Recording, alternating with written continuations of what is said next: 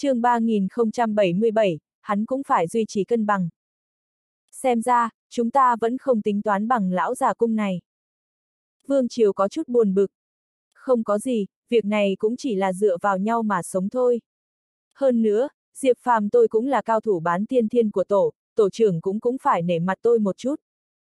Diệp Phàm không khách khí khoe khoang. Việc này đương nhiên, có thể nói như vậy tôi thấy hiện giờ tổ đặc nhiệm A có lẽ nửa số đội viên đều do anh Diệp dẫn vào. Anh là người dẫn người rồi, ha ha. Vương Triều cũng khá đắc ý.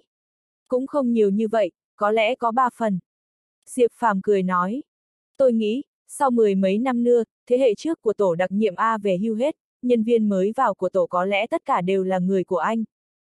Lúc đó, anh Diệp không cần xen vào tổ đặc nhiệm A tổ đặc nhiệm A chính là bộ đội riêng của anh Diệp. Tôi thấy hiện giờ đã có vẻ như vậy. Vương Triều cười nói. Chúng ta nói chuyện tào lao thì tào lao, lời này ngàn vạn lần đừng loạn nói. Nếu không có người nghe thấy thì phiền toái. Diệp Phàm nói. Anh Diệp trung thành với đất nước, tổ đặc nhiệm A nghe lời anh như thế nào cũng là vì đất nước. Vương Triều nói. Đương nhiên, điều này tuyệt đối không phải tôi nói sai. Em gái, lần này chúng ta đã cố hết sức, tuy nói không lấy được thiên sơn tuyết tùng liên nhưng đã trừ hại cho nhân dân, coi như là công đức viên mãn. Ngày hôm sau, Diệp Phàm về nhà, chuyện ở đây giao cho Vương Triều. Nói linh tinh, công đức viên mãn, nhưng sinh mệnh tiềm lực hoàn đến giờ còn chưa có tin tức, sao có thể nói là công đức viên mãn. Mộc Nguyệt Nhi không đồng ý. Tôi nói nhé Tổng Giám Đốc Mộc, cô cung cấp về tin tức của khoai lang, mà Thiên Sơn Tuyết Tùng Liên là chúng tôi thêm vào. Nói chuyện cũng không thể không tính toán gì hết đi. Diệp Phàm mặt có chút u ám. Hiện giờ anh đã biết, có câu danh ngôn không biết anh đã nghe qua chưa? Mộc Nguyệt Nhi không ngờ cười nói. Danh ngôn gì? Diệp Phàm không ngờ có dự cảm không tốt. Phụ nữ mà tiểu nhân đàn ông khó cưỡng. Mộc Nguyệt Nhi cười nói. Được, cô đã nói như vậy cũng đúng, việc này từ nay về sau Diệp Phàm tôi mặc kệ. Cô cũng không cần đầu tư vào núi thông thiên, hai chúng ta chia tay. Diệp Phàm thực sự nổi giận, mặt sầm lại xoay người muốn đi. Tức gì mà tức, tôi cũng không phải nói là không đầu tư. Nhưng, dù sao cũng phải cho tôi lo lắng một chút. Tôi đã nghĩ ông nội sẽ sống thêm được mấy năm, có thể hưởng thụ chút tình thân, anh là hy vọng duy nhất của tôi. Mộc Nguyệt Nhi nói, mắt rơm rớm nước, mẹ kiếp, các nàng rơi lệ dễ như uống cháo, đáng tiếc là không đi làm diễn viên. Diệp Phàm thầm căm giận trong lòng, sau đó đứng đắn nói. Như vậy đi, trong vòng nửa năm tôi sẽ nghĩ cách để Lão Vân có sinh mệnh tiềm lực hoàn. Vậy được, tôi tin tưởng anh. Tổng Giám Đốc Diệp, anh là người duy nhất ngoài Mộc Châu Lệ mà tôi có thể tin tưởng. Mộc Nguyệt Nhi thật ra nghiêm túc lên. Cảm ơn. Diệp Phàm thận trọng gật đầu, cười nói. Thế nào, quen anh trai này cũng không tệ lắm đúng không? Ít nhất oan ức có chỗ để khóc.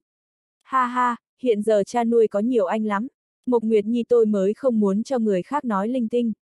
Hơn nữa, làm cho tôi yên tâm, có thể khoe khoang tiền. Mộc Nguyệt Nhi lúc này giống như một cô tiểu thư xinh đẹp liếc Diệp Phàm một cái rồi đi vào Chu Tước Sơn Trang. Diệp Phàm cười khổ hai tiếng, xoay người hướng về khách sạn Hoành Không. Vì hắn đã gọi điện thoại cho Khổng Ý Hùng đem đồ dùng từ Chu Tước Sơn Trang đến khách sạn Hoành Không. Diệp Phàm không muốn quấy rầy chuyện của gia đình người ta.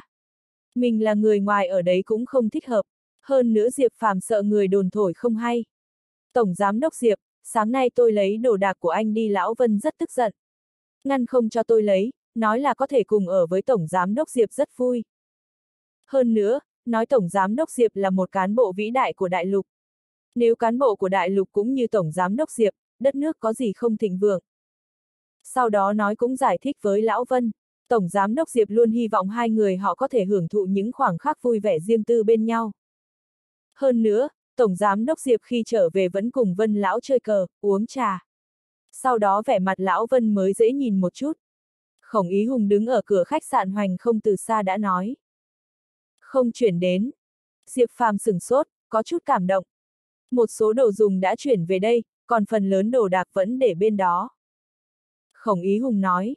Ôi, Phân lão đánh giá cao tôi như vậy, trong lòng tôi không dám nhận. Diệp Phàm thở dài bước vào phòng. Mới vừa tắm xong đang muốn nằm trên giường nghỉ ngơi thì điện thoại vang lên, tiếng lạc tuyết phiêu mai nói. Diệp Phàm, mẹ cùng cha có thể sống với nhau tôi thật sự vui. Lạc Tuyết nói đến đây giọng có chút nghẹn ngào. Đúng vậy, đã mấy chục năm, việc này còn phải cảm ơn Mộc Nguyệt Nhi đã cung cấp tin tức, nếu không cũng không biết bao giờ. Đây là duyên phận. Diệp Phàm xúc động. Nghe nói Mộc Nguyệt Nhi rất xinh đẹp. Lời này của Lạc Tuyết chính là có chút ghen. Ai nói vậy, có thể so với em sao? Chỉ được một nửa, mẹ em là Giang Nam đệ nhất mỹ nữ, hiện giờ em kế thừa của mẹ.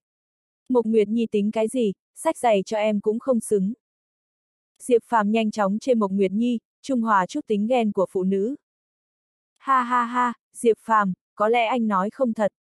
Hai người song túc song tê, cũng không chê người ta như vậy, anh nói lời này trái với lương tâm. Người ta nói, đàn ông vừa nhắc tới quần liền đã quên, em hy vọng anh là người đàn ông như vậy. Lạc tuyết cười. Có trời trên đầu, khi nào thì anh và Mộc Nguyệt Nhi như thế? Người ta phải tiếp ông nội cô ấy, huống chi hiện giờ anh đã dọn ra ngoài. Hai ông cháu người ta mấy chục năm mới gặp nhau, nhiều đau khổ. Lạc tuyết, em cũng đừng nghĩ thế. Diệp Phàm vội kêu lên. Không có việc gì anh vội vã dọn đi làm gì. Lạc tuyết chính là người thông minh, không dễ lừa. Việc này cũng vẫn là có chút không tiện. Diệp Phàm kiên trì nói. Tiện hay không tiện đều ở tâm, có một số việc dù dọn cũng không xong. Vậy tôi, không nói với anh về chuyện này nữa. A hát nói, ba mẹ có thể sống cùng nhau không? Em lo khi ba lên cơn điên có thể làm bị thương mẹ. Lạc Tuyết là cô gái thông minh, có một số việc nhắc Diệp Phàm một chút sẽ không hỏi lại. Nếu một mực không tha sẽ làm phiền người khác. Ông ấy không việc gì, tôi thấy ba của em bị bệnh vì mẹ em. Tương tư quá độ, bệnh của ông ấy không hại ai cũng không hại mẹ. Đây là một loại bản năng, không cần lo lắng. Hơn nữa có mẹ ở bên, có lẽ không lâu có thể khôi phục lại. Đến lúc đó cả nhà đoàn tụ thật là tốt. Diệp Phàm an ủi. Đúng rồi, bãi Yến Nguyệt tiến triển thế nào? Tốt lắm, tham mưu lang cũng rất quan tâm đến chúng ta, có chuyện gì bất bình anh ấy đều ra tay.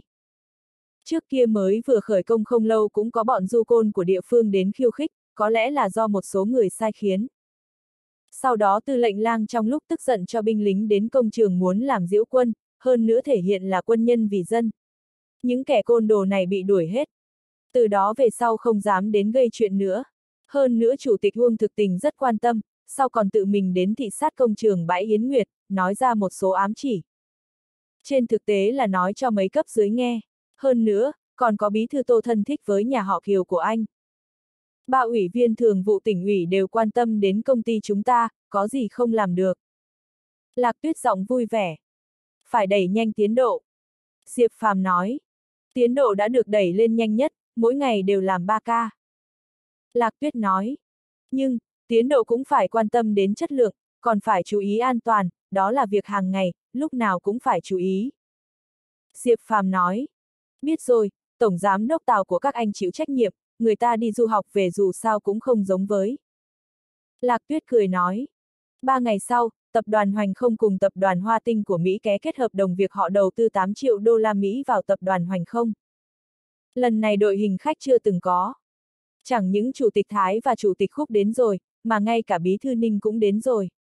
Trên cơ bản lãnh đạo tỉnh ủy và ủy ban nhân dân đều đến mấy người. Ninh Chí Hòa biểu hiện thái độ tích cực cũng làm cho cấp dưới thực khiếp sợ. Diệp Phàm biết, Ninh Chí Hòa chuyển chính thức xong sẽ thi thố khát vọng của ông ta, phải dứt khoát làm nên sự nghiệp lớn ở tỉnh Thiên Vân. Mà tập đoàn hoành không của hắn chính là đá thử vàng của ông ta. Ninh Chí Hòa biểu hiện như thế cũng để cho cả tình nhìn. Trong buổi ký hợp đồng ông ta nói một câu. Đồng chí Diệp Phàm làm không tồi. Lúc này, ánh sáng toát lên, Diệp Phàm hôm nay thành nhân vật trọng tâm, đài truyền hình tỉnh chuẩn bị làm một chuyên mục về Diệp Phàm. Ninh Chí Hòa nói chuyện xong đến Chủ tịch Khúc nói chuyện, cuối cùng Chủ tịch Khúc cũng tổng kết một chút. Tập đoàn Hoành không muốn phát triển, mọi việc, được hay không nằm trong tay đồng chí Diệp Phàm. Tuy nói Chủ tịch Khúc không có khen Diệp Phàm, nhưng thầm khích lệ mọi người vẫn hiểu được. Bố Hoa Thanh làm phó chủ tịch thường trực, đương nhiên cũng phải phát biểu. Tuy ông ta không có cảm tình với Diệp Phàm, nhưng ông ấy vẫn khen lãnh đạo tập đoàn Hoành không gần đây làm không tồi, thực sự xuất sắc. Nhưng, Ninh Chí Hòa vừa dứt lời. Khổng Ý Hùng đến nói nhỏ với Diệp Phàm. Chủ tịch tỉnh Điền Nam Dương Khai Thành cùng Phó Chủ tịch tỉnh Trương Tương Hòa dẫn mấy đồng chí của Ủy ban Nhân dân cũng đến. Bọn họ đến làm gì? Diệp Phàm sửng sốt, thuận miệng hỏi. Hái quả đào thôi. Khổng Ý Hùng nói nhỏ, Diệp Phàm lập tức đến chỗ Bí Thư Ninh và Chủ tịch Khúc báo cáo, Ninh Chí Hòa vừa nghe cười nói. Đồng chí Khai Thành đến rồi, chúng ta đi ra đón. Vì thế, mấy chục người theo Bí Thư Ninh đi ra cửa. Ha ha, Bí Thư Ninh, Chủ tịch Khúc, chuyện lớn như vậy không cho chúng tôi biết nửa tiếng, có phải không đủ trưởng nghĩa? Chủ tịch Dương từ xa đã cười ha hả nói. Ha ha, các anh không phải. Ninh Chí Hòa nói nửa câu, ý là các anh không phải cùng Diệp Phàm ký hợp đồng lui sao chương 3078, ngũ quan bất ngờ đến. Ha ha, Bí Thư Ninh nói đến hợp đồng hỗ trợ tập đoàn Hoành không sao. Trương Tương Hòa thấy thế lập tức đứng sau Chủ tịch Dương cười cười nói. Hiệp nghị hỗ trợ, đồng chí Diệp Phàm, không phải cậu nói chuyện ký hợp đồng chính là Ủy ban Nhân dân tỉnh Điền Nam rời khỏi Hoành không sao. Đồng chí Diệp Phàm, một là một hai là hai, không thể lừa gạt lãnh đạo tỉnh. Ninh Chí Hòa quay đầu vẻ mặt có chút phê bình Diệp Phàm. Nhưng, Dương Khai Thành nghe mặt cũng có chút xấu hổ, lời của lão Ninh nào có phải ông nghe không rõ. Bí thư Ninh, lúc đó tôi đã cùng đồng chí Khổng Ý Hùng qua đó thật sự là cùng Ủy ban Nhân dân tỉnh Điền Nam ký kết hợp đồng việc họ tự nguyệt rời khỏi tập đoàn Hoành không. Bọn họ còn trợ cấp chúng tôi 100 triệu tiền làm điều kiện rời khỏi việc sở hữu cổ phần tập đoàn Hoành không. Hợp đồng lập thành ba bản, tập đoàn Hoành không chúng tôi giữ một, bọn họ một, chúng tôi báo cáo lãnh đạo tỉnh một.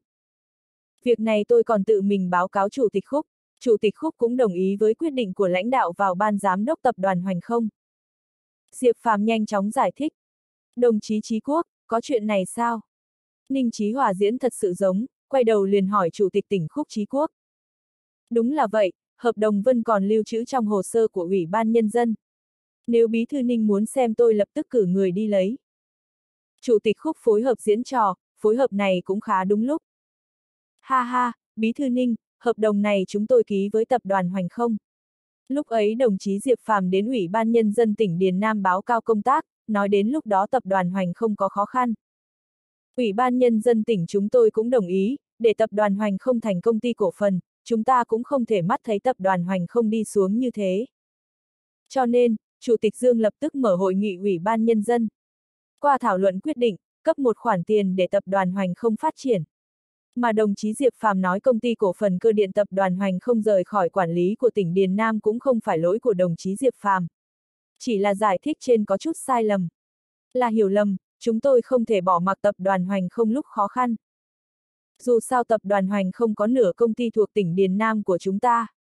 Chủ tịch Dương căn cứ khó khăn giải quyết khó khăn. Cho nên đã cấp một khoản kinh phí để giúp đỡ tập đoàn Hoành không phát triển. Trương Tương Hòa nói cẩn thận, kia căn bản là trợn mắt nói dối. Đúng vậy, tập đoàn Hoành không là tập đoàn do tỉnh Điền Nam và tỉnh Thiên Vân cùng quản lý. Từ khi thành lập đến nay tuy sau này không phát triển tốt. Nhưng dù sao tập đoàn Hoành không cũng là đứa con của tỉnh Điền Nam chúng ta. Không thể chê mẹ xấu, không thể chê mẹ nghèo. Nói về giúp đỡ thì Ủy ban Nhân dân tỉnh Điền Nam chúng tôi đứng thứ hai. Từ tài chính đến chính sách đều nghiêng về tập đoàn Hoành không. Nếu như nói lúc trước chúng tôi quyết định rời khỏi, thì tỉnh Thiên Vân không thể chống đỡ hết có phải không? Đây là liên quan đến một tập đoàn hàng trăm tỷ, mà tư cách pháp nhân của tập đoàn Hoành không là tỉnh Thiên Vân và tỉnh Điền Nam chúng tôi. Muốn lui cũng phải hai bên pháp nhân ngồi bàn bạc đúng không? Đến giờ, chúng ta cũng không có ý này. Chúng ta lại giống như xưa tiếp tục giúp đỡ tập đoàn Hoành không. Mà ngày nay chúng ta đến đây cũng có hai việc. Vừa lúc tỉnh Điền Nam chúng tôi một lần nữa xây dựng một công ty mới, cần khoảng 100 triệu tiền máy móc. Mà đa số thiết bị này tập đoàn Hoành không có thể sản xuất. Nước phù sa không chảy ra ruộng của người ngoài. Và lại tập đoàn Hoành không còn có 4 phần thuộc tỉnh Điền Nam chúng ta có phải không? Cho nên, hôm nay đến đây, chúng tôi mang đến đơn đặt hàng 100 triệu. Thứ hai còn có một việc muốn tuyên bố. Tôi được sự ủy quyền của đồng chí Trần Cự Đức, tỉnh ủy Điền Nam sau khi bàn bạc, quyết định bổ nhiệm đồng chí Diệp Phàm làm trợ lý chủ tịch tỉnh Điền Nam, đồng thời kiêm bí thư địa ủy Giang Hoa. Phân công quản lý địa khu Giang Hoa tỉnh Điền Nam. Hơn nữa, việc này chúng tôi đã báo Trung ương phê chuẩn. Đồng chí Diệp Phàm cấp bậc tương đương phó tỉnh, hưởng thụ đãi ngộ cấp phó tỉnh. Lãnh đạo Trung ương cũng là lo lắng đến hiện trạng khu Giang Hoa của chúng tôi, cần có một người dẫn đầu để đưa địa khu Hoa Giang thoát khỏi khốn cảnh. Hơn nữa, tập đoàn Hoành không có nửa phần nằm trên địa khu Giang Hoa. Để đồng chí Diệp Phàm kiêm nhiệm chức phụ như vậy cũng thuận lợi cho việc phát triển tập đoàn Hoành Không. Nghe nói tỉnh Thiên Vân nhét thị trấn Hoành Không vào sự quản lý của tập đoàn Hoành Không. Mà tỉnh ủy Điền Nam chúng tôi báo cáo quốc vụ viện phê chuẩn. Giao khu giang hoa của tập đoàn Hoành Không quản lý. Để việc quy hoạch Hoành Không hoàn thiện hơn, nghe nói hôm nay tập đoàn Hoành Không đăng ký kết hợp tác với tập đoàn Hoa Tinh của Mỹ để xây dựng khu du lịch núi Thiên Thông. Mà khu du lịch này có sau phần địa bàn là sông Lăng, cho nên, tỉnh ủy và ủy ban nhân dân tỉnh Điền Nam làm, đều là vì duy trì công việc của tập đoàn Hoành Không, đến giúp đỡ tập đoàn Hoành Không. Đương nhiên, cũng dễ cho đồng chí Diệp Phàm phát huy tham vọng, phát triển Hoành Không. Tôi rất phục sự quyết đoán của đồng chí Diệp Phàm. Hoành Không sẽ xuất thế, tôi thật sự vui mừng. Say này, Ủy ban Nhân dân tỉnh Điền Nam còn có thể có một số chính sách ưu đãi, làm cho kế hoạch của Hoành Không có thể thực hiện thuận lợi. Đồng chí Diệp Phàm, đây là quyết định bổ nhiệm, còn có các chỉ tiêu cùng với. Chủ tịch Dương nói xong quay sang cấp dưới lấy ra một phong bì tài liệu. Muốn làm thì cũng phải làm bá vương của trò siếc, Không thể không nói, Chủ tịch Dương đưa ra điều kiện hấp dẫn người khác, đơn giản là đến mức Diệp Phàm đều không thể từ chối. Diệp Phàm có chút khó xử, nếu đồng ý chỉ sợ Bí Thư Ninh và Chủ tịch Khúc khó chịu. Có lẽ, tuy nói hiểu được tỉnh Điền Nam rút lui chưa được tỉnh ủy và ủy ban nhân dân đồng ý còn chưa có ý nghĩa. Nhưng trước kia tỉnh Điền Nam đã lòng dạ hẹp hòi, hiện giờ chắc chắn phải trả giá. Nhưng, không nhận chẳng lẽ làm cho Chủ tịch Dương ngượng ngay tại đây. Việc này hình như cũng không phải đạo lý đối với khách. Hơn nữa, Diệp Phàm cũng thèm những điều kiện này. Ha ha, nếu Chủ tịch Dương đã có ý tốt như vậy, Diệp Phàm nhanh nhận lấy. Ninh Chí Hòa cười nói, mà Chủ tịch Khúc đã mỉm cười nhìn Diệp Phàm, do cũng liền hai tay trang trọng nhận lấy. Nhưng, chuyện hợp đồng vẫn là do Ủy ban Nhân dân tỉnh Điền Nam và Tập đoàn Hoành không ký kết, xem giải quyết thế nào là được. Ninh Chí Hòa sau đó còn nói, đem quyền lực trao cho cấp dưới Diệp Phàm nắm giữ đây đúng là việc nên làm. Nếu việc này tỉnh Thiên Vân ra mặt thì hai tỉnh sẽ không thuận. Quan hệ đó Ninh Chí Hòa cũng không muốn thấy. Dù sao, hai tỉnh vẫn là hai tỉnh lân cận, bà con xa không bằng láng giềng gần. Mà giao cho Diệp Phàm giải quyết là tốt rồi, đến lúc đó, Diệp Phàm giải quyết như thế nào là chuyện của Diệp Phàm. Do Diệp Phàm ra mặt cũng là thích hợp, đó chỉ là những hiểu lầm của tập đoàn Hoành Không và các đơn vị khác thôi. Ninh Chí Hòa tin tưởng, Diệp Phàm cũng không phải người tốt, tỉnh Điền Nam lần này chắc chắn không thể sống dễ dàng. Đúng thế, đúng thế, chỉ là chuyện trong nhà, để sau khi ăn cơm xong thì đồng chí Tương Hòa và đồng chí Diệp Phàm cùng nói chuyện. Chủ tịch Dương cũng từ từ hạ sườn núi. Chính mình đối lý, cũng không tốt nói gì. Sau khi ăn cơm xong, Ninh Chí Hòa cười tủm tỉm nói với Chủ tịch Dương. Đồng chí Khai Thành, vừa rồi chúng ta tham gia nghi thức bổ nhiệm của tỉnh Điền Nam đối với Diệp Phàm. Hiện giờ tôi cũng mời các anh tỉnh Điền Nam tham gia nghi thức của tỉnh Thiên Vân chúng tôi. Vậy thì tốt, hôm nay là tam hỷ lâm môn. Dương Khai Thành lập tức cười. Không lâu, mọi người đã đến phòng họp của tập đoàn Hoành Không. Trưởng ban tổ chức tỉnh ủy Thiên Vân đại diện tỉnh ủy tuyên bố bổ nhiệm đối với Diệp Phàm. Trưởng ban cát mặt nghiêm túc nhìn mấy trăm người phía cưới nói. Bổ nhiệm đồng chí Diệp Phàm làm bí thư đảng ủy tập đoàn Hoành Không. Phía dưới lập tức tiếng vỗ tay vang lên như sấm. Vỗ tay rất nhiệt liệt, tất cả đều thật lòng. Bởi vì, tất cả cán bộ công nhân viên chức của Hoành Không đều thấy sự phát triển của Hoành Không sau khi Diệp Phàm đến. Những việc này o phải nói dối, như khoản đầu tư 8 triệu đô la Mỹ hôm nay chính là bằng chứng, không ai có thể nói sai sự thật. Tiếng vỗ tay kéo dài không thôi cũng là căn cứ chứng minh chính xác nhất. Trưởng ban cát vẫy tay liên tục chừng 3 phút đồng hồ sau tiếng vỗ tay mới dừng lại. Tiếp theo mời đồng chí Diệp Phàm phát biểu. Khổng Ý Hùng vừa mới dừng lời tiếng vỗ tay lại như sấm dậy. Diệp Phàm cũng là vẫy tay liên tục mới ngừng được tiếng vỗ tay, ngay cả mấy người bí thư ninh cũng vỗ tay.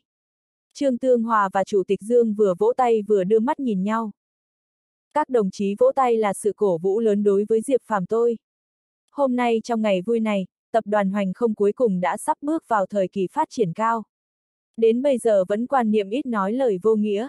Giấc mơ của Diệp Phàm tôi có một giấc mơ, nói về giấc mơ của tôi đi. Diệp Phàm nói đến đây ngừng lại, nhìn tất cả ánh mắt đang ngây người một lượt. Có lẽ mọi người đều đang kinh ngạc, đây chẳng phải là cơ hội sao, nhân dịp lãnh đạo ở đây khoe thành tích của mình mới đúng. Diệp Phàm nói, từ khi đến tập đoàn Hoành Không, tôi luôn có một giấc mơ trong lòng. Đó là cái gì? Tiếng vỗ tay lại vang lên, vẫy tay mấy lần tiếng vỗ tay dứt Diệp Phàm mới nói tiếp. Thị trấn Hoành không biến thành thành phố Hoành không. Hơn nữa, không phải Thái phi công nghiệp yếu, mà là khu du lịch sinh thái, cuộc sống rất tốt, mỗi người Hoành không đều là người giàu có. Đến trường, đến bệnh viện đều miễn phí. Tìm việc làm đối với mỗi người ở Hoành không đều không hề là việc khó, mà dễ như uống cháo. Tất cả đều là sở hữu của người Hoành không. Mọi người có tin tưởng không? Diệp Phàm đột nhiên hô. Có. Vài trăm người đáp, không khí lúc này như thủy triều lên. Nói lại lần nữa. Diệp Phàm lại nói. Có. Lần này tiếng đáp rất vang, vang khắp phòng họp, đến tai cũng không thể chịu nổi rồi. chương 3079, theo sát không tha. Ninh Chí Hòa trước khi lên xe cầm tay Diệp Phàm nói. Đồng chí Diệp Phàm, giấc mơ của cậu tốt lắm, tôi hy vọng có thể nhìn thấy giấc mơ của cậu thành sự thật. Chắc chắn sẽ được chứng kiến. Diệp Phàm thận trọng gật đầu. Vậy là tốt rồi. Chủ tịch Khúc đứng sau nói một câu. Tiễn các đồng chí tỉnh Thiên Vân xong Diệp Phàm cùng Trương Tương Hòa bước vào phòng họp. Mà đoàn người của tỉnh Thiên Vân đã ở đó, có đến hơn 30 người. Đồng chí Diệp Phàm, lần này đến mang nhiều đồng chí ở tỉnh Thiên Vân đến đây, không phải Dương Khai Thành tôi phô trương mà vì còn có một việc quan trọng phải nói với cậu. Chủ tịch Dương vẻ mặt nghiêm túc nhìn Diệp Phàm. Chủ tịch Dương, mời ông nói. Diệp Phàm gật đầu. Cậu cũng biết khu phía tây của thị trấn Hoành không thuộc địa bàn của tỉnh Điền Nam chúng ta. Cho nên, tập đoàn Hoành không các cậu quy hoạch chỉ có thể giới hạn trong phạm vi thị trấn Hoành không các cậu. Cho nên, vẫn phải kéo dài sang phía đông bắng. Tuy nói đều thuộc khu vực sông Thông Thiên, nhưng nhìn qua cũng không khoa học. Hơn nữa, cũng có nhiều điểm không tiện. Chủ tịch Dương nhìn Diệp Phàm nói. Ừ, đây là chuyện không có cách nào. Nếu chúng tôi quy hoạch cả khu giang hoa của tỉnh Điền Nam vào, sợ các ông không chịu. Hơn nữa, mặc dù là các ông chịu, thì tỉnh Thiên Vân bên này cũng không chịu thì cũng vô ích đúng không? Diệp Phàm cười nói. Ha ha, Thiên Vân không chịu cũng vô ích, mà chúng tôi cũng không có khả năng đồng ý. Bởi vì sau khi vào quy hoạch của các cậu địa bàn thuộc quyền quản lý của các cậu, mà hết thảy phải chờ các cậu giải quyết, tập đoàn Hoành không sẽ trở thành thị trấn giữa tỉnh, hơn nữa là hai tỉnh. Chủ tịch Dương cười nói. Cho nên, dù hạn chế chúng tôi buộc lòng phải kéo dài sang phía đông bắc. Diệp Phàm nói. Ha ha ha. Chủ tịch Dương đột nhiên cười sang sảng, Trương Tương Hòa vẻ mặt cũng cười cười thần bí. Diệp Phàm có chút sững sờ. Hai vị lãnh đạo, chẳng lẽ là giao khu Giang Hoa cho tập đoàn chúng tôi quản lý? Diệp Phàm nói đùa. Ha ha, đồng chí Diệp Phàm, khẩu khí của cậu cũng quá lớn đi. Trương Tương Hòa ra vẻ hay đùa. Đồng chí Tương Hóa, giờ anh mới biết. Diệp Phàm cũng đùa. Ha ha ha. Mọi người cùng cười. Trở lại chuyện chính, huyện Lăng Hà của khu Giang Hoa ngay đối diện sông, mà giờ cậu còn kiêm chức bí thư địa ủy Giang Hoa. Cứ chạy đi chạy lại hai nơi cũng mệt, tỉnh ủy và ủy ban nhân dân cũng tính toán, muốn chuyển trung tâm của Giang Hòa về huyện Lăng Hà. Mà thị trấn Lăng Hà ngay bên kia bờ sông Thông Thiên. Nếu như có thể xây nhà ở trên sông thì chỉ cần mấy phút đồng hồ đi lại. Đương nhiên, nguyên nhân quan trọng là tòa nhà của địa ủy Giang Hoa đã rất cũ. Hơn nữa, quy hoạch trước kia thật sự không hợp lý. Cho nên, tỉnh ủy và ủy ban nhân dân quyết định xây dựng một tòa nhà khác. Nếu muốn xây dựng, không bằng đổi đến hoành không này. Tuy nói đầu tư sẽ lớn hơn nữa, nhưng có thể có giảm bớt gánh nặng dân số cho khu Giang Hoa đông đúc, giảm tình trạng hỗn độn. Chủ tịch Dương nói. Nhưng, thủ phủ của một khu thường ở gần trung tâm, có lợi cho việc điều tiết quản lý khu và các hoạt động hành chính tương ứng. Nếu đến bên hoành không, chẳng phải là rất lệch khỏi trung tâm sao? Các khu đối diện khu Lăng Hà phải sang đây làm việc, đường xa, không thuận lợi cho lãnh đạo của địa ủy. Diệp Phàm đưa ra nghi vấn. Những vấn đề này chúng tôi cũng đã nghĩ đến rồi, nhưng cậu xem kỹ bản đồ khu Giang Hoa có thể phát hiện. Khu Giang Hoa có đặc điểm toàn bộ khu Giang Hoa có hình dạng như một giải thắt lưng dọc sông Thông Thiên. Hơn nữa huyện Lăng Hà nếu trở thành thủ phủ địa khu thì đúng là khu trung tâm. Huyện xa nhất đến đây chưa đến 5 tiếng đồng hồ. Trương Thương Hòa nói. Mà hôm nay đưa những người có liên quan đến đây chính là muốn nói với Bí Thư Diệp việc này. Một khi quyết định xong sẽ lập tức khởi công. Đến lúc đó công trình không ít. Hơn nữa, tôi nghe nói tập đoàn Hoành không có công ty xây dựng thiên mã. Đến lúc đó, chúng ta có thể giao dự án cho các cậu. Mà đồng chí Diệp Phàm chính là bí thư địa ủy Giang Hoa, đứng đầu ở đây, ha ha ha. Đúng vậy, bí thư Diệp, đến lúc đó nhất định địa khu Giang Hoa sẽ có thể nối thành một khối với thị trấn Hoành không. Giấc mơ của bí thư Diệp có thể thành hiện thực. Lúc này một người tóc bạc một nửa cười nói. Kế hoạch rất tốt, nhưng di chuyển thủ phủ của một địa khu là chuyện lớn. Nhất định phải thuận theo ý dân, hai là phải một lần nữa quy hoạch, ba là còn phải cấp trên phê chuẩn. Quan trọng chính là vấn đề tài chính. Các ban ngành cấp dưới của địa uy không ít, đều chuyển đến đây, tiền đâu ra. Quan trọng là tiền, có tiền đương nhiên là có cách tốt. Nói thí dụ như, không cần nói những cái khác, cây cầu thông nhau giữa thị trấn Hoành Không và huyện Lăng Hà không có mấy trăm nghìn là không làm được. Mọi thứ đều cần tiền, di rời trung tâm một địa khu là một việc lớn, có lẽ tài chính không dưới 10 tỷ. Cho nên, các đồng chí không cần cười Diệp Phàm tôi tục tằn, không có suy nghĩ. Nhưng, đó là sự thật, chúng ta đầu tiên phải đối mặt với vấn đề này. Diệp Phàm vẻ mặt nghiêm túc nói. Đây đúng là sự thật, 10 tỷ đối với một tỉnh không phải là con số nhỏ, nhưng chúng ta có thể tiến hành thành từng giai đoạn. Chỉ có điều phải tranh thủ thời gian, hoàn thành việc di chuyển khu trung tâm trong 2 năm, hơn nữa chúng ta cũng có ưu thế. Ví dụ như huyện Lăng Hà là ưu thế lớn của chúng ta. Bởi vì Lăng Hà trước kia cũng không phải là một huyện mà chỉ là một khu đất. Lại quy hoạch một lần nữa, cũng không tệ lắm. Bởi vì, địa bàn Lăng Hà trống trải, địa thế bằng phẳng, lúc trước lại được quy hoạch thống nhất. Cho nên, đem Lăng Hà xây dựng thành khu trung tâm tỉnh có thể bỏ ra một số tiền lớn. Khu vực làm việc của các cơ quan của Lăng Hà cũng không nhỏ, chỉ cần sửa sang lại một chút và xây dựng thêm một ít có thể để cho các ngành làm việc. Đương nhiên, quy hoạch của Hoành không là quan trọng, chúng ta xây dựng trung tâm của khu Giang Hoa cũng vào trong quy hoạch của Hoành không. Chủ tịch Trương nói đến đây nhìn Diệp Phàm một cái ngừng một chút nói. Đương nhiên, đồng chí Diệp Phàm không cần phải hiểu lầm. Chúng tôi quyết định như thế mục đích chính là phối hợp với quy hoạch của Hoành không các cậu. Bởi vì, chúng tôi cũng nhìn thấy triển vọng trong quy hoạch của các cậu. Vốn việc này tỉnh ủy và ủy ban nhân dân tỉnh cũng đã thảo luận nhiều, trước kia tập đoàn cơ điện hoành không phát triển tốt tỉnh còn có ý tưởng này. Nhưng vì nhiều nguyên nhân vẫn do dự không tiến hành, đó là vì chưa có nhạc dạo đầu. Hiện giờ quy hoạch hoành không đã thúc đẩy tỉnh ủy và ủy ban nhân dân tỉnh hạ quyết tâm. Hôm nay chúng tôi đến đây chính là muốn nói với anh chuyện quy hoạch. Làm thế nào để lấy Lăng Hà là trung tâm của địa khu Giang Hoa có thể đi vào dự án phát triển sinh thái du lịch mới là mục đích cuối cùng của chúng tôi. Nếu quy hoạch của chúng tôi không thể tổng hòa với quy hoạch của Hoành không đến lúc đó muốn sửa cũng khó khăn. Chủ tịch Dương nói, trung tâm khu Giang Hoa chuyển đến bên kia thị trấn Hoành không tôi đương nhiên rất vui, ít nhất có thể đẩy mạnh tiến trình thực hiện đại quy hoạch Hoành không. Đồng thời mở rộng không gian cho tập đoàn Hoành không, cơ hội và mục tiêu phát triển càng nhiều hơn nữa. Mà ý tưởng của các anh cũng rất thích hợp, phối hợp với việc xây dựng phát triển khu du lịch núi Thiên Thông, quy hoạch có thể sửa, còn có thể điều chỉnh. Nhưng nếu nhét trung tâm của khu Giang Hoa và quy hoạch hoành không thì tiền để xây dựng khu trung tâm này muốn tập đoàn chúng tôi đầu tư thì chúng tôi chỉ có thể từ chối không có cách nào. Diệp Phàm nói, đầu tiên là phá hỏng con đường bỏ vốn. Nói đến đây Diệp Phàm nhìn hai vị lãnh đạo một cái nói. Hai vị cũng biết, tập đoàn hoành không chúng tôi đã sớm rơi vào vũng bùn, bây giờ vừa mới có biến chuyển tốt đẹp, còn xa mới có thể khôi phục lại bình thường, chưa nói đến phát triển. Nợ trên lưng hoành không có thể trả hết trong 3 năm thì Diệp Phàm tôi sẽ mỉm cười. Không phải Diệp Phàm tôi không ủng hộ quyết định của tỉnh ủy và ủy ban nhân dân tỉnh Điền Nam. Cũng không phải Diệp Phàm tôi keo kiệt, mà là túi không có. Tuy nói mấy tháng nay cũng có không ít đầu tư, nhưng đầu tư trên 100 triệu đối với tập đoàn Hoành không cũng không nhiều. Hơn nữa, tập đoàn Hoành không có nhiều tệ nạn lắm, bắt đầu từ ngày mai tôi sẽ dứt khoát giơ búa lên. Nêm chém phải chém, nên lên ngựa phải lên ngựa, hy vọng tỉnh Điền Nam có thể ủng hộ công việc của tôi. Ha ha, công việc của các cậu chúng tôi vẫn luôn ủng hộ. Cậu xem, Ủy ban Nhân dân tỉnh Điền Nam khi nào thì phản đối tập đoàn Hoành không? Chủ tịch Dương cười. Nói cái dám trước kia đẩy còn không kịp, Diệp Phàm thầm khách sáo một câu trong lòng, miệng cười nói.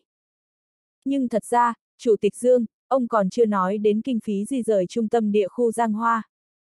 Đối với vấn đề quan trọng này Diệp Phàm phải cắn không tha. Bởi vì liên quan đến số tiền quá lớn, cho nên áp dụng tỉnh ra một ít, xin cấp trên một ít, khu ra một ít, để tập trung tài chính. Nhưng, bởi vì phải thích hợp với quy hoạch của Hoành không cho nên, ở vấn đề du lịch còn phải mới tập đoàn hoành không đầu tư một ít để xây dựng. Kỳ thật, huyện Lăng Hà tuy nói là một huyện mới xây dựng nhưng Lăng Hà trước kia vẫn giữ được nhiều đặc điểm có thể khai thác du lịch. Ví dụ như, chỗ chúng tôi còn có một khu bộ chỉ huy của quân giải phóng, cấp bậc không thấp. Chúng ta bảo tồn khu này hoàn toàn có thể khai thác một khu dịch lịch về giáo dục lịch sử. Còn có ngũ thế đường, học sĩ phủ, đừng thấy Lăng Hà chỉ là một huyện, địa điểm nổi tiếng không ít. Thời xưa chức vụ cao nhất chính là đại học sĩ, người này tên là Thái Trung, từng dạy thái tử đời minh học. Vì phủ của ông ta được xây dựng hoàn toàn bằng đá, cho nên, đến giờ sau mấy trăm năm vẫn còn được giữ nguyên. Ngay cả thổ phỉ trước kia cũng không thể tấn công vào nhà ông ta. Đương nhiên, trên tường cũng để lại không ít dấu đạn, cũng trải qua một thời kỳ lịch sử. Trương Tương Hòa thiếu chút nữa thành chuyên gia lịch sử. Ngũ thế đường kia có lẽ là ngũ thế đồng, ông già tuổi đặc biệt lớn đúng không? Diệp Phàm cười nói. chương 3080, anh chuyển tôi cũng chuyển. Đúng vậy, trên dưới 100 tuổi. Trương Tương Hòa cười nói. Ừ, chỗ này nếu cho vào quy hoạch, nếu như liên quan đến du lịch thì đương nhiên việc đầu tư là do tập đoàn Hoành không làm. Hơn nữa, đối với phương tiện công công tập đoàn Hoành không cũng sẽ đầu tư một phần. Diệp Phàm nói đến đây nhìn Chủ tịch Dương nói.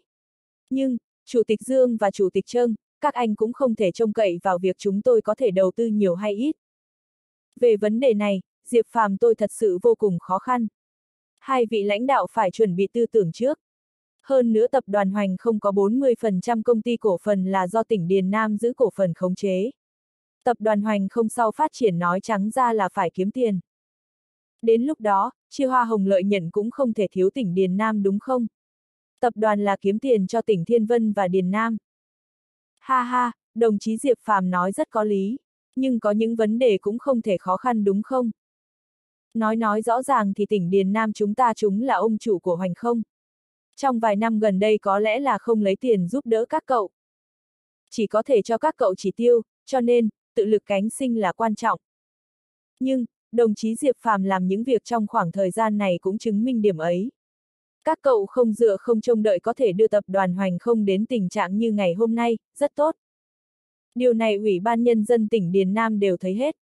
Mà đồng chí Diệp Phàm cậu chẳng những là cán bộ của tỉnh Thiên Vân mà cũng là cán bộ của tỉnh Điền Nam có phải không? Chủ tịch Dương cười nói, ra vẻ ám chỉ Diệp Phàm cũng không thể nặng bên này nhẹ bên kia, phải giữ thăng bằng. Không thể nói tỉnh Thiên Vân là ông chủ mà tỉnh Điền Nam không phải.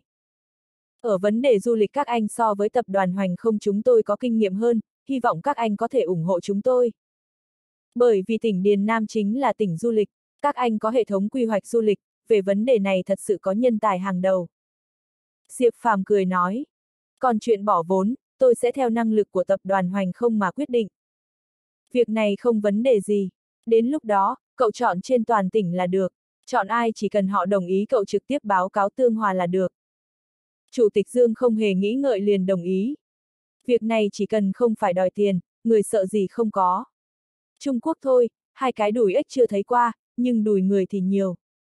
Sớm ngày hôm sau, Diệp Phàm lái xe thẳng đến Thái Phi Quang Vinh tỉnh Thiên Vân. Đối với quyết định của tỉnh Điền Nam, Diệp Phàm cảm thấy rất nhiều việc, chỉ báo cáo qua điện thoại không thể rõ ràng.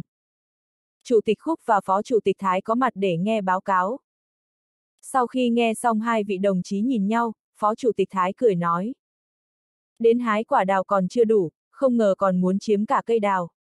Các đồng chí Điền Nam thủ đoạn thật. Ha ha, tài nguyên của hoành không đều muốn sử dụng vì họ. Hơn nữa, quy hoạch của họ thật hoàn hảo, ngay cả lý do từ chối cậu cũng khó tìm ra. Hơn nữa, bọn họ cũng bỏ ra một miếng bánh ngọt. Ví dụ như di rời trung tâm của địa khu Giang Hoa đối với tập đoàn Hoành không chính là một cơ hội, một miếng bánh ngon. Hơn nữa, có thể thúc đẩy giấc mơ của đồng chí Diệp Phàm sớm thành hiện thực. Bọn họ đúng là nắm lấy điểm quan trọng này. Đồng chí Diệp Phàm cậu thực sự động tâm đi. Chủ tịch Khúc cười nhìn Diệp Phàm. Nói thật là thật sự động tâm, cơ hội và điều kiện tốt như vậy mà không động tâm là tôi nói dối. Nhưng, bọn họ muốn bánh ngọt của Hoành không, điều này tôi rất đau. Tập đoàn Hoành không mấy tháng nay được đầu tư trên 10 tỷ. Nói tiền thì chúng tôi có, hiện giờ cũng có vài tỷ. Dĩ nhiên là có người muốn khối bánh ngọt này. Nhưng, số tiền này tôi đều phải dùng, dùng để phát triển tập đoàn Hoành không. Mà không phải dùng cho tỉnh Điền Nam xây dựng. Hơn nữa, tôi nghĩ, bọn họ cũng không có yêu cầu chúng ta ra bao nhiêu tiền. Ừ, tôi nghĩ, ý không ở trong lời, bọn họ không phải muốn hỏi cậu ra bao nhiêu tiền, mà quan tâm đến sau này. Ví dụ như tập đoàn hoành không tương lai phát triển là chuyện thực. Mà năng lực của cậu như thế bọn họ cũng nhìn thấy. Cho nên mới dám quyết định di rời trung tâm của địa khu Giang Hoa. Mà sau khi quy hoạch của hoành không hoàn thành vài năm sau, sẽ có ảnh hưởng rất lớn đến địa khu Giang Hoa. Ví dụ như, muốn làm du lịch, việc làm, kiếm tiền, còn vấn đề xây dựng đều được quan tâm. Những thế này nhìn không thấy sở không được, nhưng lại có khả năng làm cho địa khu Giang Hoa phát triển. Mà địa khu Giang Hoa vốn là địa khu kém phát triển của Điền Nam.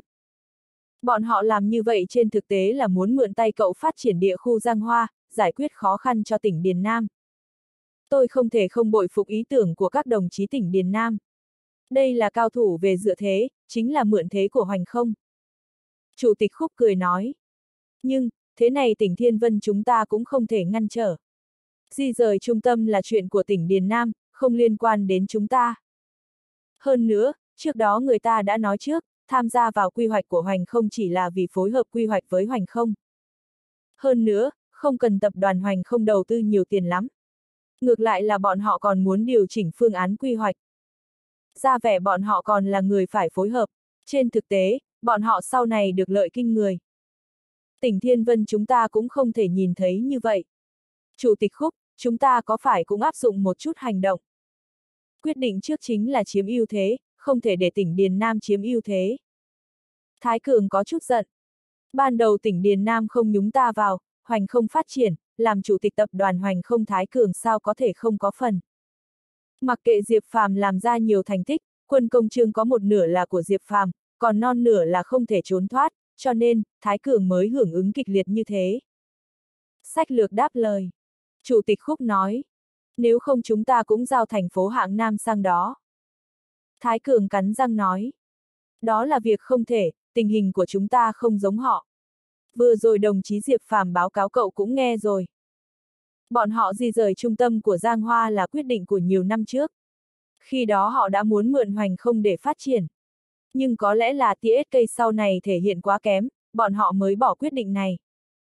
Nhưng hiện giờ thì khác, bọn họ thấy được thế phát triển của hoành không, bọn họ vừa nói việc này. Hơn nữa bọn họ có cơ sở để di rời, thật sự có liên quan đến địa hình của địa khu Giang Hoa. Nếu chúng ta đem thành phố Hạng Nam đến thị trấn Hoành không, sẽ không có lợi cho việc quản lý của thành phố Hạng Nam. Bởi vì thị trấn Hoành không đối với thành phố Hạng Nam mà nói, cách xa khu trung tâm. Bất lợi cho việc phát triển cân đối thành phố Hạng Nam.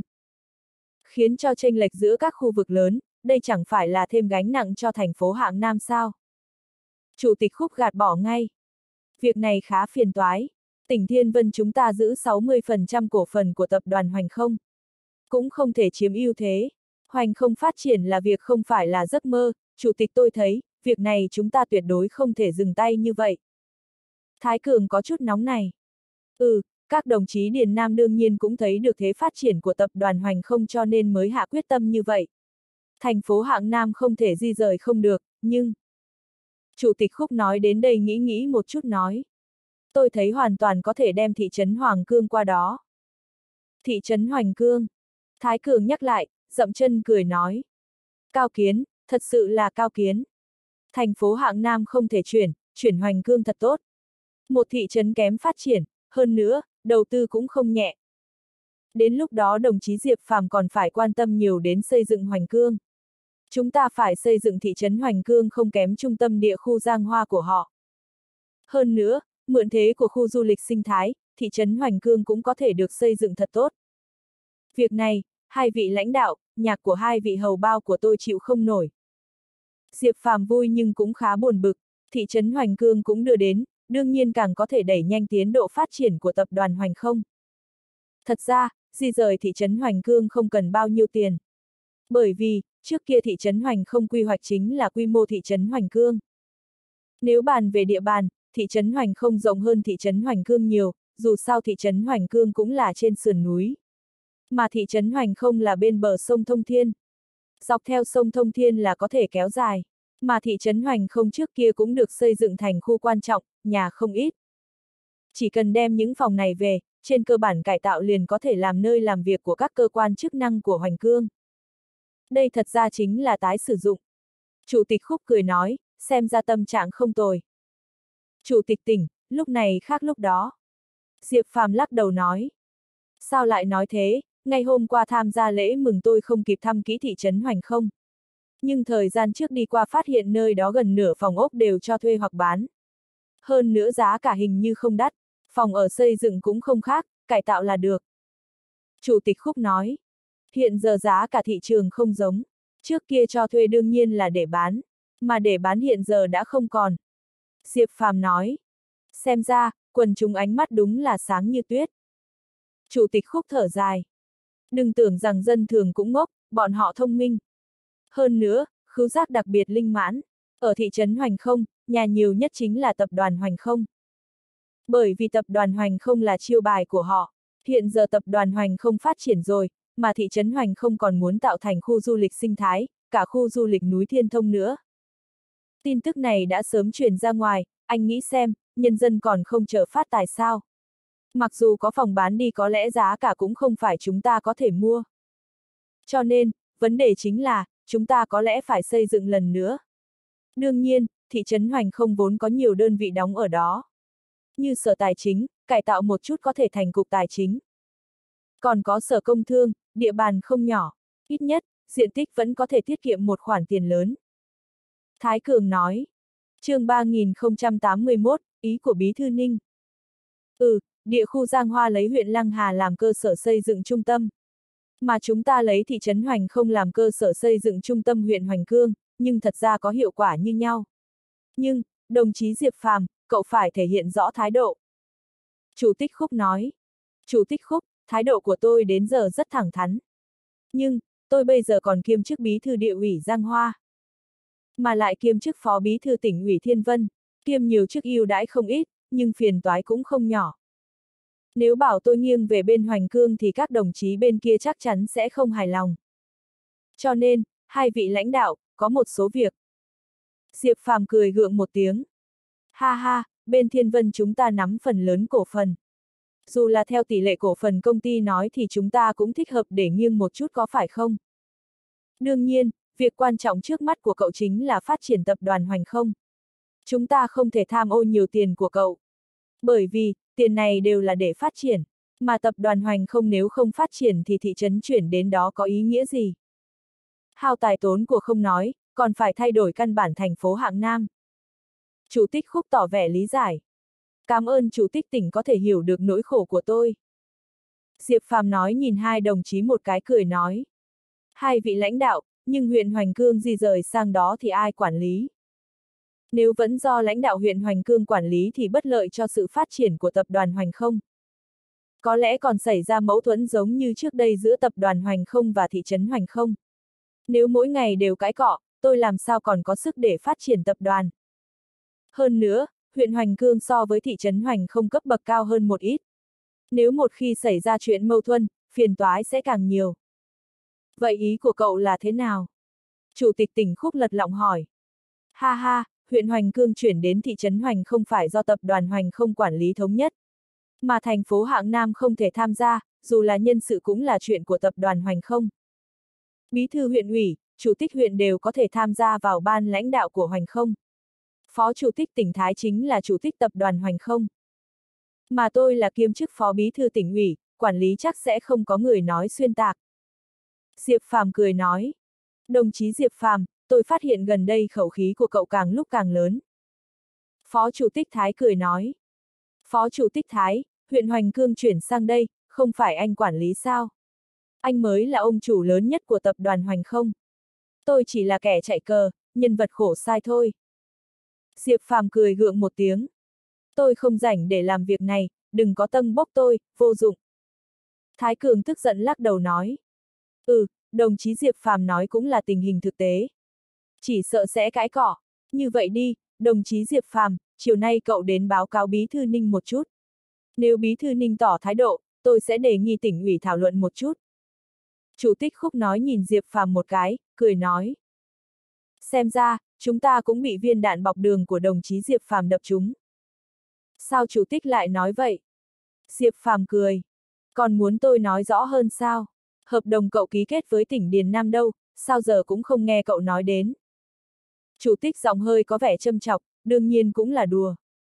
Ha ha, việc này, hiện giờ tôi đã thành cấp dưới của chủ tịch Dương, làm cấp dưới còn dám cùng cấp trên đàm phán, việc này không phải bảo tôi gặp trở ngại sai.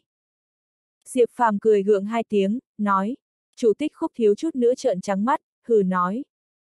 Chúng tôi không phải là lãnh đạo của cậu sao? Đó là đương nhiên, N tôi đây làm nhân bánh quy không dễ. Hai vị lãnh đạo, nếu là hai vị có phải là cũng nghĩ vậy không? Diệp Phàm lại bắt đầu dùng bài tình cảm. Được rồi, chuyện hợp đồng do cậu quyết định, chúng tôi sẽ không tham gia. Nhưng, chuyện di rời thị trấn hoành không cậu phải quan tâm một chút, đừng mặc kệ là được. Chủ tịch khúc khoát tay áo. Việc này tôi chỉ có thể nói là cố hết sức, nếu muốn tập đoàn hoành không bỏ vốn sẽ không vượt quá một triệu. Hơn nữa, chúng tôi chỉ phụ trách việc xây dựng các công trình công cộng, như, đường xá. Diệp Phàm nói, ừ, không sao, nhưng chúng ta không phải muốn một triệu của cậu mà là cậu phải vận dụng ảnh hưởng của cậu để đòi tiền cấp trên. Thái Cường nói, cấp trên, việc này tôi làm sao có thời gian, hơn nữa tôi chỉ là lãnh đạo một công ty, có lẽ ngay cả bộ tài chính cũng không vào được. Diệp Phàm nói, đừng giả bộ ngớ ngẩn với tôi để lừa đảo, tôi biết cặn kẽ về cậu rồi. Cậu ở đâu đảm nhiệm hay không đảm nhiệm chức vụ đều có thể đến bộ tài chính xin tiền. Chúng tôi cũng biết, năng lực của cậu, quan hệ với bộ tài chính cũng rất khá. Có quan hệ này sao không cần, hơn nữa chúng ta còn có lý do có phải không? Chủ tịch Khúc nói. Việc này hai vị lãnh đạo cũng không thể hoàn toàn buông tay. Diệp Phàm thì thầm một tiếng. Ha ha ha, đương nhiên sẽ không buông tay hoàn toàn, nhưng nếu Hoành Cương giao cho tập đoàn Hoành không quản lý trực tiếp thì chuyện tiền là chuyện của đồng chí Diệp Phàm. Đến lúc đó, thị trấn sẽ như thế nào muốn làm thế nào còn phải xem cậu thế nào. Chủ tịch khúc miệng cũng không vừa. Chủ tịch, tôi cảm thấy nếu Hoành Cương chuyển đến Hoành không mà gọi là thị trấn Hoành Cương thì không thích hợp. Hẳn là phải đổi thành Hoành không. Sau mới có thể phát triển trở thành thành phố Hoành không. Đó cũng là một phần trong quy hoạch Hoành không của tôi. Chúng ta bắt đầu quy hoạch là quy hoạch thành thành phố, các hạng mục cũng vậy. Một hơi muốn hoàn thành đương nhiên cũng không thể, quan trọng là vấn đề kinh phí có phải không? Diệp Phàm nói. Ừ, vậy quyết định như vậy đi. Bên chỗ bộ tài chính giao cho cậu, bên này cần thủ tục gì chúng tôi cho chuẩn bị tốt. Chủ tịch Khúc nói. Việc này liền giao cho Phó Chủ tịch Thái. Buổi tối Diệp Phàm đến chỗ Ninh Chí Hòa. Vì số lần gặp mặt tăng lên, hơn nữa không lâu Diệp Phàm còn hỗ trợ phí đống đột phá đến cảnh giới tiên thiên. Cho nên, quan hệ giữa Diệp Phàm và nhà họ phí đã đến mức tùy tiện. Vừa mới ký hợp đồng với tập đoàn Hoa Tinh sao cậu không ở tập đoàn làm việc chạy đến chỗ tôi làm gì? Thấy Diệp Phàm bước vào Ninh Chí Hòa buông tờ báo trong tay xuống hỏi. Cậu Diệp đến cũng không mời ngồi, nghĩ mình là bí thư tỉnh ủy là vô cùng có phải không? Ông có thể thường xuyên về Bắc Kinh báo cáo, người ta đến nhà một chút đều không được phải không? Đừng để ý đến ông ấy, tiểu diệp, ngồi xuống gì phí đi pha trà. Phí Hương Ngọc tức giận trách chồng mấy câu. Ha ha, tôi có việc báo cáo với Bí Thư Ninh. Diệp Phàm cười ngồi xuống, khi bàn công việc phải xưng hô Bí Thư Ninh, nói chuyện tào lao thì gọi là chú Ninh. Có phải liên quan đến việc ký hợp đồng với tỉnh Điền Nam? Ninh Chí Hòa hỏi. Không phải, là như vậy, Diệp Phàm đem tình hình báo cáo lại cho Ninh Chí Hòa. Việc này chủ tịch khúc cũng biết rồi. Ninh Chí Hòa hỏi. Đã báo cáo qua, nhưng chuyện lớn như vậy, bọn họ cũng phải hỏi bí thư Ninh ạ. À. Diệp Phàm nói. Di rời một thị trấn thật sự là một chuyện lớn, liên quan đến nhiều vấn đề, đất đai xây dựng. Vấn đề quan trọng đương nhiên là như cậu nói đó là vấn đề tiền. Còn có một vấn đề đó là phản ứng của nhận dân. Làm người dân của một thị trấn, nhất định không muốn thấy thị trấn chuyển đi. Việc này liên quan đến nhiều lợi ích. Mà cậu còn phải phụ trách việc này. Nếu trăm việc đều phải làm chỉ sợ cậu mệt thôi. Ninh Chí Hòa nghĩ nghĩ rồi nói. Mệt cũng không phải sợ, thị trấn có thể chuyển đến hoành không, đương nhiên đối với tập đoàn hoành không cũng là rất có lợi. Có thể được lợi, đương nhiên phải mệt một chút, nhưng, nếu không chuyển tôi cũng không có nhiều ý kiến lắm. Chẳng qua việc này Chủ tịch Khúc và Phó Chủ tịch Thái đều động tâm. Bởi vì thế này không thể để cho tỉnh Điền Nam hưởng tất cả. Tình hình hiện giờ của tập đoàn Hoành không rất tốt, nó phát triển chỉ là việc sớm hay muộn. Tỉnh Điền Nam cũng thấy hết mọi điều này, mới quyết tâm như vậy. Diệp Phàm nói, ý của cậu là Trí Quốc và Thái Cường đều chủ trương cố gắng chuyển có phải không? Ninh Chí Hòa hỏi, Phó Chủ tịch Thái còn muốn chuyển thành phố hạng Nam đến Hoành không? Nhưng, hành động này ảnh hưởng quá lớn, bị chủ tịch khúc gạt bỏ. Bởi vì, dù sao tình hình chúng ta không giống với địa khu Giang Hoa của tỉnh Điền Nam, phải làm khác nhau. Cuối cùng Chủ tịch Khúc muốn chuyển huyện Hoành Cương. Để dễ dàng cho việc thống nhất quản lý, tôi muốn đem huyện Hoành Cương làm khu cấp dưới của tập đoàn Hoành Không, để quản lý thống nhất. Từ nay về sau không liên quan đến thành phố Hạng Nam. Như vậy dễ dàng cho tập đoàn chúng tôi quy hoạch phát triển. Bởi vì, tập đoàn Hoa Tinh đầu tư 8 triệu đô la Mỹ, mà tập đoàn Tinh Đại đầu tư 2 triệu, mà tập đoàn Hoành Không chúng tôi cũng đầu tư mấy triệu. Khoản tài chính lớn như vậy tạo ra một khu du lịch sinh thái hoàn hảo, sang trọng, chất lượng cao. Phạm vi khu du lịch rất lớn, đem thị trấn Lăng Hà, thị trấn Hoành Không cùng huyện Hoành Cương đều quy hoạch vào. Thống nhất quản lý sẽ thuận lợi cho hoạt động của công ty. Diệp Phàm nói. Ngoài ra, tôi còn đề nghị sửa huyện Hoành Cương thành huyện Hoành Không. Để sau này tiện xây dựng cơ sở. Tiểu Diệp, sạp của cậu có phải là trải ra quá lớn? Ninh Chí Hòa nhíu mày. Sạp rất lớn, nhưng hiện giờ chúng tôi có thực lực này. Nếu không có tiền đương nhiên tôi không dám làm lớn như vậy. Trước kia ở thị trấn Lâm Tuyền, khi muốn làm quy hoạch thị trấn, tôi đều cho xây đường ở ngã tư đều thêm đến 30 mét. Khi đó rất nhiều người phản đối, cho rằng là lãng phí. Nhưng, sau đó Lâm Tuyền quy hoạch xong, hiện giờ thành phố Lâm Tuyền đã trở thành khu vực đầu mối giao thông then chốt. May mắn khi đó quy hoạch đường rông, không đến mức hiện giờ phải sửa lại. Làm lại lần thứ hai thì là tổn thất rất lớn. Diệp Phàm nói, đây đúng là vấn đề tầm nhìn. Làm một người cán bộ, nhất định phải có ánh mắt nhìn xa. Người cha trọng trách rất lớn, hơn nữa mấy trăm nghìn dân của địa khu Giang Hoa đều đặt vào tay cậu. Tầm nhìn và sự mù quáng lại là hai việc khác nhau. Cậu phải phân rõ, tôi hỏi cậu một câu, cậu đã chuẩn bị tốt không? Vẻ mặt Ninh Chí Hòa trở nên rất nghiêm túc. chương 3082, Sư trưởng trương mời khách. Chuẩn bị tốt rồi, tôi coi đây là mục tiêu. Diệp Phàm đáp dứt khoát, giọng đầy khí phách. Ninh Chí Hòa cười, gật đầu khen. Vậy là tốt rồi. Nói xong Ninh Chí Hòa còn đứng lên, vỗ vai Diệp Phàm cười nói. Tôi thích sự mạnh mẽ, không chịu thua của cậu. Thành tích chỉ cần có sự mạnh mẽ và suy nghĩ thích đáng là có thể làm được việc. Diệp Phàm, hiện giờ cậu đã có quyết đoán, nhưng, về bản lĩnh còn phải rèn luyện mới được. Vậy việc này chú Ninh đã quyết định như vậy có phải không? Diệp Phàm còn ngốc nghếch hỏi một câu. Việc này đồng chí Trí Quốc đã ủng hộ tích cực, còn không phải là đã cho cậu câu trả lời thuyết phục sao? Ninh Chí Hòa cười cười nhìn Diệp Phàm. Tôi biết rồi, chỉ là tôi muốn được sự cho phép. Giờ trở về sẽ lập tức tổ chức hội nghị ban lãnh đạo tập đoàn thảo luận triển khai vấn đề này như thế nào. Việc này được quyết định, chúng ta phải khởi động giai đoạn xây dựng trước. Mà địa khu Giang Hoa đã bắt đầu tiến hành di rời. Có lẽ việc này bọn họ đã báo cáo cấp trên rồi. Ngày hôm qua đến đây có lẽ là thông báo cho tôi thôi. Nói thì rất hay, bảo là bàn bạc. Thật ra, việc này tỉnh Điền Nam quyết định không bàn bạc với tôi. Chẳng qua về quy hoạch phải thích ứng với quy hoạch của hoành không bọn họ mới có thể có lợi. Diệp Phàm nói, cậu về đi, cậu có nhiều việc cần làm lắm. Hiện giờ cậu kiêm nhiều chức, tôi cũng lo lắng thay cậu. Tuy nói võ công của cậu cao, nhưng phải chú ý nghỉ ngơi. Nếu không, tuổi già đến bệnh thì phiền toái. Ninh Chí Hòa thân thiết vỗ vỗ vai Diệp Phàm. Tiểu Diệp, ngồi chút nữa để dì phí làm cho cậu bát súp để bồi bổ. Phí Hương Ngọc lúc này đi từ trên tầng xuống cười nói. Dì phí, cháu không có lộc ăn, đã liên hệ với sư trưởng trương rồi, bổ tối anh ấy làm chủ mời cháu. Cháu phải qua đó mới được. Diệp Phàm cười nói. Nếu không dì phí cứ giữ lại, lần sau cháu sẽ đến đây ăn. Sư trưởng trương, có phải là đồng chí Trương Cường? Ninh Chí Hòa hỏi. Ngoài anh ta thì còn ai? Diệp Phàm cười nói. Hay là bí thư Ninh cũng đến ngồi một chút, Trương Cường chú Ninh cũng biết. Việc này sao được, người trẻ các cậu ngồi, lão già tôi này ở đó không thích hợp. Ninh Chí Hòa khẽ lắc đầu. Diệp Phàm đương nhiên cũng là thuận miệng hỏi, vấn đề lễ phép thôi, sau đó cáo từ. Đi ra thì Khương Quân đã lái xe chờ ở cửa. Đã sắp xếp tốt chưa? Diệp Phàm bước lên xe hỏi. Sắp xếp tốt lắm, đường đô hội quán. Vừa rồi sư trưởng trương gọi điện thoại đến nói là đến muốn một chút, bảo chúng ta uống trà chờ, cậu ấy trên đường bị lỡ. Khương Quân cười nổ máy xe. Đường đô hội quán, nghe như là hội sở vậy. Diệp Phàm hỏi. Đúng vậy, thật ra chính là hội sở.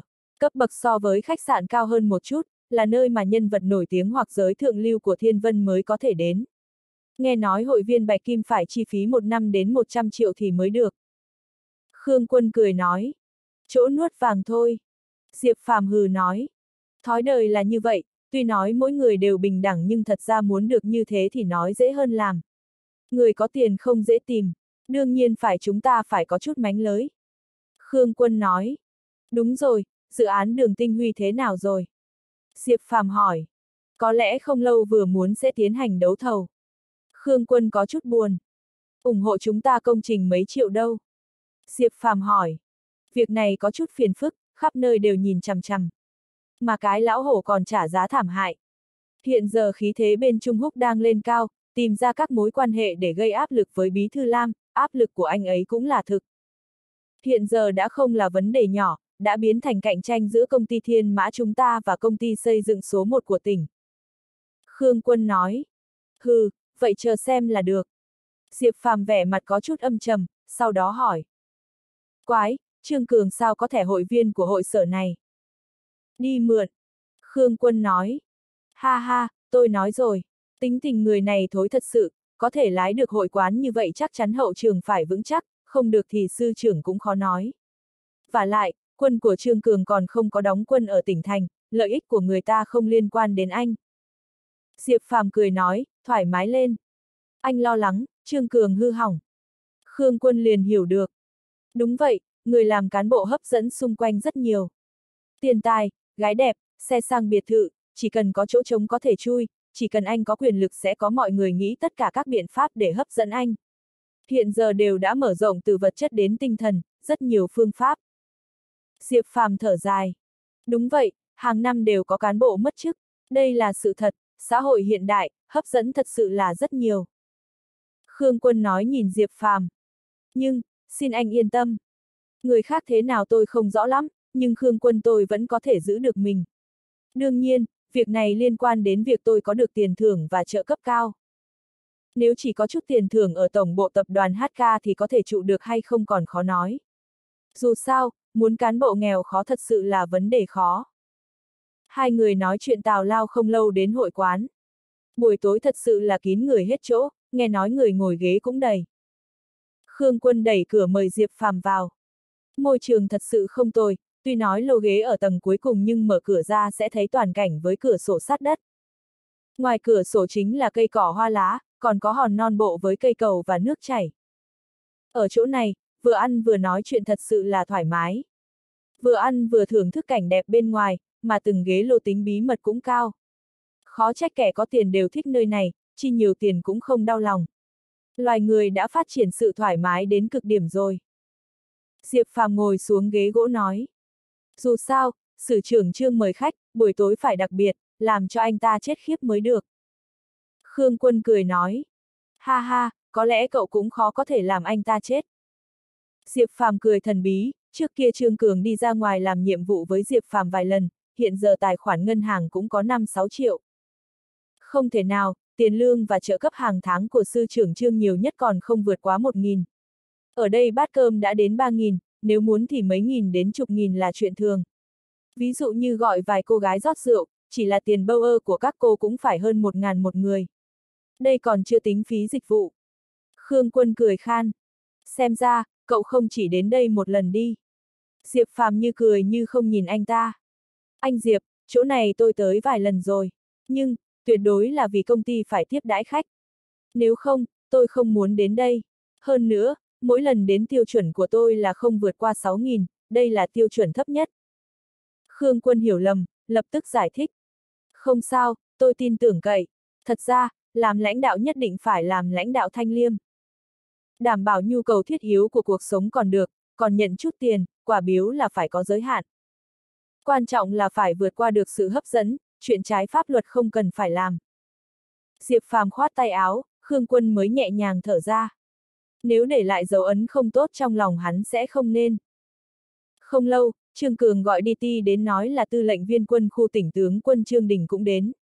Diệp Phàm quyết định cùng Khương Quân ra ngoài tiếp đón. Ồ, đây không phải là người phá công ty xây dựng thiên mã Khương Quân sao?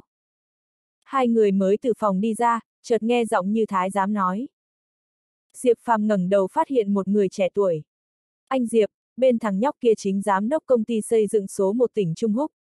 Mẹ kiếp, thật đúng là oan ra ngõ hẹp, ăn một bữa cơm cũng gặp phải mấy người này, thật sự là xui.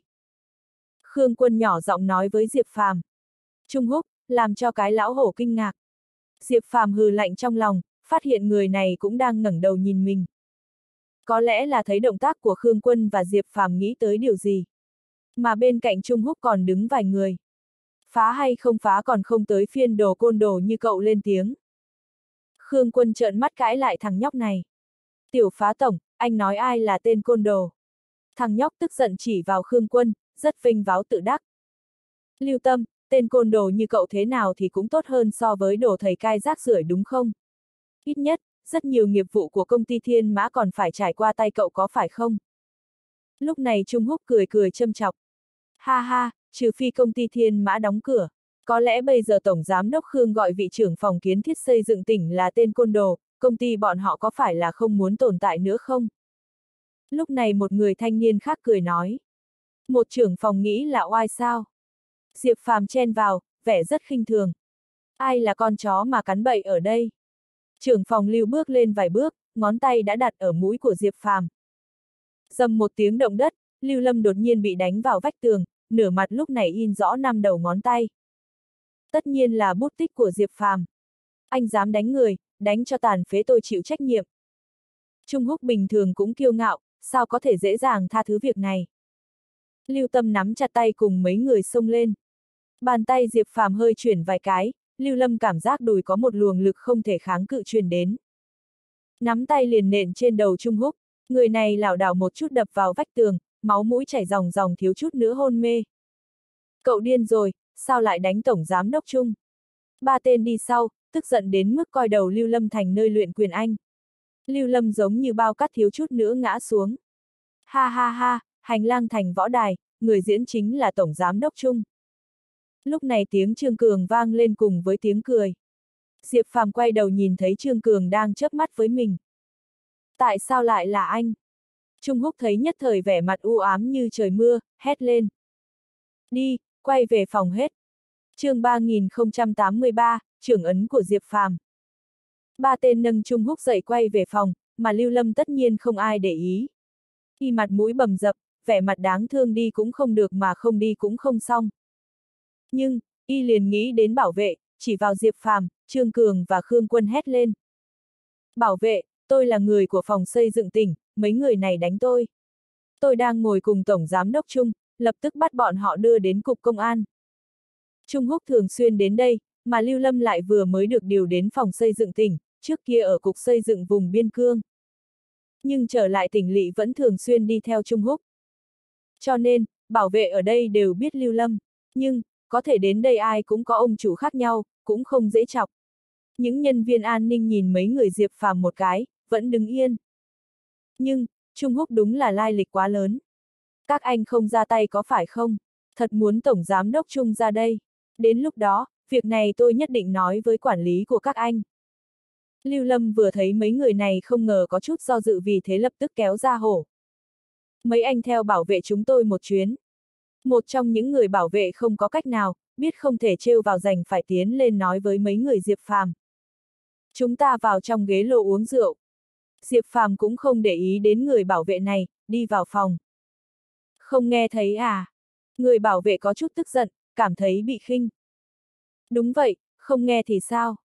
Diệp Phàm nói đột nhiên xoay đầu nhìn chằm chằm người kia, nói. Chẳng lẽ cậu muốn đưa tôi đến cục công an sao? Ha ha, đây là hai lính cần vụ của tôi, phiền mấy vị bắt trước. Bọn họ ở đây cũng không vừa mắt các anh có phải không? Lúc này Trương Cường cười nhìn hai lính cần vụ sau lưng một cái. Hai người này lập tức nghiêm một cái nói. Nghe chỉ thị của thủ trưởng, chúng tôi tình nguyện bị bắt đi. Vừa nói xong, hai người đi đến trước mặt người bảo vệ, nhìn mấy tên này một cái, còn thò tay lên súng ở bên hông. Hơn nữa, lập tức phương tay ra hừ. Đến đây đi, không bắt thì chúng tôi không hoàn thành mệnh lệnh của thủ trưởng, đó là phải chịu phạt giam. Mấy người các anh, bắt chúng tôi, nếu không chúng tôi có thể sẽ không khách khí. Tuy nói mấy tên lính này mặc thường phục nhưng bên hông thật sự có súng lục, còn có khí khái kiên cường của quân nhân nghe cũng có thể đoán được. Hơn nữa vừa nghe hai chữ thủ trưởng, quản lý bảo vệ đã trợn tròn mắt. Đấu với mấy người bộ đội này khác gì mua khối đậu hũ đâm chết. Lưu Lâm tất nhiên thông minh, vừa thấy tư thế này biết có chút không ổn, nếu có Trung Húc ở đây còn đỡ. Hiện giờ một mình anh ta, có thể là thủ trưởng của bộ đội, còn có hai lính cần vụ chắc chắn là nhân vật tiếng tăm, ít nhất là cán bộ cấp sư. Đối đầu với thủ trưởng cấp sư, đầu óc Lưu Lâm không say xe như thế. Cho nên, người này bám nhẹ vào vách tường một cách đáng thương, nhẹ bước chân nghĩ muốn trốn. Đứng lại cho tôi. Diệp Phàm có đôi mắt ưng linh mẫn, giọng như sư tử hống nói. Lưu Lâm giật mình, có mùi gì đó phảng phất. Trương Cường ngửi ngửi, hỏi. Có mùi gì vậy? Này, hình như là từ trên người kia thì phải.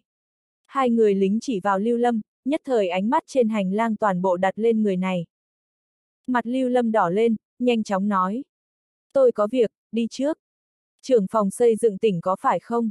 Từ một chút, nhớ kỹ, tôi là Trương Đình Trung. Tướng quân Trương Đình Trung hừ một tiếng, Lưu Lâm vừa nghe nhất thời cũng không kịp phản ứng, có lẽ là đầu có chút hôn mê. Nhưng, cảm giác quá mệt, nhất thời chân như mềm nhũn, ngồi xuống đất không ngờ không đứng dậy được. Quản lý bảo vệ thấy cũng không dám đi đến, bởi vì, mấy tiếng thủ trưởng vừa xong làm cho các nhân viên an ninh này sợ hãi. Nếu là bình thường, các nhân viên an ninh của đường đô hội quán sẽ ra tay, vì ông chủ của họ thế lực lớn. Nhưng gặp cấp trên của bộ đội những bảo vệ này lập tức liền yên. Quân nhân, tác phong thân thể cường tráng, ai đều sợ. Đi đi, đừng ở chỗ này chướng mắt. Trương Trung Đình khoát tay áo, bảo vệ kéo Lưu Lâm đi như lợn chết. Ha ha, sướng quá. Trước khi uống rượu có thể thống khoái như vậy cũng không tồi. Trương Cường ngồi lên ghế cười. Tham mưu trương, sư trưởng trương, vừa rồi các anh đã đến rồi, xem náo nhiệt cũng lâu rồi đi. Diệp Phàm cười hỏi. Ha ha, vẫn bị cậu phát hiện, cậu Diệp mắt tinh. Trương Trung Đình cười nói. Diệp Phàm muốn tham mưu trương ngồi, tham mưu trương muốn Diệp Phàm ngồi, cuối cùng tham mưu trương phải ngồi trước. Dù thế nào thì tham mưu trương còn kiêm ủy viên thường vụ tỉnh ủy, xem như là lãnh đạo của Diệp Phàm. Nhưng, gần đây Diệp Phàm gần đây có nhiều thành tích ở tỉnh Thiên Vân, Trương Trung Đình cũng muốn ra vẻ khiêm tốn một chút. Sư trưởng Trương, vừa rồi tôi thấy Trung Húc hình như quen anh, trước kia hai người đã gặp nhau sao? Hai bên ngồi xuống bắt đầu uống trà. Chuyện không lâu, nói về việc này thì tham mưu tề là rõ ràng nhất. Tề hóa thành Diệp Phàm biết, khi mới đến Thiên Vân thì Trương Cường đã dẫn mấy cấp dưới đến gặp Diệp Phàm. Anh Diệp, nói về người này tôi thật sự có chút tức giận. Trung Húc đúng là không biết phép tắc. Hơn 10 ngày trước, người này ỉ vào chỗ dựa, khi uống rượu trong một quán ở huyện Vân Thạch. Lúc đó có một người bán hàng khá xinh đẹp. Kết quả mấy tên này liền đánh đấu nhau dám sờ vào mông người bán hàng này.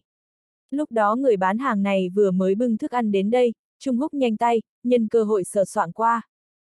Cô gái bán hàng sợ đến mức hét lên một tiếng, mà tay không vững, đồ ăn không cẩn thận liền đổ lên đầu Trung Húc. Cái này liền nguy rồi. Trung Húc giơ tay đánh, liên tục đánh hơn 10 cái, đánh cho cô nàng mặt mũi bầm dập xin tha, mà quán lý cũng nhanh chóng chạy đến để giải thích. Tôi lúc đó vừa đến ăn cơm, vì người bán hàng bưng đồ ăn vào nên mở cửa, chuyện lúc đó tôi đều nhìn thấy. Vốn việc này tôi không muốn để ý, nhưng, sau khi phát hiện Trung Húc không có ý định buông tha, không ngờ yêu cầu cô gái kia hầu hạ y. Cô gái không chịu, lại bị đánh. Tôi thật sự không thể nhìn thấy thế, vọt vào muốn ngăn cô gái, nhưng, Trung Húc thật ngoan cố, thấy tôi vào liền mắng, hơn nữa giơ chân muốn đạp tôi. Tôi thật sự tức giận, quăng một cái tát, kết quả suýt nữa làm rơi hai cái răng của người này. Cái này liền nguy rồi, Trung Húc âm thầm tìm người muốn bắt tôi, nhưng may mắn là sư trưởng trương của chúng tôi đứng vững. Hơn nữa, vừa vặn lãnh đạo quân khu cũng đến sư bộ chúng tôi thị sát, nói với nhà họ Trung, muốn điều tra thì để các đồng chí ở quân bộ lập án điều tra rõ ràng. Người nhà Trung Húc vừa nghe, có lẽ biết mình đối lý, cũng có chút sợ, cuối cùng việc này liền không giải quyết được gì. Thằng khốn nạn này, mẹ kiếp, không đem y vào đại lao thật sự là tức. Tế hóa thành giận dữ nói.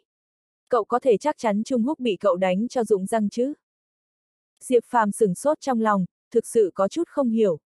Thầm nói trên đời này còn có chuyện trùng hợp như vậy sao, đây không phải che thiệu Trung cũng tát đó thôi. Chẳng lẽ là Trung Húc rớt bốn cái răng, không giống vừa rồi miệng y hé ra không phát hiện cái gì.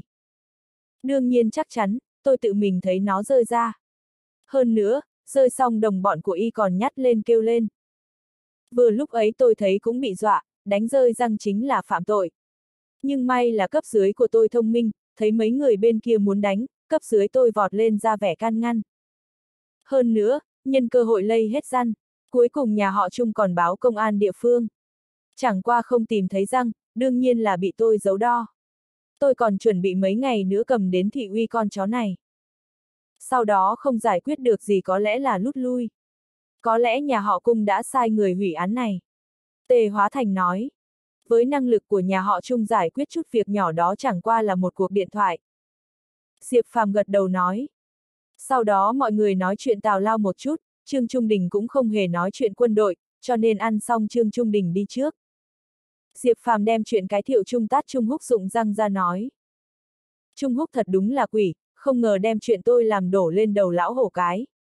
Nhưng, nếu đã dám định thương thì sẽ biết, đã hơn 10 ngày rồi, một răng mới dụng và dụng lâu thế khác nhau, việc này chắc chắn có vấn đề. Tề Hóa Thanh vừa nghe, thiếu chút nữa cười ra tiếng. Tôi cũng nghĩ thế, hơn nữa cái thiệu trung có thể tát rơi hai cái răng của Trung Húc, lúc nào đồng chí cái thiệu trung lại có khí lực như thế. Việc này là do cậu thì chính xác hơn, nhưng, có lẽ lúc ấy đồng chí thiệu trung có lẽ cũng không rõ. Cho nên, sau đó nhà họ Trung là ra tay đồng chí thiệu trung cũng không phát hiện. Bởi vì, có vẻ như sự thật xảy ra trước mắt mọi người. Mà ngay cả thiệu trung có lẽ cũng cho rằng như vậy. Diệp Phàm thở dài nhìn tế hóa thành một sia. Che thiệu trung như vậy là xứng đáng. Vẻ mặt Trương Cường vui vì người khác gặp họa. Không thể nói như vậy, việc này tôi còn phải giúp y một phen. Người này kỳ thật tâm đại không xấu, có hào khí cũng có khí phách. Cũng là vì công ty với cùng Trung Húc thành như vậy. Hơn nữa Trung Húc kiêu ngạo, dự án đường tinh huy bị y gây sức ép, tôi vẫn muốn khai đao với y. Diệp Phàm nói, anh Diệp muốn giải quyết công ty số 1 của tỉnh trước. Trương Cường hỏi, việc này thật là có chút khó, nếu chúng ta mang nợ cũ ra, lấy làm điều kiện đàm phán, nhà họ Trung tất sẽ chịu phục. Đến lúc đó công ty xây dựng số 1 của tỉnh có lẽ sẽ rút lui. Mà công ty Thiên Mã cũng có thể thuận lợi trúng thầu đa số hạng mục của công tình Đường Tinh Huy. Nhưng, đây chỉ là làm kinh sợ nhà họ Trung, nhưng chuyện của cái thiệu Trung không thể giải quyết. Việc này, tôi cũng không cam lòng. Diệp Phàm nhăn mặt nói. chương 3084, nhắc lại chuyện cũ. Anh Diệp, nhắc lại chuyện cũ liệu có ảnh hưởng gì tới tham mưu tề không? Trương Cường có chút lo lắng về điều này. Ha ha, ảnh hưởng chứ, nhất định là có ảnh hưởng rồi. Trung gia nhất định là sẽ hận thấu xương tham mưu tề, có điều. Diệp Phàm nói tới đây thì ngừng lại, nhìn tề hóa thành, cười nói. Tham mưu tề, anh có thật sự muốn làm khó Trung Húc? Muốn. Tề hóa thành không hề nghĩ ngợi, gật đầu ngay lập tức. Có thể thấy rằng, kỳ thật là tề hóa thành đã biết được một chút lai lịch về Diệp Phàm thông qua cái miệng của Trương Cường. Nói cách khác, tề hóa thành cũng phải lo lắng tới những áp lực mà Trung gia gây cho y. Vậy thì tốt. Diệp Phàm đưa tay vỗ vỗ vào vai tề hóa thành, cười nói. Nếu Trung gia muốn trả thù cậu, thì hãy nói với tôi. Trong hệ thống quân đội, tôi còn quen một vài người. Hóa thành, chuyện này có anh Diệp chịu trách nhiệm rồi, anh không cần lo lắng điều gì cả.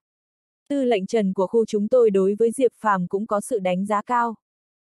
Lúc này, Trương Cường nói. Sợ cái con khỉ, vốn dĩ tôi đã không ưng gì Trung Húc. Sớm đã muốn cho cậu ta bài học, cái đồ rẻ rách.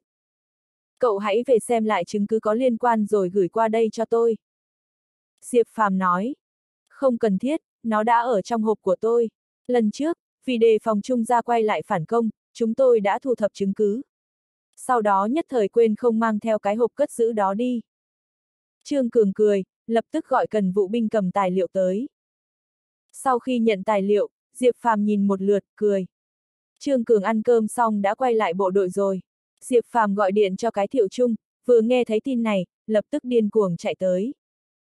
Lưu Lâm, ngươi là đồ vô liêm sỉ, vừa rồi đã có chuyện gì? Y liền tiến tới cái ghế lô, Trung Húc giơ chân đã cho Lưu Lâm một cái, nhưng không ngờ lại đã trúng cái chân ghế, đau tới mức Y chỉ có thể ngồi xổm ôm cái chân mà nói. Là người đánh ta, người đánh ta. Trung Húc còn chưa hết tức giận, tiện tay lại tát cho mấy cái cho tới khi Lưu Lâm chảy máu mũi mới chịu ngừng tay.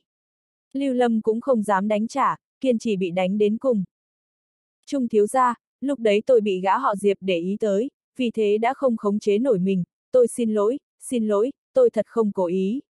Anh nói xem, tôi dám như vậy sao? Anh lại không nhổ hết lông của tôi chắc. Biết thế là tốt, ngồi đi. Trung Húc cũng đánh đủ rồi, tiện tay ném tập giấy ra rồi bảo Lưu Lâm ngồi xuống. Anh Trung, anh nói em phải làm thế nào thì em sẽ làm như thế. Em lúc này không đánh nổi bạch ai rồi. Hắn dám, tên họ Diệp, con cháu nhà họ rùa rụt cổ. Lưu Lâm chửi. Ngươi thực sự hạ quyết tâm lật đổ tập đoàn hoành không của tên họ Diệp kia sao? Trung Húc vẻ mặt nghiêm túc, liếc mắt nhìn Lưu Lâm một cái. Đương nhiên rồi, anh em chúng ta đồng lòng thì sẽ kéo được tập đoàn hoành không đi xuống. Dám sao, nghĩ tới một gã chủ tịch lụi bại là đã khí thế lắm rồi. Lưu Lâm căm giận nói. Cậu đúng thật là đã nghĩ như vậy. Trung Húc hỏi lại. Nghĩ xong rồi anh Trung. Lần này không lột được ra Diệp Phàm thì tôi đây phải viết lại tên mình. Lưu Lâm liên tục khoe thành tích, muốn lấy công chuộc tội. Tổn thương của ngươi lần này cũng khá nghiêm trọng, nhìn thì không thấy, nhưng thảm như vậy thì phải lập tức báo án, yêu cầu cảnh sát phải xem xét vết thương trước. Bản án này nhất định phải làm chắc chắn. Diệp Phàm muốn trốn cũng không trốn được rồi. Lưu Lâm, cậu yên tâm, có anh Trung ra tay thì có gì mà không làm được. Nghĩ mà xem, cái lão hổ lợi hại không chứ, vậy mà bại trận dưới tay của anh Trung. Diệp Phàm hắn có thể chạy đi đâu chứ? Một tên khác vẻ mặt thân thiết vỗ vai Lưu Lâm, cổ vũ. Tốt nhất là thừa dịp Diệp Phàm đang ở tại thành phố, buổi tối nhất định không thể chạy đâu. Gọi mấy anh em trông chừng hắn. Chúng ta lập tức báo án bộ tội hắn. Một tên đầu chọc nói. Giết chết hắn. Lưu Lâm hô một tiếng, móc di động ra. Lúc này vẻ mặt Trung Húc đang cười thầm. Cậu nói thật chứ? Cái thiệu Trung vừa tới khách sạn Diệp Phàm ở, vội hỏi. Anh xem cái này đi. Diệp Phàm đưa túi văn kiện ra cho y, nhìn thấy tay cậu cái thiệu Trung nhận túi văn kiện có vẻ run run. Xem ra liên quan đến việc rửa tội cho chính mình, cái thiệu Trung có chút kích động. Cái thiệu Trung nhìn đi nhìn lại mấy lần. Ô hô! Chuyện quái quỷ đã xảy ra rồi, cái thiệu Trung đột nhiên ngồi sụp xuống, ôm đầu khóc. Diệp Phàm biết, gần đây cậu ta phải chịu quá nhiều oan ức, trên người đầy áp lực. Vì vậy mà hắn tới gần, vỗ nhẹ vai cái thiệu Trung, nói. Lão cái, quá khứ đã qua rồi. Cái thiệu Trung anh từ đây có thể đường đường chính chính mà đứng dậy rồi. Lão cái, anh phải lợi dụng tất cả những ảnh hưởng của anh, chúng ta phải đứng dậy, đứng dậy vững vàng. Nói hay lắm, đứng lên. Cái thiệu Trung đột nhiên đứng lên, cậu ta đưa hai tay, nắm chặt lấy tay Diệp Phàm, nghẹ ngào nói. Không cần phải nói nhiều, từ nay về sau Diệp Phàm cậu chính là anh em của cái thiệu Trung, chúng ta là huynh đệ của nhau. Được, anh cái. Diệp Phàm cười nói. Lão đệ. Cái thiệu Trung ôm Diệp Phàm thân mật, sau đó nói. Tôi đi xử lý chuyện này, người anh em, hãy đợi tin vui của ta. Cái thiệu Trung hùng hổ bước đi. Sáng ngày thứ hai, hai tên lén lén lút lút, một tên cầm điện thoại, nói. Anh Trung, Diệp Phàm xuống xe rồi, hình như là đi lên tỉnh. Tốt, có thể bảo bọn họ hành động rồi. Trung Húc âm thầm cười, xoay người nói. Chúng ta có thể vào trong, xem xem bộ dạng xấu hổ của bí thư Diệp của chúng ta, nhất định là rất hay đấy. Anh Trung, bọn họ có dám lên tỉnh bắt người không? Tên đầu chọc lo lắng. Đám người Ngọc cũng không dám đi, ta đây muốn lấy cái mũ của nó. Trung Húc ngang ngược nói. Ngọc đội tuy chỉ là phó đội trưởng của một sư đoàn, nhưng Ngọc đội là một người mà Trung ra cử đi. Có anh Trung ở đó, Ngọc đội sợ, chúng ta sẽ đợi ở trụ sở tỉnh xem trò hay là được. Chúng ta phải xem cái vẻ mặt hung hăng của anh ta, đánh cho anh ta phải xám xịt mặt mày giống như cái thiệu Trung mới được. Một gã trẻ tuổi ngạo mạn nói. Diệp Phàm mang theo túi văn kiện, bởi Thái Cường gọi điện bảo hắn khi nào về thì đến ngay văn phòng tỉnh, vì vậy 3 giờ chiều ngày thứ hai Diệp Phàm tới đó rồi. Hôm qua Diệp Phàm đi nhà sư phụ Trương Cường chơi một ngày. Nhưng mà, hắn vừa đi tới chỗ cái ao chỗ cửa chính của trụ sở văn phòng tỉnh thì thấy trước mặt có mấy người xuất hiện. Không phải người đi cùng Trung Húc ngày hôm qua, còn có ai nữa. Diệp Tổng, chúng ta lại gặp nhau rồi. Trung Húc lại còn cười gượng, lên tiếng chào hỏi. Ừ, lại gặp nhau rồi. Diệp Phàm khẽ gật đầu, nghiêng người muốn đi qua. Lúc này, mấy người đứng bên cạnh, là cảnh sát. Người cao nhất là một thanh tra cảnh sát. Cậu chính là đồng chí Diệp Phàm của tập đoàn Hoành Không. Một tên cảnh sát trẻ tuổi vẻ mặt nghiêm túc nhìn Diệp Phàm. Vâng, các anh đây là... Diệp Phàm nhìn lướt qua thấy một tên cảnh sát chặn đường. Lúc này, nhìn thấy tình hình này, một vài nhân viên của văn phòng tỉnh cũng đang ồn ào cách đó không xa. Chúng tôi là người của tổ điều tra hình sự, đây là giấy chứng nhận của chúng tôi. Tên cảnh sát lấy ra giấy chứng nhận, Diệp Phàm lại không nhận, hỏi. Các anh làm gì vậy, đừng có cản đường, tôi còn phải làm việc. Anh không nhìn cũng được, chúng tôi phải làm việc theo trình tự. Đồng chí Diệp Phàm, anh là kẻ tình nghi trong việc đánh người khác bị thương, văn phòng công an đã lập hồ sơ. Mời anh theo chúng tôi trở lại nhận điều tra. Chuyện này vốn là do cơ quan công an cấp dưới giải quyết. Nhưng do cơ quan quản lý của tập đoàn Hoành không là tỉnh ủy, vậy nên sẽ do công an tỉnh trực tiếp giải quyết. Tên cảnh sát trẻ tuổi thứ hai nghiêm túc nói, nhìn chằm chằm Diệp Phàm. Thật xin lỗi, tôi hiện không rảnh. Đợi tôi báo cáo xong công việc sẽ nói chuyện với các anh, thế nào? Diệp Phàm bình tĩnh nói. Đồng chí Diệp Phàm, vốn nghĩ tới thân phận của anh, chúng tôi không muốn còng tay anh tại đây. Nếu anh cố ý không đi, chúng tôi chỉ còn biết xin lỗi. Lúc này một thanh tra cảnh sát lên tiếng. Anh ta nháy mắt ra hiệu hành động, hai tên cảnh sát cầm cái còng sáng loáng trong tay tiến lên. Tên cảnh sát cố ý huých một cái đánh xoảng cái còng vào tay Diệp Phàm khiến mọi người xung quanh đều tập trung ánh mắt về phía này. Láo xược, gọi trưởng phòng bạch của các anh tới đây. Diệp Phàm nghiêm mặt, nói. Ha ha ha, anh thôi đi được rồi đấy lão Diệp á, lẽ nào là cục trưởng cục công an, lại còn có thể gọi cả trưởng phòng bạch tới nữa. Một tên cảnh sát cười ha ha. Đúng là coi trời bằng vung, một tên tổng giám đốc nhỏ con lại kiêu căng như vậy. Đánh người bị thương chẳng những không biết là phạm pháp mà lại còn dám giả mồm như vậy. Anh thật nghĩ rằng bầu trời của Thiên Vân chính là bầu trời của Diệp Phạm Anh sao? Tập đoàn hoành không to lớn cũng không thể che khuất được bầu trời tỉnh Thiên Vân. Ở đây còn có văn phòng công an tỉnh, ủy ban tỉnh, đảng và nhà nước. Không nói tới anh là tổng giám đốc của một xí nghiệp, nhưng vương tử phạm pháp thì cũng xử tội như dân thường. Huống chi là anh, thật không biết trời cao đất dày rồi. Lúc này, Trung Húc ra mặt, đứng một bên lên giọng. Hơn nữa, lập tức làm rõ thân phận Diệp Phàm, y chính là muốn những nhân viên này nhớ lấy hắn để lan truyền ra ngoài. Còng vào. Một tên cảnh sát nhìn Trung Húc một cái, tên này như phát ra ám hiệu, vì thế một tên cảnh đốc lập tức lên tiếng, hai tên cảnh sát nghiêm mặt, một bên tay trái, một bên tay phải, áp sát Diệp Phàm. Cút! Diệp Phàm vừa nhìn thấy liền hiểu được vấn đề, đoán chừng những tên cảnh sát này đều là trợ thủ do Trung Húc phái đến, chính là muốn làm hắn phải mất mặt với văn phòng tỉnh ủy. Diệp Phàm liền dùng phương thức mê thuật âm hóa mà hô lên. Hai tên cảnh sát không hề phòng bị, đầu bị âm bạo cho một phát, nhất thời cảm thấy bắp đùi mềm nhũn ra, ngồi phệt xuống đất. Đứng lên. Một gã thanh tra cảnh sát nhìn thấy liền trướng mặt lên tới mức có chút đỏ mặt, cảm thấy thủ hạ cũng quá mất mặt rồi, không ngờ lại bị Diệp Phàm vừa mới hô một tiếng mà đã sợ ngã xuống đất rồi. Đây là cái tình huống gì? Cầm lấy, chính là anh, lập tức báo cáo lại rõ ràng mọi chuyện với thủ trưởng bạch của các cậu. Chuyện hôm qua nhất định có người cố tình gây sự. Các anh để tôi điều tra rõ ràng, nếu có một chút nào trái sự thật, tôi sẽ hỏi tội các anh. Tôi muốn nghe báo cáo của thủ trưởng Bạch xem sẽ xử lý như thế nào. Diệp Phàm sờ vào tập công văn trong túi. Một bản văn kiện rơi xuống trước mặt thanh tra cảnh sát. chương 3085, lấy lại thể diện. Thanh tra cảnh sát không do dự đưa tay nhận lấy tờ văn kiện, nhìn nó, thật là quen thuộc. Đây không phải là giấy chứng nhận công an sao? Người này có vẻ nghi ngờ, mở ra xem, nhất thời run run tay, y không dám tin vào mắt mình, y dụi lại mắt, lật lại một lần nữa, sắc mặt đột nhiên tối sầm lại. Anh ta nhất thời xấu hổ mà ngây ngẩn cả người. Còn dám giống lên với chúng tôi, còng tay anh.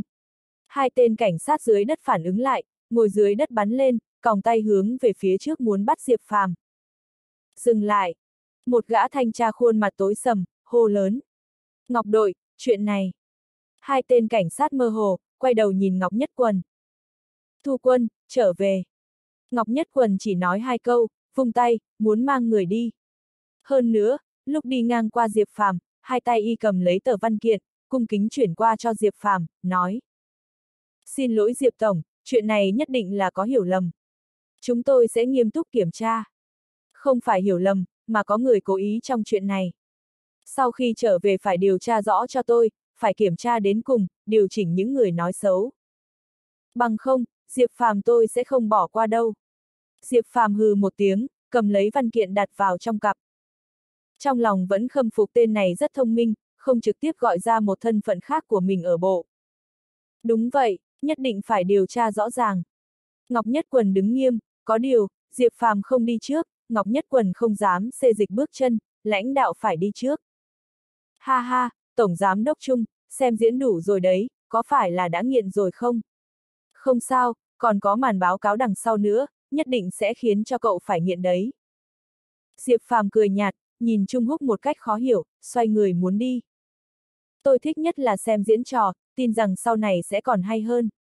Đời người, phải nhìn với ánh mắt muôn màu mới có thú vị. Trung Húc cong miệng nói. Đúng rồi, nhất định rồi. Đến lúc đó, đùa giỡn với cuộc đời, cũng phải diễn thôi. Trong lời nói của Diệp Phạm ám chỉ, tin rằng Trung Húc khó mà hiểu được ý của câu nói này. Đúng lúc này, Ngọc Nhất Quần đứng nghiêm trang, nhiệt tình chào hỏi. Mâu đội đến rồi. Tổng thanh tra cấp 3, lai lịch cũng không phải vừa, Diệp Phàm nhìn quân hàm của mậu đội, trong lòng nói những tài năng đều tập trung ở văn phòng chính phủ tỉnh rồi, thật vui nhộn. Ừm, Ngọc đội cũng ở đây. Đồng chí Mậu Minh Xuân đội trưởng trung đoàn phòng cảnh sát an ninh công an tỉnh Thiên Vân vẻ mặt nghiêm túc khẽ gật đầu. Cậu chẳng phải là tổng giám đốc Trung Húc sao? Tôi là... Mậu Minh Xuân vượt qua Ngọc Nhất Quần hướng về phía Trung Húc. Là tôi đây, Mậu đội có chuyện gì không? Trung Húc vẫn nhìn với vẻ mặt bình tĩnh. Có một vài việc tỉnh ủy yêu cầu anh quay về giúp đỡ điều tra. Mậu Minh Xuân vừa nói vừa đưa ra giấy tờ giống như giấy chứng nhận của chính mình. Mậu đội, cậu có nhầm không? Lưu Lâm xen vào hỏi. Cậu chính là đồng chí Lưu Lâm của phòng xây dựng của tỉnh, có phải không? Lúc này, tên cảnh sát bên cạnh mâu đội nhìn vào bức ảnh trong tay, hỏi. Đúng vậy, có việc gì vậy? Lưu Lâm hỏi. Thật may, anh cũng có liên quan tới vụ án này, cùng đi thôi. Vậy là có ý gì? Ta nói mâu đội anh có ý gì? Trung Húc mặt u ám, hỏi, nhưng mà nghĩ rằng đại ca đang làm ở trụ sở lớn của tỉnh ủy thì sợ gì chứ? Có ý gì thì anh cứ tới tỉnh ủy khắc rõ. Mâu đội vẫn là vẻ mặt nghiêm túc. Thật xin lỗi, những chuyện không đáng nói này tôi không có hứng thú. mậu đội, tôi còn có chuyện, xin phép đi trước. Trung Húc đùa giỡn. Đồng chí Trung Húc, nếu anh có ý muốn quấy nhiễu sự chấp pháp của cảnh sát tỉnh, chúng tôi chỉ còn cách cưỡng chế thôi. Đội trưởng mâu vẻ mặt càng nghiêm túc, ra hiệu tay cho hai tên cảnh sát tiến lên, chiếc còng tay trong tay hai tên cảnh sát chừng chừng nhìn Trung Húc. Ngọc Nhất Quần trợn tròn mắt. Ngọc Nhất Quần, anh mau lên hỏi xem rốt cuộc là có chuyện gì, thật là khó hiểu. Trung Húc vừa nhìn, có chút trột dạ, kêu lên. Chuyện này, mâu đội, chuyện này. Ngọc Nhất Quần kiên trì hỏi, nhưng không dám nói thẳng ra. Đứng sang một bên. Không ngờ rằng lúc bình thường mâu đội vẫn còn khách sáo với chính mình, vậy mà hôm nay lại thay đổi. Vẻ mặt nghiêm nghị giống như khiêu dục kẻ dưới. Ngọc Nhất Quần, dầu gì anh cũng là phó đội trưởng, đúng không? Anh là một viên chức nhà nước, không phải là kẻ tôi tớ. Trung Húc vừa thấy, lập tức châm chọc nói. Sắc mặt Ngọc Nhất Quần cứng đờ, hỏi lại. Mậu đội, chỉ là tôi muốn hiểu rõ xem tình hình như thế nào, là một phó đội trưởng đội tổng thanh tra tôi vẫn còn quyền lực mà. Nhưng mà, Ngọc Nhất Quần luôn cả thấy trong lòng có chút trột dạ, nói ra lời này đúng là nghiêm trọng. Anh muốn biết phải không, đợi về tới văn phòng sẽ cho anh biết. Lúc đó, chỉ sợ anh lại không muốn biết nữa. Mậu đội hừ lạnh một tiếng, trong câu này nhất định có hàm ý. Ngọc Nhất Quần vừa nghe xong, sắc mặt biến thành khó nhìn, đứng bên cạnh không dám gây tiếng động. Y đã dự cảm ra điều gì rồi? Đi thôi, đồng chí Trung Húc. Mậu đội vẫn còn khách khí, biết gốc gác của Y. Không chừng giờ này Y đang ở cửa sổ trong vườn nhìn ra. Không đi, chuyện chưa rõ ràng, tôi làm sao phải đi. Tỉnh ủy các anh cũng không thể sằng bậy, muốn gọi người đi thì cứ gọi. Cậu chẳng phải nói rằng muốn quay lại giúp phá án sao. Bây giờ tôi không rảnh, không muốn giúp các cậu phá cái án nào. Trung Húc đùa giỡn, bởi khuôn mặt này trước Diệp Phàm đã không còn e dè. Nể mặt, cũng phải đánh một cái, hơn nữa Trung Húc lớn tiếng kêu lên, cũng là muốn ba nghe thấy. Dẫn đi. Mâu đội vung tay hạ quyết tâm, hai tên cảnh sát cầm còng tiến lên trước tới trước mặt Trung Húc, không khách khí vặn tay Trung Húc ra sau, đến nỗi Trung Húc phải kêu đau. Nhẹ tay thôi, các người muốn giết tôi có phải không? Cha, cha hãy mau tới đây, mau tới đây. Cảm giác hai người cảnh sát kia hình như là rất hung hãn, hình như là thật, Trung Húc sợ vỡ mật. Bình thường diễu võ dương oai là thế, lúc này không nhút nhát rụt rè thì thật là giả dối. Các anh sao có thể, các anh đang làm cái gì vậy?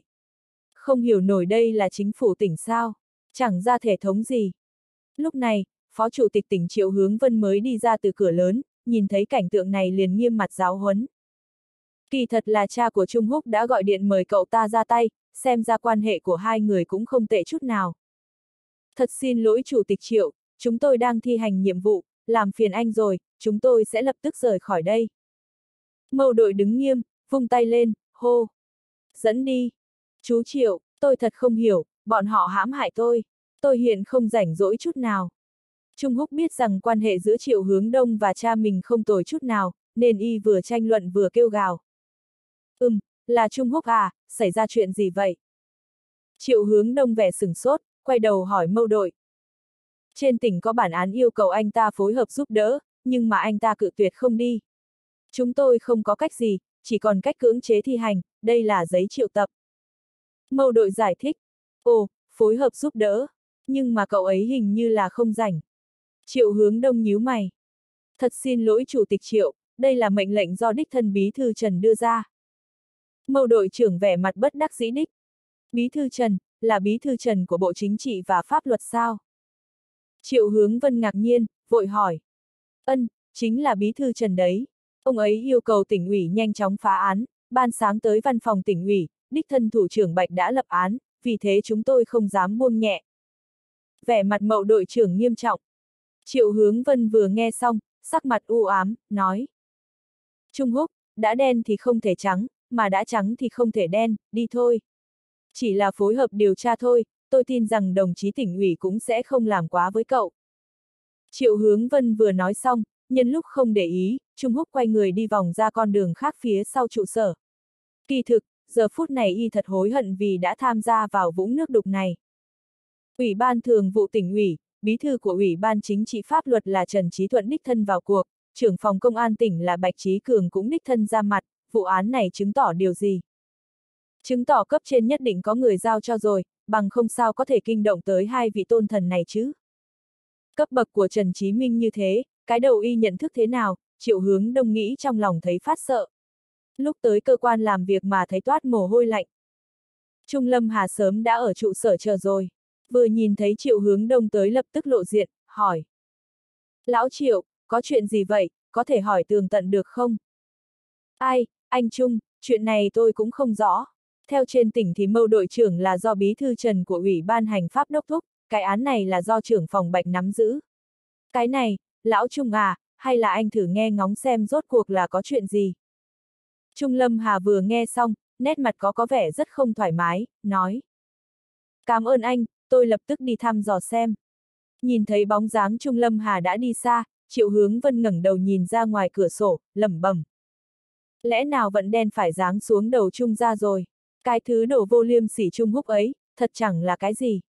Lão Trung, ông cũng quá cưng chiều cậu ta rồi, xem ra đã đến lúc ông nhận được báo đáp rồi. Dẫn đi. Mậu đội trưởng vung tay lên, lần này lại không có ai ngăn đón. Thấy triệu hướng đông đi rồi, Trung Húc dường như bị rút sạch ra, mềm nhũn người, bị cảnh sát mang đi. Đồng chí Nhất Quân, anh lập tức quay về cùng tôi, trưởng phòng Bạch đang đợi anh. Mâu đội quay đầu nói, Ngọc Nhất Quân cùng với người đằng sau yên lặng, ý gì thì chỉ trong lòng y mới hiểu được. Bọn họ lại có thể mang theo Trần Trí Thuận tới, xem ra phía sau cái thiệu chung không riêng gì chỉ có Kim Nhân Viễn. Đoán chừng còn có người đứng sau cao hơn cả Kim Nhân Viễn. Bằng không, không thể kinh động tới cả Trần Trí Thuận đích thân ra tay. Chuyện này có vẻ như trả đũa lại chuyện cái thiệu chung bị mất thể diện lần trước. Lần này nhất định là phải ra tay hung hãn, cho đời sang một trang mới tươi đẹp. Trung gia nguy rồi. Diệp Phàm đang gọi điện với Trương Cường. Nhất định là thế rồi, lần trước không thể kéo giữ cái thiệu chung. Lần này lại muốn chơi đều. Cuối cùng cũng hay, cuối cùng khiến Trung gia phải đảo lộn. Miệng Trương Cường tràn ngập niềm vui, y đang cười trên sự đau khổ của người khác, nói. Nếu cần thiết, tham mưu tề có thể ra làm chứng bất cứ lúc nào. Lần này chuyện muốn làm chính là lật đổ Trung gia. Bằng không, Trung gia mà không đổ thì sau này nhất định có phiền phức. Có chúng ta ở đây, tham mưu tề tuy nói rằng không sợ nhưng chỉ e một ngày nào đó chúng ta đều sẽ rời xa tỉnh Thiên Vân. Vậy nên, tốt nhất là nên làm phiền tới Vĩnh Giật. chương 3086, phân công nhiệm vụ. Hậu thuẫn đằng sau cái ra sẽ ra mặt, chúng ta đợi xem trò hay, đợi xem tiểu thuyết. Diệp Phàm cười nói.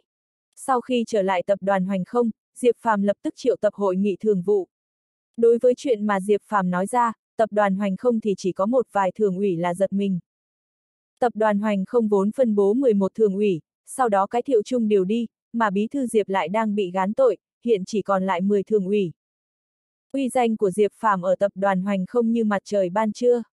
Hôm đó thái độ rõ ràng ấy của hai vị lãnh đạo tỉnh Điền Nam và tỉnh Thiên Vân càng khiến cho uy danh của Diệp Phàm lớn hơn rất nhiều. Bí thư Diệp, chỉ sợ cửa hàng quá rộng, cái cửa hàng của chúng ta ở Việt Đông cũng đã đủ lớn rồi. Bên đó đang bận rộn với việc xây dựng. Ít nhất trong vòng một năm, chỉ cần bên đó tiêu hao của chúng ta một khoản tiền thôi cũng không có cách gom lại được. Mà bên này lại còn muốn chi tiền ra hỗ trợ việc di rời thủ phủ khu địa chính Giang Hoa. Việc huyện Hoàng Cương di rời cần số tiền rất lớn. Tào Nguyệt hiện đang công tác ở bãi Yến Nguyệt. Tự nhiên lo lắng rằng Diệp Phàm sẽ mang toàn bộ số vốn thu được trở lại tổng bộ. Nếu như bên đó tiếp tục xây dựng một công trình thì sẽ khiến nhiều người chết. Mà khát vọng của Tào Nguyệt chính là kính trong hoa nước trong Nguyệt. Đúng vậy, quy hoạch lớn nhất của tập đoàn Hoành không lại một lần nữa lên kế hoạch. Tuy rằng tập đoàn Hoa Tinh của Mỹ đầu tư vào 800 triệu đô la Mỹ. Nhưng đối với sự hợp tác của hai thành phố lớn như vậy thì với những khung cảnh dự án khác nhau cũng sẽ không tính được con số khổng lồ này. Tình hình phía bên Việt Đông rất khả quan. Bãi Yến Nguyệt nằm trong khu thương nghiệp Hồng Đô, một khi xây xong nhất định kiếm ra tiền.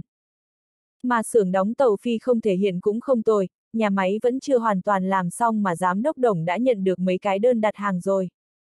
Người của Tổng Giám đốc Đồng ở bên Việt Đông không phải là cái thiệu chung. Nghiêm Phương Long tôi không chịu cũng không được. Việt Đông xem ra vẫn là công ty con mang tiền đến sớm nhất, chúng ta tuyệt đối không thể coi thường. Nghiêm Phương Long là phó tổng giám đốc xưởng tàu hàng không kiêm phó tổng đầu tiên, đương nhiên cũng sợ Diệp Phàm quyết định rút lui hoặc giảm bớt đầu tư, như vậy chẳng phải là sự nghiệp của chính mình sẽ đi xuống sao. Các cậu ở bên đó đã ổn định rồi, mà tiền đầu tư vào cũng chia theo giai đoạn mà rút ra. Điều này thì Bí Thư Diệp không thể không nhìn ra được, Bí Thư Diệp sẽ phải tổng thể quy hoạch. Mà các đồng chí chỉ nhìn thấy mặt nguy hại của sự mở rộng quầy hàng. Mà lại không nhìn ra toàn bộ những cơ hội kinh doanh cực lớn mà việc mở rộng quầy hàng sẽ mang lại cho tập đoàn hoành không chúng ta. Ngũ Vân Lượng nói rồi dừng lại một lát, nhìn Tào Nguyệt và Nghiêm Phương Long một cái, nói. Hai đồng chí nghĩ việc di chuyển khu hành chính thủ phủ Giang Hoa tới huyện Lăng Hà thế nào? Tuy nói là đưa bọn họ vào khu thông thiên sơn cảnh sẽ đem lại cho chúng ta cơ hội rút một phần vốn đầu tư vào. Nhưng mà sản xuất cũng phải có đích. Hơn nữa, rời khu thủ phủ khi người chủ trì lại là bí thư diệp của chúng ta. Cậu nghĩ xem, không được nói khác, chỉ có thể nắm lấy cái bụng bị rách của công ty xây dựng công trình thiên mã. Nhưng mà kỳ thực về phía nó, ví như vẫn còn một vài phân xưởng muốn chuyển tới đây, một khi công trình lớn mở đầu triển khai thì công ty xây dựng thiên mã hoành không của chúng ta cũng không thể làm nổi. Mà một khi đã triển khai, sẽ có rất nhiều công ty xây dựng đóng ở đây.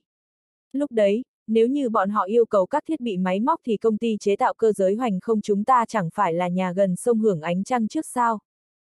Tuy rằng tập đoàn cơ khí hoa hạ cạnh tranh với chúng ta, nhưng tôi tin rằng lần này những người mua hàng sẽ không nể mặt bọn họ.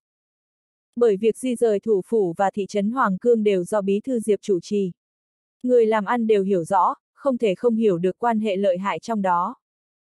Đúng vậy, lợi ích chúng ta có được không riêng gì cái này, huyện Lăng Hà một khi trở thành thủ phủ khu vực Giang Hoa thì sẽ là khu vực trọng điểm của tập đoàn Hoành không chúng ta. Không thể nói huyện Hoành không chỉ là một hà chi cách. Đến khi cầu ở sông Thông Thiên hoàn thành, kỳ thực, hai thành phố đã hòa làm một rồi. Sự tuyển dụng số lượng lớn nhân lực, với lại công ty nhà máy, vân vân, những cái này chúng ta đều phải lập kế hoạch cho tốt. Khiến cho bọn họ phải làm cho tập đoàn hoành không chúng ta. Trợ lý trưởng Dương Quý Phương tiếp lời. Cái thiệu trung đang đi trước, kêu Dương Quý Phương tới, cùng Diệp Phàm ăn cơm. Diệp Phàm hiểu rồi, người con gái này xem ra là thư ký quần của đảng ủy tỉnh, người có quan hệ với Kim Nhân Viễn. Một khi thị trấn và tỉnh lỵ đã quyết định rồi thì từ nay về sau chúng ta sẽ rất nhiều việc. Các vị đang ngồi đây đều là những cấp lãnh đạo quan trọng của tập đoàn Hoành Không, ai cũng không thể chạy trốn được. Lúc đó, cứ từng người một sẽ có một nhiệm vụ. Khu vực Giang Hoa bên đó tôi không thoát nổi rồi. Làm chức vụ thư ký địa ủy, cử các anh qua đó không thích hợp. Diệp Phàm nói, nhìn Tào Nguyệt và Nghiêm Phương Long một cái, nói. Hai vị cũng đừng lo lắng, bãi than Yến Nguyệt cùng với xưởng tàu phi không của chúng ta ấy, cần đầu tư bao nhiêu thì chúng ta cũng đã đầu tư bấy nhiêu rồi. Về mặt này cũng không phải tồn tại vấn đề vốn đầu tư không đủ. Hai địa phương sẽ là cái cây tiền của tập đoàn hoành không chúng ta, sao nỡ bỏ qua chứ? Mà bên ấy đã phát triển rồi, cơ quan đầu não cũng không thể dừng lại mà cũng phải phát triển lên mới là động lực cho sự phát triển của tập đoàn hoành không. Tôi vốn nghĩ trích ra một phần vốn đầu tư của tập đoàn Hoa Tinh dùng cho việc phát triển của công ty cơ khí hoành không, nhưng giờ thì xem ra không ổn rồi. Huyện Hoàng Cương sát nhập làm một với thủ phủ địa khu Giang Hoa, sự di rời này khá là lớn. Tôi lo rằng mấy tỷ này không đủ. Đương nhiên vấn đề du lịch là có kinh phí đầu tư lớn. Đối với sản xuất thì từ từ, chúng ta phải làm tốt sự chuẩn bị cho sản xuất lâu dài mới phải. Bí thư Diệp, Chủ tịch Dương cầu tỉnh Điền Nam có thể mang tới đơn đặt hàng lớn hàng tỷ đồng. Chúng ta thấy rằng có 700 triệu là liên quan tới chế tạo cơ giới. Vì vậy trong thời gian tương đối dài, công ty chế tạo cơ khí của chúng ta không lo không có việc làm. Ngô Hồng Sơn nói, người này trước đây dễ dàng lay chuyển không yên, bây giờ đại cục đã định rồi, Ngô Hồng Sơn lại muốn thể hiện sự tích cực trước mặt Diệp Phàm. Kỳ thật, các vị phải hiểu, việc di rời hai thành phố này không phải chúng ta có thể quyết định được. Đều là chuyện do hai vị lãnh đạo tỉnh ủy chỉ đạo. Chúng ta chỉ có thể chấp hành, đương nhiên có những điều tôi đã nói ngay từ đầu rồi. Muốn tập đoàn hoành không chúng ta đầu tư bao nhiêu tiền đấy, như vậy là không thể. Bản thân chúng ta còn không lo nổi cho mình đây. Ý kiến thỏa đáng nhất vẫn là phải làm. Vài ngày nữa tôi sẽ tới Kinh Thành ra sức tìm nguồn vốn, việc này là ý kiến của lãnh đạo hai tỉnh. Di chuyển hai thành phố sẽ có rất nhiều chuyện liên quan. Không đi hỏi thêm tiền trợ cấp ở trên thì những ngày tiếp theo của chúng ta sẽ rất khó khăn. Tôi nghĩ có thể làm ra tiền, số tiền này có thể coi là do tập đoàn hoành không chúng ta làm ra. Nếu như thật có thể làm ra tiền thì tập đoàn chúng ta cơ bản không dùng tới tiền. Diệp Phàm cười. Cách này không tồi chút nào, bọn họ đi kiếm tiền. Nhưng mà vẫn là bí thư Diệp có khả năng lớn thôi, còn chúng ta mà đi lên các bộ và ủy ban trung ương trên kinh thành, xem ra ngay cả cửa lớn cũng không qua được ấy. Dương Trấn Đông nói câu vui đùa, tất cả mọi người đều nở nụ cười. Nhưng mà ánh mắt ưng thần của Diệp Phàm vẫn nhạy cảm vì cảm thấy Dương Trấn Đông có chút chua chát trong lòng. Cái thiệu trung đi rồi, Dương Trấn Đông cũng liều mạng mà sống một thời gian. Nhưng mà cuối cùng vẫn ở trên Diệp Phàm. Dương Trấn Đông không buồn bực không được, kết quả là ngay cả vị trí tổng tài cũng không đến được. Cũng không thể nói như vậy được, làm gì có vị nào ngồi đây mà không có liên quan chứ. Chúng ta càng phải hợp nhau lại bàn mưu tính kế. Kinh thành không quen thì đi lên tỉnh, nhỡ đâu khắp nơi đều đưa tiền thì có thể kiếm được nhiều tiền thì kiếm thật nhiều tiền. Hơn nữa mọi thủ tục chúng ta đều đầy đủ, lý do cũng chính đáng, không có gì phải ngại cả. Lãnh đạo thường nói không cần dựa dẫm, nhưng mà lúc cần giơ tay thì chúng ta nên giơ tay ra. Bởi vì chúng ta đều là vì nhân dân. Diệp Phàm cười nói. Về sau mọi người bàn tán chuyện làm sao để gom được vốn một lát rồi mới tản đi. Diệp Phàm gọi Hậu Bân vào phòng. Có biết tôi gọi anh tới làm gì không? Diệp Phàm cười nói. Tôi thật không biết, nhưng mà nhìn bí thư Diệp cười, tôi nghĩ là có chuyện vui rồi. Hậu Bân là đồng chí làm ở tỉnh ủy, các cấp lãnh đạo cao cũng đã gặp qua, vì thế nét mặt y rất bình tĩnh. Diệp Phàm cân nhắc, bởi trước đây hắn đã có nói vài câu không tồi về đồng chí Hậu Bân với chủ tịch tỉnh Khúc, vậy nên Diệp Phàm muốn giao một vài dự án lớn cho y. Chuyện tốt hay chuyện xấu thì thật khó phân biệt, chúng ta bây giờ không phải nói chuyện tốt xấu, mà chỉ có thể là trách nhiệm thôi. Đồng chí Hậu Bân, việc di rời huyện Hoàng Cương là chuyện lớn, là chuyện lớn mà Chủ tịch Khúc đã đề nghị. Hội nghị Ủy ban Thường vụ tỉnh sáng nay đã thảo luận về chuyện của huyện Hoàng Cương rồi. Xem ra việc thông qua nó là không vấn đề rồi. Vì vậy cậu phải chuẩn bị sẵn tâm lý. Khuôn mặt Diệp Phàm trở nên nghiêm túc. Bí thư Diệp, tôi sẽ lập tức chuẩn bị, chỉ đợi bí thư Diệp hạ lệnh thôi. Hậu Bân ngồi thẳng người, như binh lính chờ tướng quân hạ lệnh. Vậy tốt rồi. Diệp Phàm đứng lên, vỗ nhẹ nhẹ bả vai Hậu Bân, nói. Tôi xem qua lý lịch của cậu, phát hiện thấy cậu trước đó đã làm chức cục trưởng xây dựng ở huyện. Chứng tỏ trong việc quy hoạch thành phố, hẳn là rất có con mắt. Vì thế tôi quyết định giao trách nhiệm cụ thể cho cậu về việc di rời huyện Hoàng Cương. Đồng chí Hậu Bân, cậu có tự tin làm tốt chuyện này không? Làm không tốt thì tôi sẽ cút khỏi đây. Hậu Bân có chút kích động, y biết đây là chuyện do Chủ tịch tỉnh Khúc đề nghị, đương nhiên lại có thái độ hiện kiên quyết. Hậu Bân cũng hiểu được cái ý tứ mà Bí thư Diệp Phàm đưa tay ra giúp y. Di rời một cái huyện mà còn phải dựa vào quy hoạch cũ để thiết kế, quyền lực liên quan ở trong đó rất lớn rồi. Béo bở, đương nhiên là không hề ít rồi. Đương nhiên Hậu Bân càng không muốn làm ra những cái béo bở này. Y muốn làm công tác chính trị tư sản, một khi di rời thành công, lúc đó, Chủ tịch Khúc rất hài lòng, cái mũ trên đầu y có thể dương cao rồi. Có thể theo sát từng bước của Chủ tịch Khúc. Đương nhiên, trong lòng Hậu Bân cũng rất cảm kích hắn đã cho y cơ hội này. Không có cơ hội này thì y chết cũng vô dụng. Dựa vào tiếng tăm lẫy lừng trên tỉnh của Diệp Phàm hiện nay thì không cho cậu, cậu cũng không có cách nào. Đừng có dễ dàng nói cút như vậy, chúng ta phải có khí phách rằng núi có hổ thì phải theo hổ mới được. Làm không tốt mà bỏ đi thì đó là hành vi hèn nhát. Nhất định phải làm tốt, không được nói là không làm tốt. Diệp Phàm nói ra những lời mạnh mẽ. Bí thư Diệp nói rất đúng, yên tâm. Từ nay về sau hậu bân tôi một khi đã nhận được hạng mục này thì sẽ báo cáo rõ ràng tình hình các mặt với bí thư Diệp bất cứ lúc nào. Mời bí thư Diệp cho nhiều chỉ thị. Những chỉ thị của anh trong việc đại quy hoạch là quan trọng. Hậu bân liền mượn cơ hội bày tỏ thái độ. chương 3087, Trung gia chìa ra một cảnh ô lưu. Ha ha ha. Diệp Phàm cười, lại nhẹ nhàng vỗ vào bả vai của hậu bân rồi nói. Chuyện này báo cáo với tôi là được rồi, việc nhỏ không nhất thiết, anh muốn tôi mệt chết hay sao? Hơn nữa, hạng mục này giao cho anh, tin rằng anh có thể làm tốt. Đó cũng là một cơ hội rèn luyện năng lực và con mắt của anh, anh phải nắm lấy. Ha ha! Hậu Bân cười theo. Đồng chí Diệp Phàm muốn nói chính là đồng chí Trần Viên Kiều đang tiếp nhận vị trí của Chu Đống. Đồng chí này giữ chức phó giám đốc khu công nghiệp tỉnh Đài Kim. Diệp Phàm cũng tiếp thu những con kênh kia rồi, người cô ấy nên để bạt là Ninh Chí Hòa. Đồng chí Viên Kiều, anh đến từ khu công nghiệp tỉnh Đài Kim, chắc chắn anh có năng lực nghiệp vụ rất cao đối với phương diện này. Anh xem, bãi yến nguyệt của tập đoàn Hoành không chúng ta đang phát triển, sản phẩm cho ngành phi cơ cũng rất tốt. Mà thiết bị điện lực Hoành không cũng hùn vốn, hiện tại đang tăng cường máy móc công ty Hoành không. Đối với những công ty con của chúng ta, anh có ý kiến gì không? Diệp Phàm đứng lên kéo chén trà của Trần Viên Kiều, nhẹ nhàng đặt trở lại chỗ ngồi của anh ấy. Mặc dù nói công ty chế tạo máy móc hoành không xuống dốc, mấy năm trở lại đây tổng kim ngạch đầu tư cũng đạt 3-4 tỷ. Nhưng, nếu đánh giá công ty, công ty chế tạo máy móc hoành không không những không đáng giá, hơn nữa, còn nợ vài chục triệu bên ngoài ý. Trên thực tế công ty chế tạo máy móc hoành không đã gán nợ cho công ty Lan rồi. Hơn nữa, cán bộ công nhân viên chức không làm gì cả, suốt ngày buôn dưa lê. Mà thiết bị cũng cũ rồi, chất lượng sản phẩm không đạt yêu cầu, không có sản phẩm trong tay cũng là nguyên nhân dẫn tới tình trạng này của công ty cơ khí hoành không. Trần Viên Kiều nói, ừm, anh nói thực trạng và những khó khăn trước mắt của công ty cơ khí hoành không, vậy đồng chí Trần Viên Kiều anh có cách gì không? Hoặc là con đường mới? Diệp Phàm nói, Bí thư Diệp, biện pháp là do con người nghĩ ra. Nhưng, phải cứu vãn hoàn toàn công ty cơ khí hoành không, thật sự là rất khó. Công ty cơ khí thiếu chút nữa giải thể. Nhưng, may mắn là Diệp Phạm Anh sau khi đến tập đoàn Hoành không thực sự đã làm rất nhiều chuyện cho công ty cơ khí rồi. Hơn nữa, lượng đơn đặt hàng mấy tháng gần đây, tuy nói không thể giải quyết triệt để những khó khăn cho công ty cơ khí Hoành không, nhưng cũng đã giải quyết được những vấn đề cấp bách.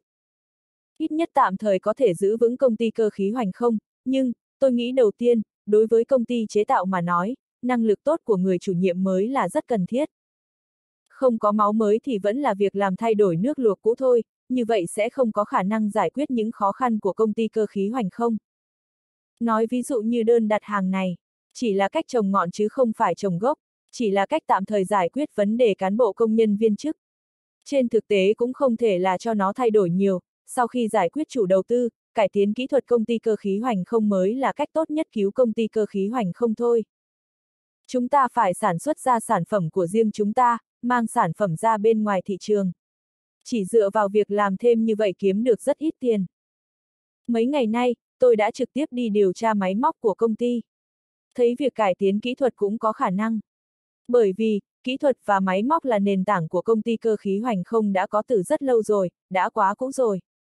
Nhưng, cải tiến thêm một chút nữa các thiết bị này sẽ có sức sống ngay. Thứ ba chính là nhân tài, về việc nâng cao nhân tài, phải tăng cường thưởng cho nhân công, phát huy tối ưu những ưu điểm của họ. Công ty cũng không thiếu nhân tài, nếu như nồi cơm để ăn lâu thì nhân tài cũng sẽ mất đi tinh thần ý chí tiến thủ, do đó sẽ càng ngày suy nghĩ tiêu cực, điều này cũng là lãng phí nhân tài. Cho nên, việc quy định thưởng phạt nhất định phải làm thật nghiêm chỉnh. Ai có thể phát minh ra cái gì, đương nhiên sẽ được thưởng, tiền thưởng phải nhiều hơn một chút, thúc đẩy tính tích cực cải tiến kỹ thuật nhân tài.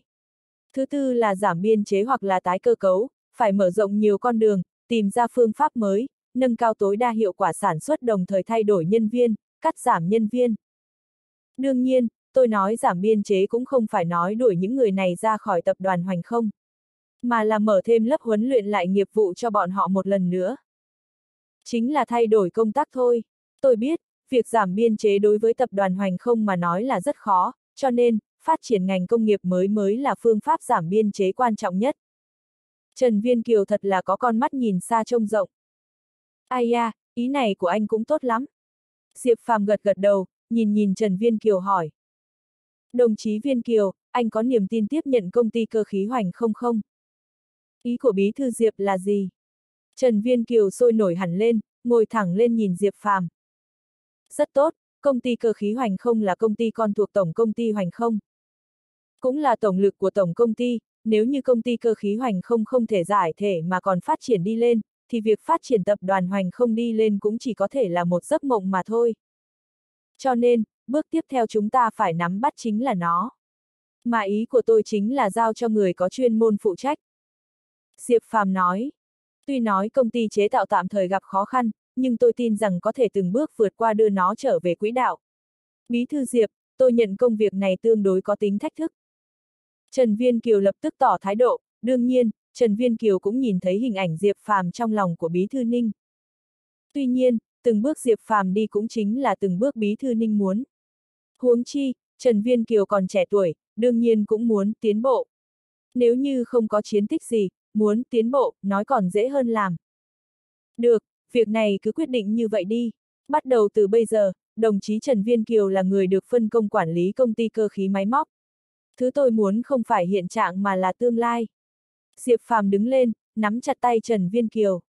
Tôi cũng vậy, thật sự, mấy ngày nay tôi đều suy nghĩ mấy vấn đề này. Hơn nữa, cũng đã có cách rồi. Trần Viên Kiều nói. Nói thử một chút đi. Diệp Phàm hỏi. Ý còn chưa được cụ thể, nhưng, tôi đã liên hệ với đối tác đầu tư rồi, bọn họ cũng có ý định hợp tác rồi. Nếu như bọn họ đã chắc chắn đến, tôi sẽ báo cáo lại cụ thể tình hình sự việc cho bí thư Diệp Phàm không? Trần Viên Kiều thận trọng nói. Được, chờ tin tốt của anh sau. Nhưng, phải nhanh lên một chút. Chúng tôi không chờ nổi đâu, không lâu sau đó phải tổ chức hoạt động tách rời hai thành phố. Hơn nữa, tôi nghĩ thừa dịp này sẽ phải điều chỉnh lại một lần nữa cán bộ công nhân viên chức chế tạo máy móc hoành không. Đoán chừng phải xây dựng lại một chút nhà máy. Diệp Phàm nói. Cảm ơn Bí Thư Diệp duy trì công ty cơ khí máy móc hoành không, tôi sẽ đi làm theo chỉ thị của Bí Thư Diệp. Trần Viên Kiều lập tức đi làm. Buổi chiều ngày thứ ba, Phó tỉnh trưởng Trung Lâm Hà đến kiểm tra thành phố Hạng Nam. Hơn nữa còn đánh giá cao sự phát triển kiến thiết thành phố Hạng Nam rất tốt. Nhưng lúc hoàng hôn Phó tỉnh trưởng Trung cùng với đồng chí Lam Tồn Quân thay mặt cho thành phố Hạng Nam đi đến thị trấn Hoành không. Đương nhiên Diệp Phàm biết mấy người này đến đây là có dụng ý khác, có thể đã biết họ đến có ý gì rồi. Đương nhiên, lãnh đạo trên tỉnh xuống, Diệp Phàm cũng phải giả vờ giả vịt đi nghênh đón. Sau khi nhìn mô hình quy hoạch thu nhỏ lại của Hoành không, Phó tỉnh trưởng Trung mỉm cười nói. Theo như mô hình này tôi thấy sự quyết đoán của đồng chí Diệp Phàm của tập đoàn Hoành không chúng ta, Giang Sơn đã có nhân tài xuất hiện. Làm tổng giám đốc của xí nghiệp, có thể quy hoạch như thế này, tầm nhìn cũng phải rất mới mẻ. Hy vọng tập đoàn Hoành không có thể tiếp tục duy trì xây dựng quy hoạch này, hợp nhất ba thành phố này đi chung một con đường thật sự rất có hy vọng. Sau khi quy hoạch này trở thành hiện thực, tin rằng tập đoàn Hoành không không lâu sau sẽ phát triển đi lên. Đến lúc đó, việc đi lại lên tỉnh và xây dựng thành phố cũng phải lấy tập đoàn Hoành không làm trung tâm. Quy hoạch Hoành không, xây dựng thành phố theo hình thức hoa viên thân thiện với con người, thể hiện tối đa tư tưởng vì sinh thái và môi trường. Chủ tịch tỉnh Trung, chúng tôi sẽ tiếp tục xây dựng. Hơn nữa, công trình mà bộ phận quy hoạch Hoành không là do công ty xây dựng công trình Thiên Mã thuộc tập đoàn Hoành không hoàn thành. Công ty xây dựng công trình Thiên Mã có tư chất cấp 2. Diệp Phàm nắm bắt cơ hội nói. Bởi vì, Diệp Phàm cũng đoán chừng là tới lúc rồi. Trung Lâm Hà tự mình đi giải quyết cho người ta, đoán chừng anh đã cũng đã hiểu rồi. Biết mình với Trương Cường có mối quan hệ rất tốt, nếu Trương Cường có thể thuyết phục tham mưu tề về việc buộc tội Trung Húc sẽ bị khinh cho mà xem. Đúng vậy, nguyên nhân chính là công ty xây dựng công trình Thiên Mã là một xí nghiệp tốt mang phong cách truyền thống, hiện tại công ty có đến 7 phần công nhân là xuất thân từ quân đội. Hơn nữa còn đạt danh hiệu xí nghiệp xuất sắc do quân đội tỉnh và chính phủ của tỉnh cấp. Mà nói thật thành phố hạng Nam chúng ta, bắt đầu làm việc ở quân đội còn chưa đủ. Năm ngoái không đạt được danh hiệu quy mô thành phố, nhưng, hôm nay thành ủy thành phố đã quyết tâm rồi. Tích cực cầm quân, cho nên, chúng ta quyết định rút ra 300 triệu dựa vào hình thức chỉ thị cầm quân mà công trình đường tinh huy cho các xí nghiệp cầm quân tham gia và dựng thương hiệu. Công tác duy trì xí nghiệp quân đội là ủng hộ quân đội. Lam Tồn Quân lập tức phối hợp nói. Ha ha, đồng chí tiếp nhận hạng nam chúng ta rất khá. Đồng chí Tồn Quân sắp xếp rất tốt. Công ty công trình kiến trúc Thiên Mã có mấy trăm công nhân, gần 7 phần trong số đó xuất thân từ quân đội. Việc này, không những giảm bớt gánh nặng cho chính phủ, mà còn giải quyết được vấn đề việc làm cho những quân nhân nghỉ hưu. Nói cách khác công ty xây dựng Thiên Mã có phần giống như xí nghiệp quân đội. Chỉ có điều sản phẩm của bọn họ không phải là viên đạn mà là phòng ốc cầu đường. Các đồng chí thành phố hạng Nam thực sự rất tinh mắt. Giải quyết được vấn đề quân đội, cố gắng nhé, hôm nay hãy nắm chắc quy mô thành phố quân đội. Phó Chủ tịch tỉnh Trung rõ ràng có nói khoa trương lên một chút. Hơn nữa, dựa vào hình thức gõ nhịp để đồng ý với những chỉ thị trong VA xây dựng con đường tinh huy ở thành phố Hạng Nam. Chủ tịch tỉnh Trung quay người đi, ra vẻ như bỏ lại mấy lời nói này vậy. Nhưng buổi tối ngày hôm sau Khương Quân vội vàng mang cái túi vào. Có tin vui sao? Diệp Phàm nhìn Khương Quân, cười nói. Thành phố đã quyết định rút ra 300 triệu đầu tư vào công trình của chúng ta, tuy nói có sự tham gia và cạnh tranh cùng với của công ty khác cũng có danh hiệu quân đội. Nhưng, cấp bậc của chúng ta cao. Bọn họ đầu tiên cũng được phân chia 5.000 vạn tiền công trình rồi, chúng ta cầm đầu. Vấn đề này còn không khiến người ta có hứng nói chuyện, điều đáng nói là mấy ngày nay tỉnh cũng có hoạt động rồi. Khương Quân cười, dừng lại uống trà. Hoạt động, không phải là bỏ chạy sao? Diệp Phàm đứng im, cười nói. chương 3088, sức ép tăng thêm. Không phải bỏ chạy, mà là gia tăng sức ép. Đương nhiên, ứng dụng của phương pháp này chúng ta không hiểu được. Hơn nữa, mục đích là dùng những xí nghiệp có tư chất thứ hai trở lên. Đoán chừng, đợi cho đến thời điểm cạnh tranh sẽ lại tăng cường lực cạnh tranh của cả hai bên. Đương nhiên, bọn họ còn buông tha cho một vài công ty nhỏ. Đoán chừng là nhìn bọn họ thấy gai mắt. Khương Quân nói. Ha ha, không phải gai mắt, chính là muốn đuổi đi cũng không được. Diệp Phàm lắc lắc đầu cười. Tôi lo lắng đến lúc đó các hạng mục công trình còn lại đều đã bị tỉnh tỉnh kiến lấy đi rồi. Sẽ không lấy đâu, đây là tỉnh kiến giúp công ty xây dựng thiên mã chúng ta gạt bỏ đi sự đối lập. Đoán chừng đến lúc cạnh tranh bọn họ cũng sẽ đột nhiên tuyên bố gạt bỏ, đến lúc đó chỉ còn lại độc một mình công ty xây dựng thiên mã chúng ta, còn có một vài công ty kiến trúc nhỏ làm nền cho chúng ta. Diệp Phàm nói, sao có thể như thế, tỉnh kiến là oan gia đối đầu với công ty chúng ta mà. Trung Húc lại ỉ vào con cọp lang sói lão tử xả. Tôi thấy tình thế của bọn họ chính là muốn toàn bộ công trình tinh huy của chúng ta. Nhưng, cũng có chút kỳ lạ. Giống như tỉnh kiến còn phát biểu sự nhìn nhận, nói là thành phố hạng Nam đối với phương thức kế hoạch ưu tiên quân đội rất đáng mở rộng. Chỉ có như vậy, mới có thể thể hiện rõ ràng việc từ bỏ quân đội. Lời nói này giống như nói vì chúng tôi vậy. Tôi nghĩ, có phải bọn họ muốn lấy 500 triệu tiền công trình đưa cho chúng ta hay không? Khương Quân thật sự không hiểu rõ vấn đề. Tôi nói rồi, bọn họ kêu gọi chúng ta, cuối cùng, Khương Quân, anh xem xem, người được lợi nhất chắc chắn là công ty xây dựng thiên mã chúng ta rồi. Diệp Phàm cười nói. Việc này, Khương Quân căn bản là không tin, nhưng, Diệp Phàm nói như thế, anh ta cũng không thể không tin. Khương Quân, bước tiếp theo anh phải chuẩn bị nhận thêm nhiều công trình. Bắt đầu tách rời hai thành phố, công ty xây dựng công trình thiên mã chúng ta sẽ nhận được rất nhiều dự án. Cho nên, tôi nghĩ, anh có tăng thêm áp lực hay không, lại nhận sự phê phán về năng lực của quân đội.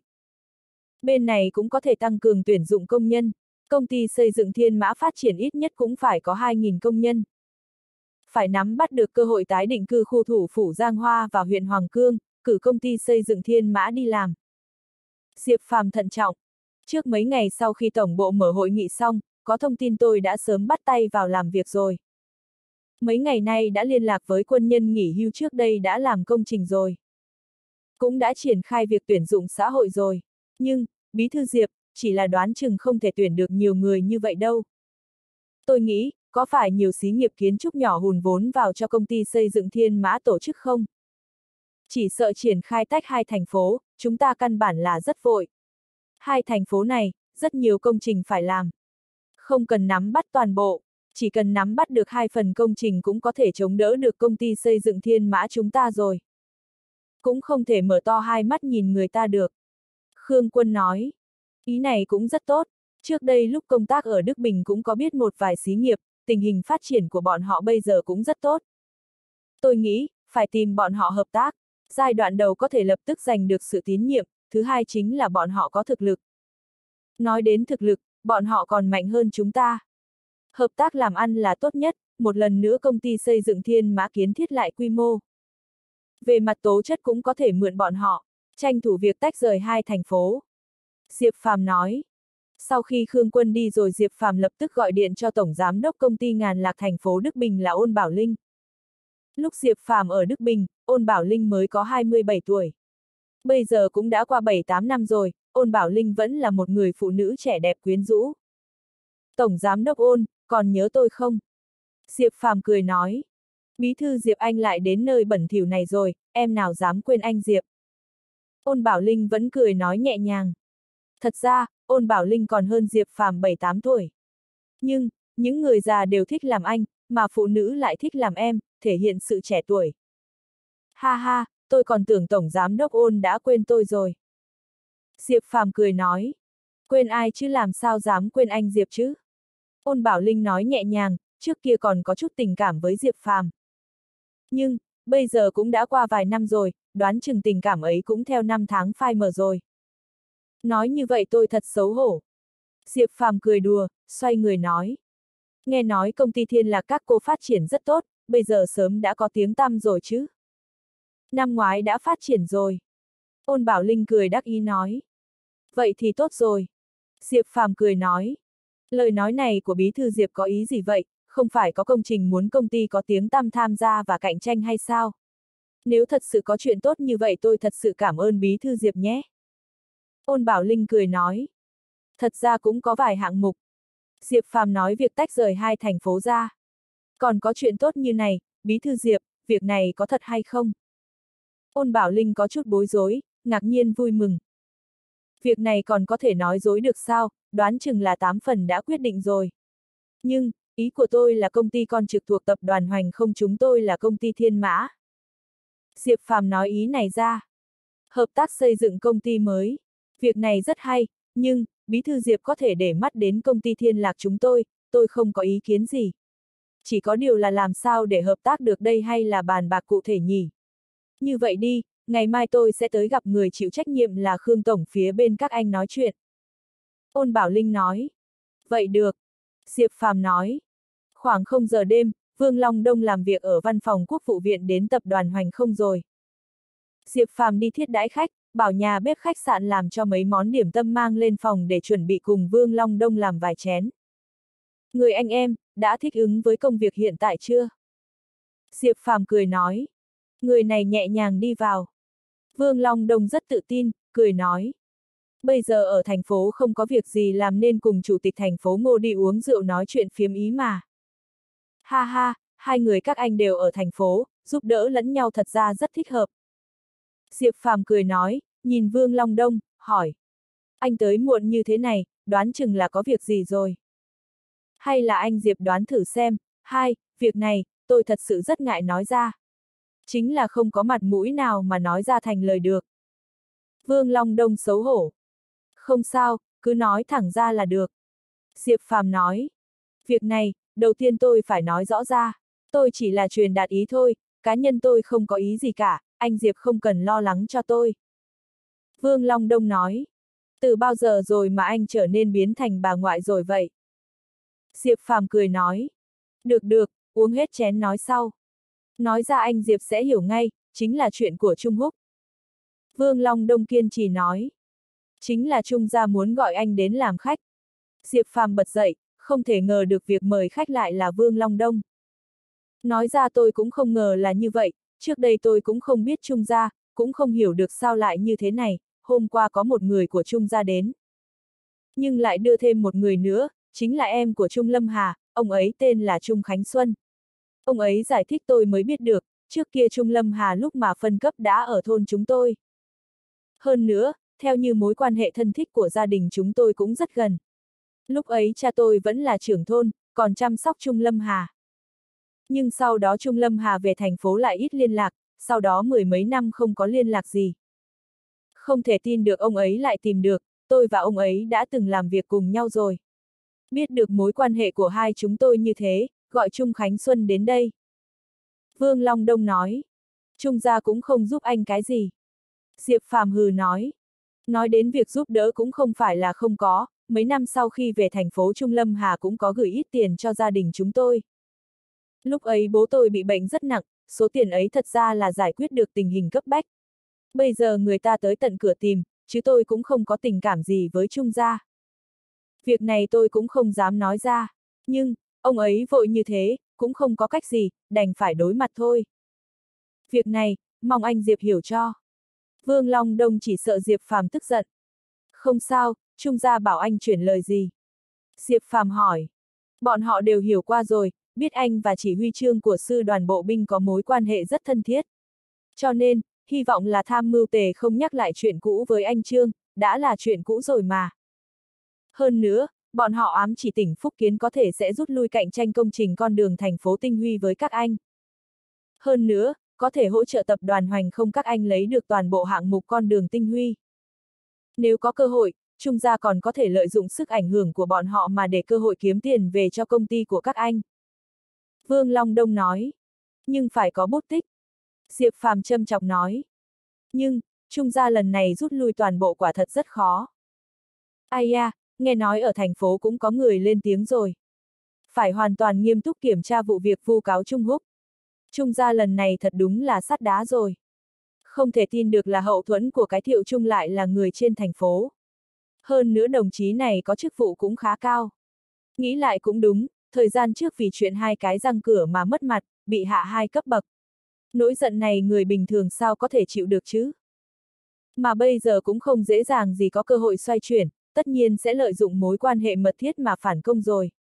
Hơn nữa đoán chừng là phản công rất mạnh. Mà Trung Húc lại là một người rất kiêu ngạo, tất nhiên là cũng dám đến chọc giận anh Diệp. Việc này, tôi thật sự không muốn chuyển lời đâu. Nói đến đều rất mất mặt. Vương Long Đông thở dài, khá buồn bực. Chỉ là tôi với Trung Lâm Hà trước kia có mối giao tình với nhau. Ông ấy muốn làm cho nhanh, cứ lại nhảy bên tai tôi, phiền đến chết đi được. Cho nên, tôi đành phải đi chuyển lời. Nhưng, anh Diệp Anh cứ yên tâm, chuyển lời xong ngày mai tôi sẽ quay về, dù sao thì nhiệm vụ của tôi cũng hoàn thành rồi. Có thành hay không cũng là quyết định của anh Diệp, hơn nữa, cũng chỉ là tâm ý thôi, quay trở về ông ấy có muốn nói như thế nào cũng không thể nói tôi có phải không. chương 3089, tấn công ngạo khí của cô ta. Chuyện này không phải là tôi muốn như thế nào thì làm như thế, mấu chốt là cái thiệu chung người ta có biết hai chiếc răng cửa của Trung Húc không phải là anh ấy làm dụng hay không, mà là do tham mưu tề đánh đấy.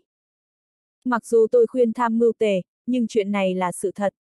Hậu thuẫn của người ta ở thành phố chẳng lẽ lại ngồi không, bảng cửu trương mà trung ra các anh làm trong lòng người ta biết rõ rồi. Trước kia không biết là bởi vì không bị mọi người coi nhẹ, lúc ấy cái thiệu trung tát trung húc một cái, nhưng trung húc lại tát chảy cả máu mồm.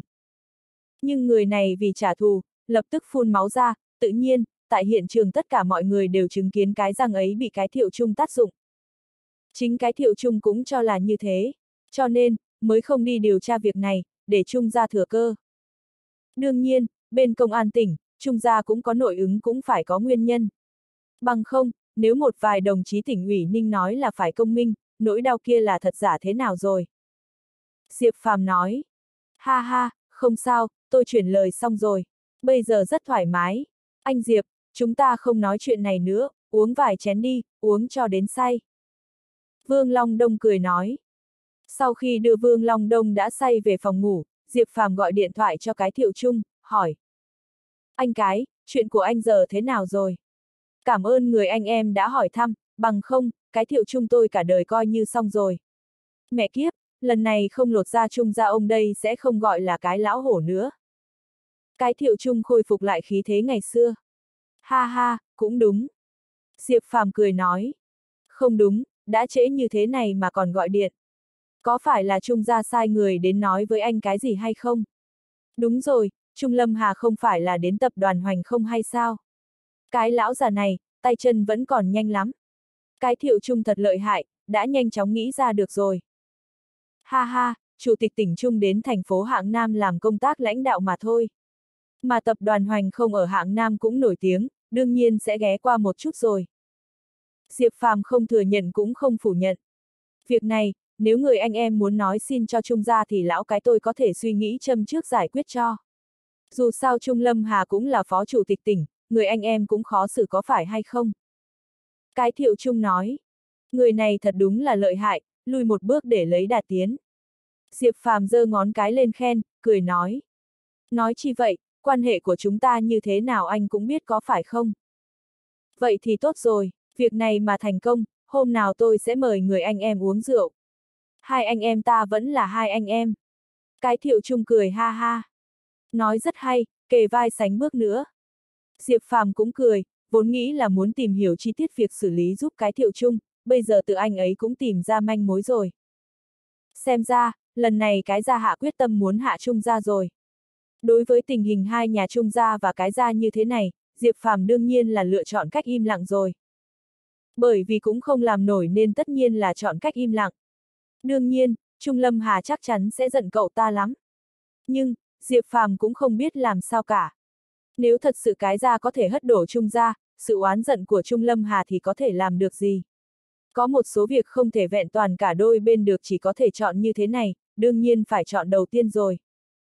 Ngày hôm sau vừa hay là ngày Chủ nhật, Diệp Phàm đưa Vương Long Đông đến sông Thông Thiên câu cá. Vương Long Đông, người ta cũng đối tốt với anh, con dâu như anh sẽ giữ thể diện cho người ta rồi. Vị trí của đồng chí Vương Long Đông anh cũng cao rồi. Diệp Phàm vừa thả cần câu vừa cười nói. Nhưng đừng có coi thường ngư bá 53, chính anh ấy là người khởi xướng, lính cần vụ, đoán chừng cũng bị tuột mất. Mấy ngày nay người này đang cùng Diệp Phàm rong ruổi ở quanh sông, sớm đã quên hết chuyện chùa miếu rồi. Diệp Phàm chọn nơi câu cá là sông Thông Thiên rất hẻo lánh, về cơ bản không thấy bóng người nào cả. Đất đá ven bờ sông, xung quanh tất cả đều là cỏ dại, sắp đến trương Ngưu Bá đi ra xa nướng cá. Diệp Phàm và Vương Long Đông nói chuyện phiếm với nhau, tự nhiên nghe thấy tiếng Ngưu Bá giận dữ kêu lên thảm thiết. Sao lại thế này, nướng cá sao lại khổ như thế này? Diệp Phàm nhíu mày.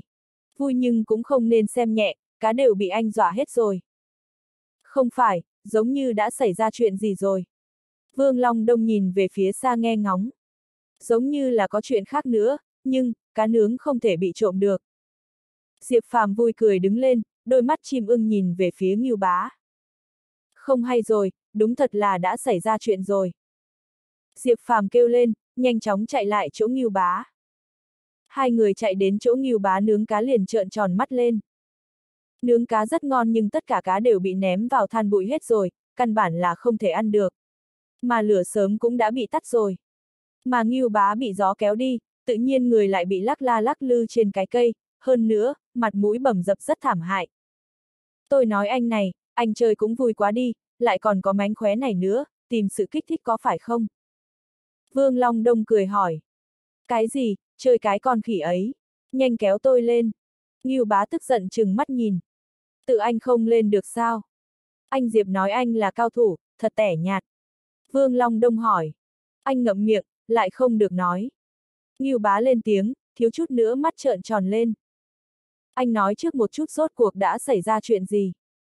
Diệp Phàm cảm thấy buồn cười, biết vấn đề không phải thật sự như thế, đương nhiên là phải chơi, anh ta rồi. Thật xui xẻo, tôi đang nướng cá, tự nhiên mẫu dạ xoa chạy ra. Quỷ dạ xoa này không đến 30 tuổi, mặc quần màu xanh lam. Ngưu bá thở hổn hển nói. Cô ta không nói cái gì sao, có phải là rất xấu có phải không, tự nhiên anh lại gọi là mẫu dạ xoa. Vương Long Đông buồn cười hỏi.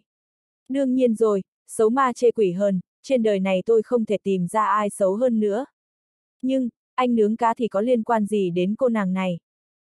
Cô ta tự nhiên mắng Ngưu bá tôi háo sắc, lưu manh.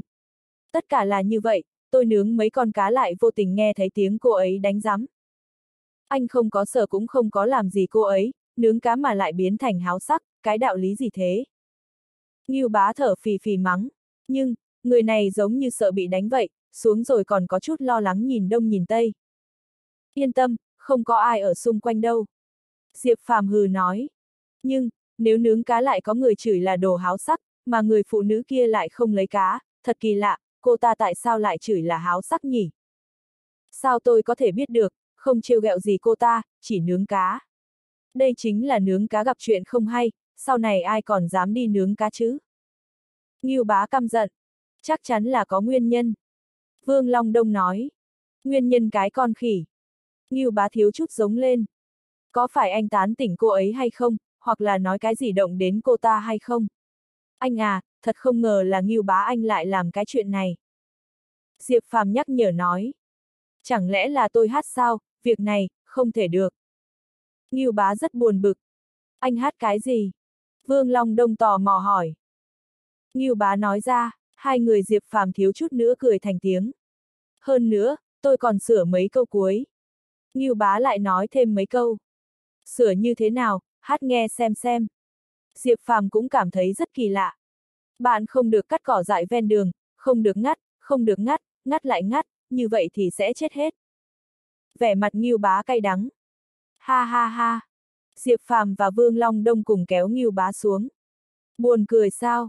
Lúc này, một âm thanh lạnh như băng truyền đến, đôi mắt chim ưng của Diệp Phàm sớm có cảm giác có người đến, cố ý không biết. Cho đến lúc này mới quay đầu lại nhìn mình, thấy đúng là có một người phụ nữ mặc váy toàn thân màu xanh lam, ngay cả chiếc hải đi dưới chân cũng màu xanh lam. Mặt trái xoan có hơi tròn một chút, da mặt mịn màng, chiếc mũi tròn để lại cho người ta cảm giác tự nhiên. Da của người phụ nữ này rất trắng, nếu không nói là trắng nõn nà. Đặc biệt là đôi mắt, nhìn qua có cảm giác mờ ảo. Kiểu người này khiến cho người ta cảm thấy khả năng thưởng thức cái đẹp rất tốt. Hơn nữa, Diệp Phàm phát hiện, tuy nói là người này đi giày đất, nhưng là, có vẻ như giày không bẩn, tựa hồ như tùy ý sử dụng cỏ dại ven đường vậy. Chính là mẫu dạ xoa này làm. Ngưu bá phẫn nộ chỉ vào người phụ nữ này quát. Anh còn dám nói lung tung tôi cắt lưỡi anh đi bây giờ. Âm thanh của người phụ nữ này vang lên có chút lạnh lùng, Ngưu bá sợ tới mức theo phản xạ bước lui lại đứng bên cạnh người Diệp Phàm. Anh em, người đàn bà này khiến chúng ta sợ rồi. Vẻ mặt Diệp Phàm bình tĩnh bá vai Ngưu bá, người này phản ứng mới giống cao thủ Diệp Phàm đây, vừa rồi chẳng phải là rất mất mặt rồi. Người nói ai là đàn bà hả? Lông nghi người phụ nữ này dựng thẳng lên, chừng mắt nhìn Diệp Phàm. Đàn bà là đàn bà, sao nào, người còn muốn như thế nào nữa? Diệp Phàm không có chút khách khí. Cũng không thể là người đồng tính có phải không? Vương Long Đông chen lời, người phụ nữ kia gần như tức giận, nói gọi gió, đập về phía Vương Long Đông. Vừa gặp mặt đã đánh nhau rồi, đánh là nhớ mắng là yêu. Diệp Phàm trêu chọc, chắc chắn sẽ trạch phương hướng, đập về phía Ngưu Bá đang bị treo ở cành cây kia, cây cổ thụ bị đánh gãy xuống. Tôi nói các hạ sao có thể bị mắc như thế chứ, thì ra là có chút tài năng. Hôm nay, ba người các anh, đừng có ai muốn chạy thoát nhé. Người phụ nữ này tức giận, âm thanh lạnh như băng. Ha ha ha, không để chúng tôi đi vậy cô muốn mời khách như thế nào đây? Nhưng, Diệp Phàm ta không có hứng thú. Diệp Phàm nhún vai nói. Chúng ta quay lại câu cá, thật là, cá vừa mới nướng lại làm hỏng rồi. Diệp, nhưng còn mặt mũi của tôi. Ngưu bá kêu lên, người này bất mãn. Ai ya, cũng đúng, người này cô cứ tùy tiện đánh cũng được. Dù sao thuốc men cũng có có phải không? Diệp Phàm quay đầu nhìn cô ta. Các ngươi muốn chạy, tôi đã nói không cho các ngươi đi rồi sao? Cô gái kia ngược lại lại hỏi như vậy. Cô thật sự cho rằng cô là một con người hay sao? Mau cút đi. Diệp Phàm đột nhiên tức giận, tát một cái, gió tự nhiên rất lạ, cô gái kia liều mình chống cự, cô gái kia không biết sao lại đụng phải Diệp Phàm. chương 3090, nhậm chức ở Điền Nam. Tức khắc bị hơn 10 cái trưởng xoay tròn 360 độ, cuối cùng chống đỡ không được liền ngã xuống đất. Trên mặt đều là bùn đất cây cỏ, bởi vì, Diệp Phàm sẽ làm mất đi sự lạnh lùng kiêu ngạo của người phụ nữ này. Nhớ kỹ, tôi là Diệp Phàm, ở tập đoàn Hoành không.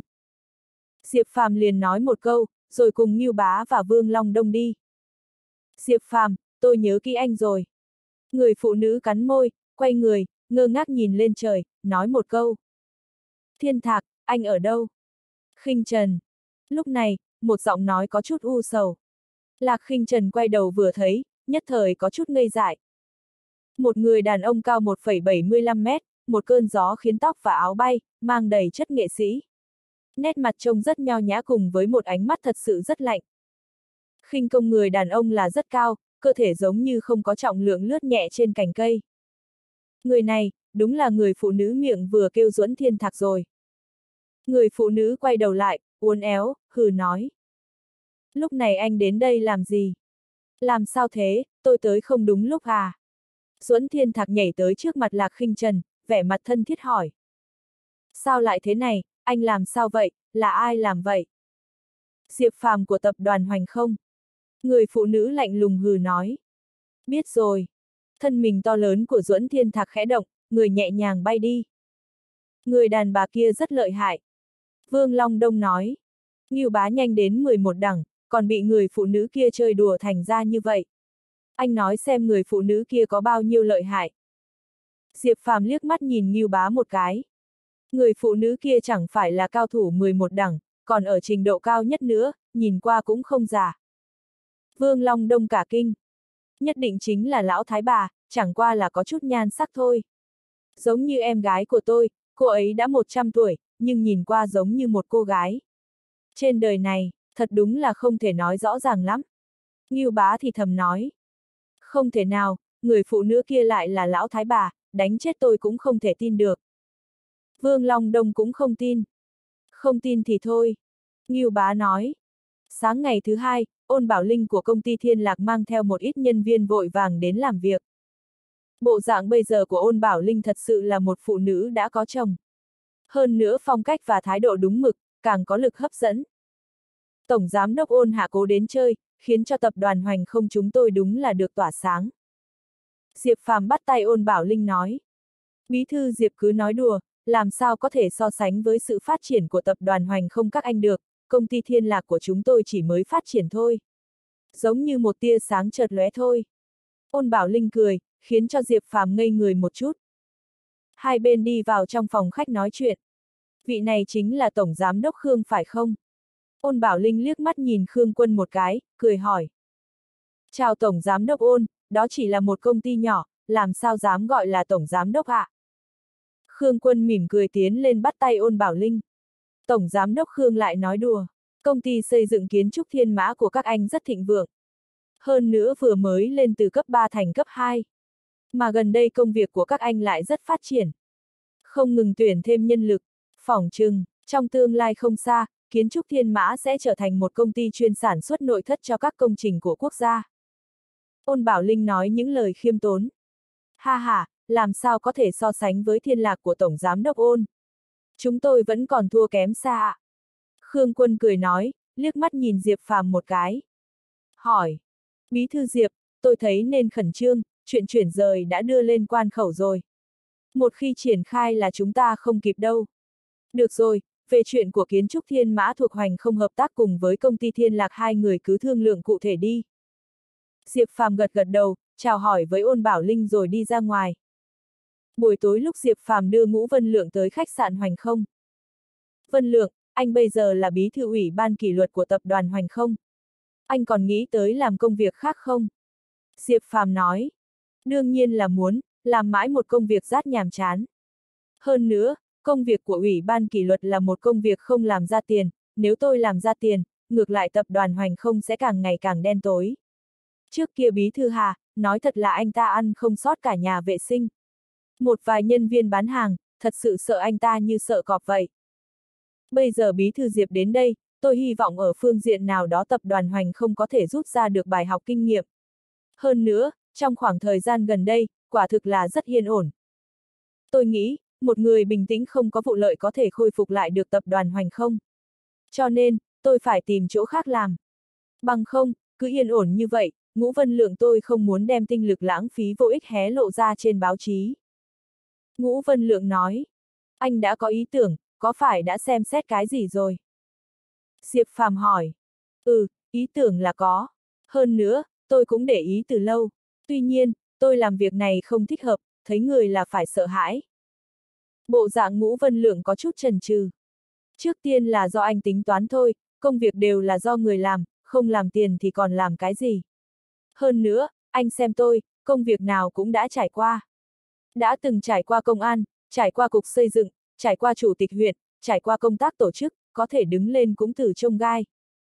Diệp Phàm nói, tôi có điều muốn nói. Ngũ Vân Lượng nhìn Diệp Phàm. Nói đi, đừng có mà như bà mẹ chồng thế. Đồng chí Vân Lượng Anh là làm công tác ủy ban kỷ luật, phải quyết đoán và kiên quyết. Diệp Phàm nói, tôi muốn đến trợ giúp Mộc Nguyệt Nhi quản lý khu du lịch Hoa Tinh tập đoàn Hoành không. Ngũ Vân Lượng hít mạnh một hơi, rốt cục nói. Anh ta nói xong lập tức cúi đầu xuống, giống như ngượng ngùng. Tuy nhiên, chức vụ hiện tại của Ngũ Vân Lượng là ở sở lại đi quản lý một khu du lịch, là có chút bắt chó đi cày. Ha ha ha! Diệp Phàm sang sảng cười, chỉ vào Ngũ Vân Lượng nói. Anh nha anh! Bí thư Diệp, có phải tôi rất có lòng tham hay không? Ngũ Vân Lượng bị Diệp Phàm cười đến mức cảm thấy có phần lo lắng không yên. Cái gì nên tham sẽ tham, đây không phải là lòng tham, đây là khí phách lớn. Anh có cái gì ngượng ngùng nói, anh ý, chỉ sợ người khác nói xuyên tạc. Sợ cái gì, nếu trần trần trừ trừ, kiếp này anh có thể làm gì? Vẻ mặt Diệp Phàm nghiêm túc phê bình. Bí thư Diệp, tôi có chút lý do. Thật ra, trước kia bên ngoài tỉnh tôi có làm cục trưởng cục du lịch mấy năm. Đối với phương diện này còn có chút kinh nghiệm, người ta nói không nắm chắc ba phần ba không dám trên lương sơn. Kỳ thật không phải tôi sợ mỗi việc người khác nói xấu. Còn có một nguyên nhân trọng yếu đó chính là sợ làm không tốt sẽ phụ lòng bí thư Diệp coi trọng tôi. Tuy nhiên, hiện tại tôi không sợ.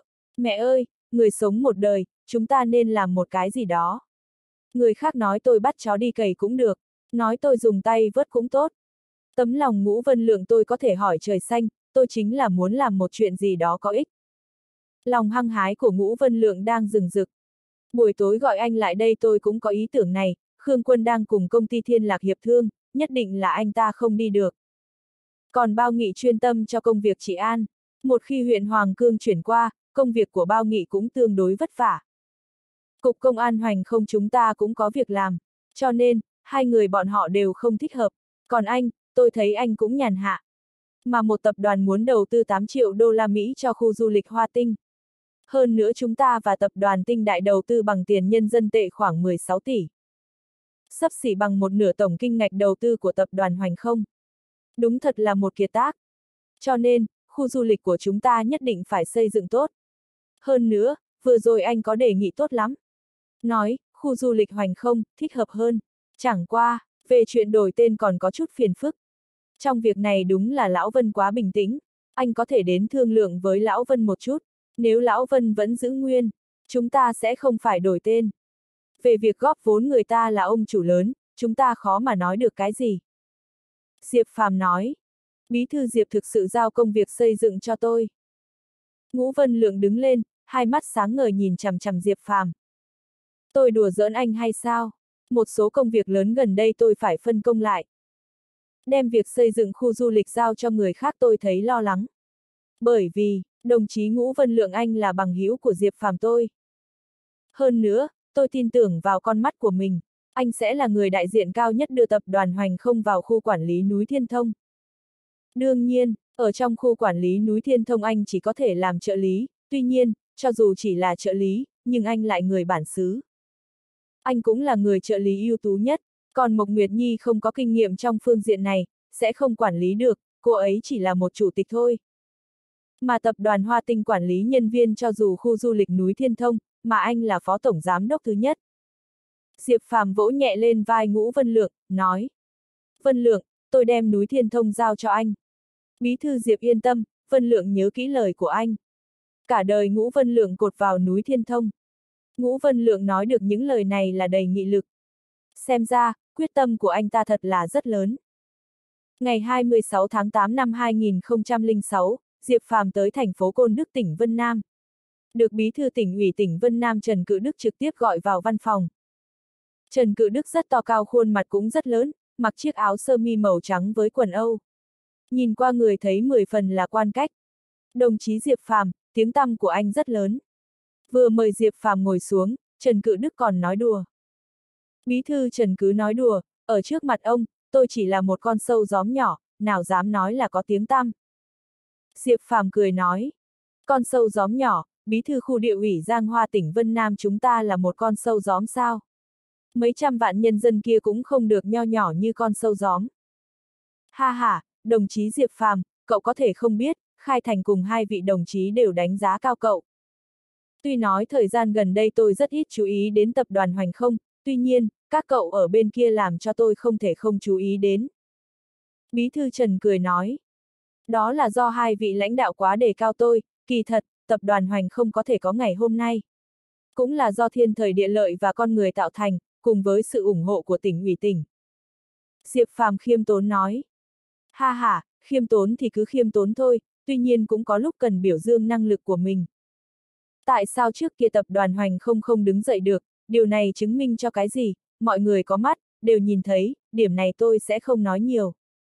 Tuy nhiên, hiện tại một mình cậu kiêm nhiều chức vụ. Tôi hy vọng cậu có thể đem tất cả mọi thứ. Tỉnh Thiên Vân là nhà của cậu, tỉnh Vân Nam chúng tôi cũng là nhà của cậu thôi.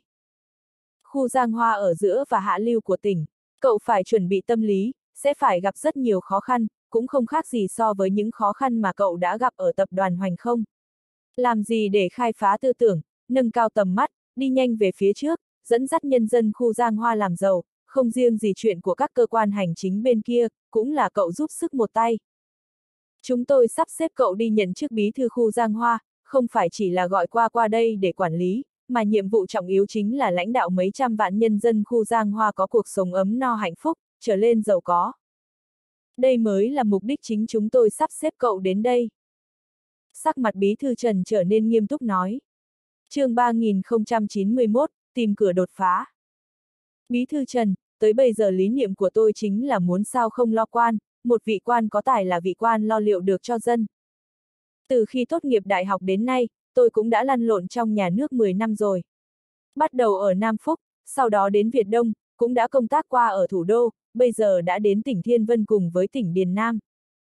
Mỗi một nơi đến đều để lại dấu chân của tôi. Chí ít, sau khi đi còn có thể làm cho nhân dân ở địa phương nhớ tới tôi. Diệp Phàm cũng tự hào một chút. Ha ha, điều này chứng minh đồng chí Diệp Phàm cậu có năng lực. Trần Thư Hoa cười nói. Bắt đầu công việc mới ở khu Giang Hoa, cậu phải đến sớm một chút để thu xếp. Bằng không, đến lúc có công văn đến, vội vàng bắt đầu sẽ không được tốt. Trong tỉnh đã dành rất nhiều nỗ lực để di rời khu vực trung tâm hành chính, việc di rời sẽ đem đến một bộ dạng mới. Quan trọng nhất là kế hoạch, hơn nữa, còn phải phù hợp với khu du lịch của Hoành không. Điều này cũng rất quan trọng. Từ xưa huyện Lăng Hà có thể lại tỏa sáng, liền gặp mọi người. Bí thư Trần Ý Vị Thâm Trường nói. Buổi sáng ngày mai tôi sẽ đi, tôi nghĩ, quy hoạch phải đi trước. Phòng trừng hiện tại luồng gió này đã truyền ra bên ngoài. Đến lúc đó, sẽ có rất nhiều ý kiến. Ta phải chặn lại luồng gió này trước mới được, bằng không, càng làm càng loạn. Diệp Phàm nói. Ừ, những chuyện này cậu cùng thương lượng với các đồng chí một chút đi. Phải kêu gọi sự giúp đỡ trong tỉnh. Bí thư Trần nói. Bí thư Trần đi ra, Diệp Phàm lại đi cùng chủ tịch tỉnh Dương đến đó. Sáng sớm ngày hôm sau, Diệp Phàm cùng đồng chí Bạch Vạn Thăng trưởng ban tổ chức tỉnh ủy đi đến khu trung tâm của thành phố Giang Hoa. Tuy nhiên, Bạch Vạn Thăng đi một mình không có nói chuyện gì, mà ngày hôm qua khi nói chuyện ở bộ phận tổ chức của tỉnh ủy thì lại tỏ vẻ cùng giải quyết công việc chung. Diệp Phàm nhạy cảm cảm giác được, lão già này hình như không nhìn thấy mình. Đúng là từ xưa đến nay thành phố Giang Hoa không được tốt lắm. Khiến người ta cảm giác là nó rất rách nát. Cho dù là ngày hôm qua phòng trừng công nhân cục bảo vệ môi trường đã bỏ công sức ra để dọn dẹp, nhưng hôm nay Diệp Phàm thấy cũng chẳng ra sao cả. Mà đồng chí Chu Gia Sinh chủ tịch địa khu Giang Hoa cũng không tới đón tiếp, mà chỉ mang theo những người này ra cổng lớn trụ sở đứng thôi. Trong lòng Diệp Phàm thờ ơ hừ lạnh một tiếng, chủ tịch Chu Gia Sinh rất nhiệt tình bắt tay trưởng ban bạch, còn khi bắt tay Diệp Phàm thì nhanh chóng buông ra. Mà còn, gật gật đầu, rồi bước đi cùng bên trưởng ban bạch. Còn trưởng ban bạch cũng chỉ giới thiệu qua về Diệp Phàm, sau đó đi tới khu nhà ăn của địa ủy. Sau khi trưởng ban bạch ăn uống cơm nước qua loa xong lại đi. Diệp Phàm cảm giác được một chút thù địch và sự hời hợt của Chu Gia Sinh. Hiểu ngay được ở đây có vấn đề. Phỏng chừng lại là do việc tranh chấp chức vụ, nếu người này không phối hợp, không lâu sau việc triển khai di rời khu trung tâm khu Giang Hoa cũng có chút vấn đề. Dù sao, trong việc di rời còn cần phải có chủ tịch địa khu Chu Gia Sinh đi hoàn thành. Đối với tỉnh Mạc Nam, Diệp Phàm không có người quen, không có mối quan hệ. Về phần chủ tỉnh Tịch Dương và Bí Thư Trần thực sự coi trọng mình, đây chẳng qua là chỉ là ở trên cấp tỉnh Vân Nam. Xuống dưới địa phương công tác không có khả năng đi nhờ chủ tịch tỉnh Dương chỉ đạo cụ thể xuống dưới, làm gì để triển khai công việc xuống dưới, làm cho việc di rời hoàn thành thuận lợi, cũng là vấn đề khó khăn không nhỏ trước mặt Diệp Phàm.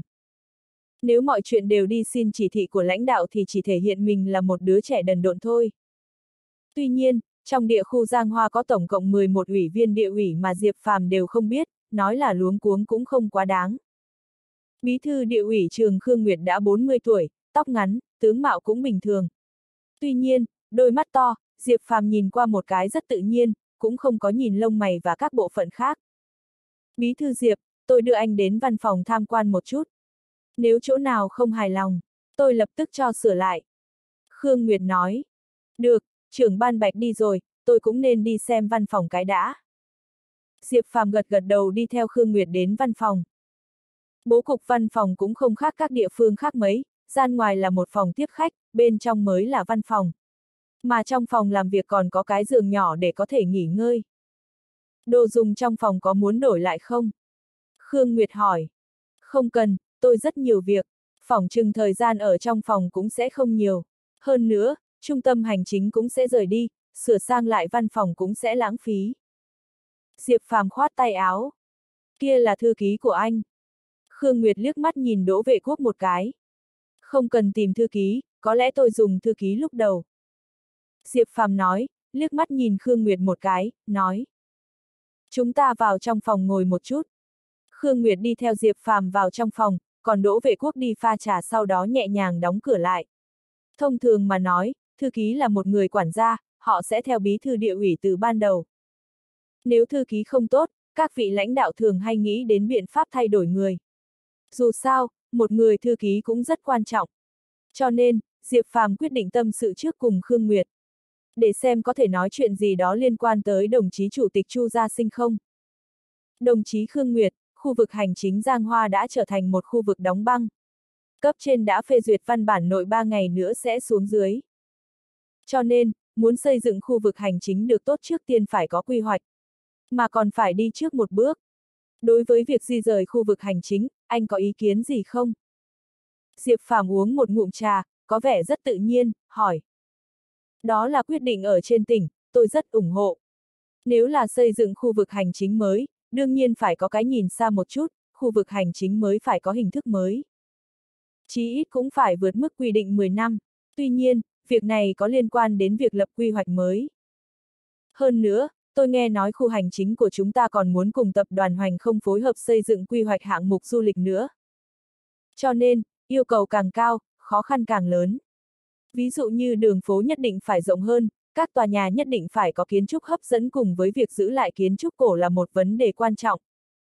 Có khá nhiều vấn đề, còn về mặt tài chính mà nói việc đầu tư vốn cũng rất lớn. Ngân sách thu của địa khu Giang Hoa chúng ta một năm còn không đến 900 triệu. Hai khu đông dân cư nhất, dân cư đạt nhiều nhất 200 vạn. So với số dân, GDP tăng trưởng rất chậm. Quận Mạc Nam chúng ta là khu du lịch của tỉnh lớn, tuy nhiên, Giang Hoa cũng không phải là khu vực đẹp cho việc xây dựng du lịch. Còn Úc Nam thì hoàn toàn phù hợp. Nếu so sánh với phía nam của quận, quận của chúng ta cũng không lớn, mà 20 triệu đô la Mỹ chia đều cho 9 khu hành chính. Quận cũng không hình thành một quy mô nhỏ, cho nên, xét về mọi mặt mà nói sự ảnh hưởng cũng không ít. Khương Nguyệt nói, ừ, đây là vấn đề thường gặp khi di chuyển đô thị. Diệp Phàm gật gật đầu, liếc mắt nhìn Khương Nguyệt Quân một cái, hỏi. Đây là vấn đề xây dựng đô thị, nhưng, ngoài mấy vấn đề này sẽ không có các vấn đề khác sao? Bí thư Diệp định nói về vấn đề gì? Khương Nguyệt hỏi. Ví dụ, nhân tố con người chẳng hạn. Diệp Phàm hỏi. Nhân tố con người, việc này sẽ rất khó nói. Thật ra, vấn đề lớn nhất trong xây dựng cũng là nhân tố con người. Ví dụ như những hộ không chịu di rời, ví dụ như có những ý kiến không đúng đều là do nhân tố con người tạo thành. Khương Nguyệt nói. Đối với việc di rời khu hành chính Giang Hoa, trong địa ủy chúng ta có quan điểm bất đồng hay không? Đừng ngại, coi như hôm nay chúng ta nói chuyện phiếm đi. Tôi muốn biết một chút về ý tưởng của các đồng chí, để chuẩn bị trước cho việc di rời và một số việc cần phải điều chỉnh sẽ phải điều chỉnh. Diệp Phàm thẳng thắn nói rõ vấn đề. Nếu không, phỏng trừng Khương Nguyệt không dám nói, cơ bản là không hiểu hết ý nghĩa.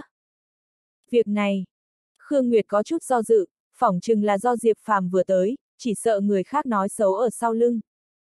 Đồng chí Khương Nguyệt, việc di rời trung tâm hành chính là việc lớn. Đây là việc tỉnh ủy, ủy ban nhân dân tỉnh giao xuống. Vai trò điều hành của thành ủy trong việc di rời này là rất lớn. Còn những việc cụ thể trong di rời là do ủy ban nhân dân thành phố chấp hành. Mà thành ủy điều hành chính là việc ràng buộc mối quan hệ giữa thành ủy và ủy ban nhân dân thành phố. Bởi vậy, nếu ở trong quá trình di rời có chỗ sơ suất, trách nhiệm này, không ai gánh vác nổi.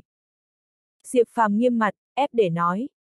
Đương nhiên Khương Nguyệt cũng có thể nghe ra ý tứ trong lời nói của Diệp Phàm, ý là nếu anh không sử dụng đúng các đồng chí, phỏng chừng sẽ xem xét thay thế. Bí thư Diệp, thật ra, đối với chuyện di rời khu trung tâm, tuy nói là tỉnh đã khai thông cho địa ủy và cơ quan hành chính. Tuy nhiên, nói thật, đó là mệnh lệnh mà trên tỉnh đè xuống. Tôi kiên quyết ủng hộ việc di rời khu trung tâm hành chính. Cũng có một số đồng chí trong địa ủy và cơ quan hành chính địa khu có quan điểm khác về vấn đề này. Khương Nguyệt bất đắc dĩ, nói. Ừ, anh hãy nói về quan điểm của các đồng chí đó đi.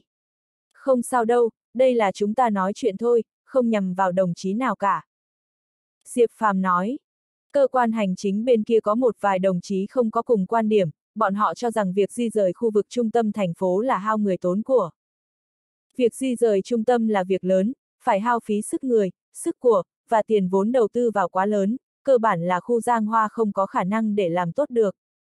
Vừa rồi tôi cũng nói qua, tổng thu ngân sách của khu trong một năm không đến 900 triệu, việc di rời không có 5-6 tỷ là không thể làm được. Phần lớn các nguồn tài trợ còn cần tài chính của địa khu Giang Hoa chúng ta. Nó được dựa trên từng giai đoạn, hơn 3 năm một lần. Trên tỉnh bỏ ra một ít, cấp trên ủng hộ một ít, khu chúng ta ít nhất cũng phải bỏ ra một nửa, một nửa chính là 3 đến 4 tỷ. Nó là tổng ngân sách thu cả 4 năm của địa khu Giang Hoa chúng ta. Năm trước quyết toán tài chính, toàn bộ ngân sách khu chúng ta thu được 900 triệu chi tiêu chỉ còn 300 triệu. Cũng không còn lại nhiều, nếu tiến hành trong 3 năm, hàng năm chúng ta phải đầu tư 1 tỷ. Đây chẳng phải là nói mỗi năm chúng ta phải nợ trên 1,2 tỷ sao. Trên thực tế di rời trung tâm là một gánh nặng đối với chúng ta. Đặt ra vấn đề trả tiền, toàn bộ khu chúng ta phải phấn đấu trên 15 năm phỏng chừng cũng không được gì. Nếu nói là tăng thu giảm chi, tỉnh có thể cho bao nhiêu tiền? Cơ bản nhất là tiền lương, tiền trợ cấp và những khoản tài chính tất yếu dù sao cũng phải phát. Còn một số công trình dân sinh, công việc quản lý thành phố, chúng ta căn bản là không đứng dậy nổi, không có tiền. Khương Nguyệt nói rõ tình hình thực tế. chương 3092, tâm tư của lão lãnh đạo. Mà các quầy hàng đều ở bên kia, đương nhiên là ảnh hưởng đến hầu bao của cơ quan hành chính bên kia nên các đồng chí đều lên tiếng phản đối đúng không? Diệp Phàm có ý muốn chỉ đích danh cơ quan hành chính, tự nhiên mâu thuẫn nhắm thẳng vào chủ tịch địa khu Chu Gia Sinh. Đây là một trong những nguyên nhân chủ yếu nhất, vẫn là vấn đề tiền, đó cũng là một vấn đề thực tế ở trước mặt chúng ta. Tuy nhiên, chỉ có điều ngoại trừ nguyên nhân chính này. Đương nhiên còn có một vài nguyên nhân khác, ví dụ như, một khi di rời, sẽ khiến cho tương đối rối loạn. Tám người ở văn phòng nhất định đều khó khăn. Hơn nữa, thời gian lại dài, để hoàn thành di rời toàn bộ khu trung tâm hành chính nhanh nhất cũng phải xây dựng mất 2 năm. Nếu vốn đầu tư không đủ, kéo dài đến 7-8 năm cũng là bình thường. Đương nhiên có một số ít đồng chí sợ khổ, mà có đồng chí một vài năm phỏng chừng sẽ phải di chuyển vị trí. Chắc chắn việc hỗn loạn này phải mất vài năm, trong khi các đồng chí cũng đã có nền tảng trong sự nghiệp của họ, và việc di rời có thể khiến cho sự nghiệp của họ thoáng cái thành bọt nước. Bởi vì, nền tảng của bọn họ là ở thành phố Giang Hoa chứ không phải ở huyện Lăng Hà bây giờ. Dù sao, lợi ích và mối bất hòa cùng một chỗ, khiến cho hình thành nhiều ý kiến. Tôi nghĩ, nếu muốn việc khởi công di rời thuận lợi, đầu tiên phải thống nhất tư tưởng của một số đồng chí. Nếu không, nếu có đồng chí có tư tưởng chống đối, công việc tự nhiên cũng có chút tiêu cực, do đó khiến cho quá trình di rời nảy sinh nhiều chuyện xấu. Khương Nguyệt vừa nói rõ ràng các vấn đề, dù sao cũng không chỉ tên nói họ ai ra. Khương Nguyệt vừa đi không lâu sau thư ký Đỗ Vệ Quốc vào, nói. Đồng chí Diệp Phàm, vừa rồi vị lãnh đạo cũ lại gọi điện thoại tới. Lãnh đạo cũ. Diệp Phàm sửng sốt, nhìn Đỗ Vệ Quốc. Chính là Võ Đông Sơn, là bí thư thành ủy An Tân, về sau đến sở dân chính tỉnh. Trong lời nói Đỗ Vệ Quốc rất oán hận. Sớm biết trước, hôm nay đã làm. Người như thế, anh để ý tới ông ta làm gì? Diệp Phàm hừ nói. Đương nhiên tôi cũng không muốn để ý đến ông ta. Tuy nhiên, bí thư Diệp vừa xong bên này, tôi sẽ nói cho ông ta một trận. Sau lại nói đến chuyện di rời khu trung tâm hành chính Giang Hoa nhưng vẫn chưa xả ra được. Đỗ Quốc Vệ nói. Ừ, nói thế nào? Diệp Phàm hỏi. Võ Đông Sơn nói về vấn đề lợi ích và mâu thuẫn khá lớn trong việc di rời khu trung tâm hành chính Giang Hoa, hơn nữa, còn nói về truyền thống khía cạnh tiền. Như thể cấp lãnh đạo địa khu Giang Hoa có chút lạnh lùng. Võ Đông Sơn vừa nghe ha ha cười nói. Nói đây là điều tất nhiên. Lập tức tôi nghe thấy liền truy vấn rốt cuộc việc này sao lại thế này. Đỗ vệ quốc nói đến đây ngừng lại. Sao không nói tiếp chứ? Diệp Phàm trao mày, hỏi. Ừ, Võ Đông Sơn nói tạm thời không nói rõ ràng trong điện thoại được. Ha ha, anh nói vì sao Võ Đông Sơn nói như thế? Diệp Phàm lạnh nhạt cười. Nhất định là muốn mượn chuyện này chuẩn bị làm cái gì, trong điện thoại có nói cũng không rõ ràng lắm. Chẳng lẽ ông ta muốn mượn tay của anh làm chuyện gì? Đỗ vệ quốc có chút tức giận, nói. Vốn tôi còn tưởng rằng trong lòng ông ta thật sự hổ thẹn, giờ nghĩ lại, tất cả đều là ngụy biện. Ông ta nói rất dễ nghe, bởi vì trước kia trong các hoàn cảnh đặc biệt đã không chú ý đến tôi, bây giờ nghĩ lại trong lòng thực sự thấy ái náy. Tuy nhiên, đến bây giờ cũng không thấy tôi, ông ấy là lãnh đạo cũ của tôi, trong lòng rất vui vẻ. Ông ta còn có mặt mũi nói ra ba chữ lãnh đạo cũ. Lúc trước đẩy tôi đi gánh trách nhiệm thay, rốt cuộc tôi cũng đã hiểu thấu người này. Người như thế, trong mắt chỉ có lợi ích và quyền lực, cơ bản là không có tình cảm. Bí thư Diệp, anh yên tâm, từ nay về sau tôi sẽ không quan tâm đến người này nữa. Ha ha, tại sao có thể nói là không quan tâm nữa chứ? Đột nhiên Diệp Phàm cười thần bí. Bí thư Diệp, anh có ý gì vậy? Đỗ vệ quốc sửng sốt, có chút mơ hồ. Ha ha, phải quan tâm chứ, đương nhiên là phải quan tâm. Nếu Võ Đông Sơn muốn mượn tay tôi, tôi khiến ông ta mượn cũng không xong. Như vậy đi, anh lập tức gọi điện thoại lại cho ông ấy. Nói là mời ông ta đến Giang Hoa, chúng ta sẽ cùng nhau ngồi một chút. Diệp Phàm cười nói. Mời người như ông ta uống rượu, trợ lý Diệp, như vậy quá có lợi cho ông ta. Đỗ vệ quốc có chút giận dữ. Không có việc gì, ông ta muốn mượn tay của tôi, chúng ta cũng chỉ mượn ông ấy cái mồm thôi. Tôi vừa tới Giang Hoa, không có quá nhiều thời gian để đi tạo các mối quan hệ. Tôi muốn giải quyết được nút thắt này, cho nên, cần phải nghe ngóng những điều tương đối quan trọng. Ví dụ như, vì sao mà trưởng ban tổ chức tỉnh ủy Bạch lại không nói với tôi một câu, vì sao mà Chu Gia Sinh lại lạnh lùng như vậy, anh ta bỏ qua không chào đón Diệp Phàm tôi. Chẳng lẽ là Diệp Phàm tôi đoạt vị trí của anh ta làm cho trong lòng anh ta đố kỵ. Nhưng trong quan trường cho dù bên trong không thích nhưng cũng rất ít khi biểu hiện ra bên ngoài. Trên đài bắt tay dưới đài đá chân mới là các loại quan hệ trong giới quan trường. Biểu hiện chủ tịch địa khu Chu như vậy chứng tỏ anh ta còn quá non nớt. Chắc chắn không phải là như vậy, Chu Gia Sinh cũng là cán bộ đảng viên kỳ cựu, đã lăn lộn trong quan trường vài chục năm, có thể ngồi vào vị trí thứ hai của khu cũng là am hiểu trong giới quan trường. Tôi nghĩ, anh ta cố ý biểu hiện ra ngoài cho tôi thấy thôi. Như vậy là vì cái gì? vì cái gì mà không thể kiềm chế, việc này, tôi đều cần phải tìm hiểu cho rõ ràng. Nhưng mà vệ quốc, anh có thấy tôi có thời gian rảnh rỗi không? Còn chuyện quầy hàng lớn ở hoành không, tôi không có khả năng đã đánh mất quả dưa hấu lại nhặt được hạt vừng. Cho nên, chuyện di rời phải kiên quyết. Hơn nữa, không thể để cho các đồng chí có quá nhiều mâu thuẫn mới được. Nếu không, một ngày tôi không ở Giang Hoa, bên này bên kia làm cái gì đó chẳng phải sẽ lộn xộn sao. Mà tỉnh ủy, Ủy ban Nhân dân tỉnh Điền Nam lại đánh giá cao việc di rời trung tâm hành chính, việc này nhất định tôi phải hoàn thành, hơn nữa phải hoàn thành thuận lợi mới được. Diệp Phàm liếc mắt nhìn Đỗ Vệ Quốc một cái, nói. Vệ Quốc, trong quan trường không có kẻ thù vĩnh viễn, cũng không có bạn bè vĩnh viễn. Chẳng qua là trong đó đề cập đến lợi ích mà thôi. Ở đây đầu óc phải cởi mở một chút, không nên để những việc vướng mắc ở trong lòng. Ví dụ, đối với người như Võ Đông Sơn, chúng ta không cần phải quá chú ý đến sắc mặt của mình.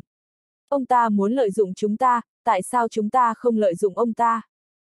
Ông ta rất giỏi sau khi sự việc xảy ra còn có thể thoát thân, chứng tỏ ở tỉnh Điền Nam ông ta cũng có người đứng sau rất mạnh. Người như thế, chúng ta không thể làm bạn bè được, nhưng cũng không thể làm tình địch được. Mối quan hệ của chúng ta, đó là, bên ngoài là bạn bè, trên thực tế chỉ là phục vụ lợi ích của nhau. Nếu ông ta đến đây, anh phải tiếp đón tử tế ông ta. Ít nhất, chúng ta phải biểu hiện ra bên ngoài là như thế. Tôi hiểu mà bí thư Diệp, tôi nghe lời anh. Đỗ vệ quốc như có điều suy nghĩ, gật gật đầu.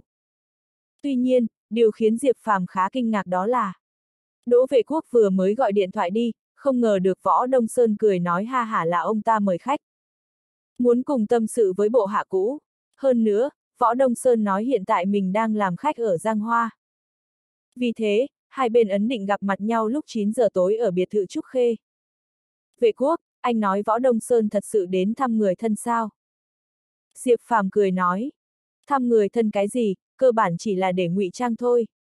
Tuy nhiên, Võ Đông Sơn nhanh như vậy, phỏng chừng là có việc gấp đứng ngồi không yên. Cho nên, tôi đến đây ông ta cũng mới đến. Nếu không chúng ta lạnh lùng với ông ta khiến cho ông ta vội vàng chẳng phải là rất tốt sao? Đỗ vệ quốc tức giận hừ nói. Ha ha, 9 giờ tối chúng ta thuê xe đi biệt thự Trúc Khê. Còn việc lạnh lùng với ông ta hay không, đến đó xem ông ta thế nào rồi sẽ xử lý. Diệp Phàm cười nói. Tôi thật muốn xem Võ Đông Sơn có thể đem đến cho chúng ta cảm giác gì. 9 giờ tối. Đi từ thành phố Giang Hoa đến biệt thự Trúc Khê phải hơn nửa giờ. Kỳ thật nói là biệt thự là có phần phóng đại. Cuối tháng 8, lúa nặng chịu bông. Mà kỳ thật Trúc Khê Sơn Trang chính là một tòa nhà làm bằng gỗ nằm trên một cánh đồng, tuy nhiên, kiểu dáng vẫn còn khá mới lạ. Giữa tòa nhà có một dòng suối nhỏ, nhìn qua cửa sổ lớn có thể thưởng thức tiếng suối nước chảy, phong cảnh cũng tương đối không tồi. Ông khỏe không lãnh đạo cũ, đã lâu không gặp, vệ quốc tôi luôn nhớ tới ông. Đỗ vệ quốc thật sự nghe lời Diệp Phàm, thể hiện rất nhiệt tình tiến tới đưa hai tay ra bắt. Tôi cũng nhớ cậu vệ quốc ạ, à, nhớ những ngày chúng ta cùng làm với nhau, thật là tốt. Đương nhiên Võ Đông Sơn cũng khá khách khí, cũng không có kiểu cách làm quan, cũng đưa hai tay ra nắm thật chặt tay Đỗ Vệ Quốc. Đương nhiên, Đỗ Vệ Quốc hiểu được, mọi thứ với Võ Đông Sơn đã thay đổi, tất cả đều nhìn nét mặt của Diệp Phàm. Lãnh đạo cũ, vị này chính là lãnh đạo hiện giờ của tôi Bí Thư Diệp. Đỗ Vệ Quốc quay người, cung kính giới thiệu Diệp Phàm. Trời ơi, thất kính thất kính, Bí Thư Diệp anh khỏe không? Vẻ mặt Võ Đông Sơn kinh ngạc, chạy nhanh tới đưa hai tay ra bắt. Nhất định người này là giả bộ, phỏng chừng lúc Diệp Phàm tới đây người này đã ngồi ở chỗ nào nhìn qua thấy Diệp Phàm rồi. Đương nhiên, người ta như vậy cũng là giả bộ để tránh mặt thôi. Ha ha, đã sớm nghe vệ quốc nói về đồng chí Đông Sơn. Nói lúc trước đồng chí Đông Sơn thực sự, chiếu cố anh ta. Hiện tại tôi cũng đến tỉnh Điền Nam, sau này chúng ta chính là đồng nghiệp. Diệp Phàm đưa tay ra bắt tay ông ta, những lời này đều có hai ý nghĩa, Võ Đông Sơn vừa nghe, mặt hơi hơi đỏ một chút. Bởi vì, Diệp Phàm người này nhấn mạnh trọng âm hai chữ, chiếu cố tự nhiên làm cho Võ Đông Sơn nghĩ lại đến chuyện trước kia đối đãi với Đỗ Quốc Vệ. Bí thư Diệp, chúng ta vào ngồi uống trà đã. Võ Đông Sơn vội vàng nói sang chuyện khác, nhường đường cho Diệp Phàm đi trước. Võ Đông Sơn tự mình pha trà, hơn nữa, nhất định phải mời Diệp Phàm ngồi vào vị trí chính. Diệp Phàm cũng không khách khí đặt mông ngồi xuống. Hiện tại Diệp Phàm kiêm cả chức trợ lý chủ tịch tỉnh Điền Nam, còn Võ Đông Sơn chỉ là phó giám đốc sở nội vụ thôi. Cơ bản là hai người không cùng một đẳng cấp. Bí thư Diệp, nghe nói việc khởi công di rời khu trung tâm hành chính Giang Hoa sẽ lùi lại đúng không? Võ Đông Sơn hỏi. Đúng vậy, phỏng chừng trong mấy ngày nữa sẽ triển khai. Diệp Phàm nói. Ừ, việc di rời khu trung tâm thành phố là việc rất lớn. Vấn đề này thật sự phiền toái. Võ Đông Sơn lại thở dài. chương 3093, nguyên nhân là ở đây. Ha ha, việc gì đều cũng phiền toái.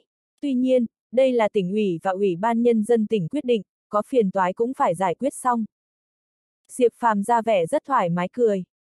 Đúng vậy, không thể vì phiền toái mà lại không làm. Tuy nhiên, trong quá trình di rời yếu tố con người cũng khá là quan trọng. Họ nói rằng người di rời ngọn núi, là phải có cả một sức mạnh. Nếu con người không đồng lòng, đến lúc đó sẽ tìm mọi cách cản trở, vô hình chung lại làm việc di rời gặp trở ngại bất lợi. Đó cũng là vấn đề mấu chốt. Võ Đông Sơn nói. Lão lãnh đạo, tôi cũng cảm giác được điều đó. Lúc này, Đỗ Vệ Quốc nói chen vào một câu, đương nhiên là do Diệp Phạm ám chỉ cho anh ta. Nếu không, lãnh đạo đang nói chuyện, Đỗ Vệ Quốc không thể xen mồm vào được. Ừ, Vệ Quốc cảm nhận được điều gì? Võ Đông Sơn nhìn nhìn Đỗ Vệ Quốc. Vừa đến khu Giang Hoa, tôi cũng cảm giác được một bầu không khí khó hiểu bao phủ. Ví dụ như, Bí thư Diệp xuống đây, việc nghênh đón cũng không được nhiệt tình, lại còn có chút nhạt nhẽo. Hơn nữa, nghe nói đối với chuyện di rời, cơ quan hành chính bên kia cũng không có động tĩnh gì. Đỗ Vệ Quốc nói, để tìm hiểu trước khi hành động. Võ Đông Sơn đã có ý này, muốn giúp đỡ anh giải quyết vấn đề càng sớm càng tốt. Ha ha, nói về việc này, phòng trưng bí thư Diệp vừa mới tới Giang Hoa còn chưa có hiểu được một số tình huống. Võ Đông Sơn có vẻ hơi đắc ý. Ông ta còn cố ý dừng lại một chút, cầm lấy chén rượu uống một hơi, nhìn nhìn Diệp Phàm còn nói thêm. Thật ra, việc này nhất định là có nguyên nhân. Ừ, còn kéo cả, lịch sử, ra đây, có chút hứng thú đây. Xem ra, vấn đề là không nhỏ. Diệp Phàm cười nói, nhẹ nhàng đặt chén rượu xuống. Bí thư Diệp có biết trưởng ban tổ chức tỉnh ủy Bạch có duyên nguyên gì với khu giang hoa chúng ta? Võ Đông Sơn hỏi. Chẳng lẽ trưởng ban Bạch cũng là người của khu giang hoa, hoặc là đã từng công tác ở đây sao? Diệp Phàm sửng sốt, cũng không nghĩ tới điều này. Ha ha, trưởng ban Bạch không phải là người của khu giang hoa, cũng chưa từng công tác ở đây.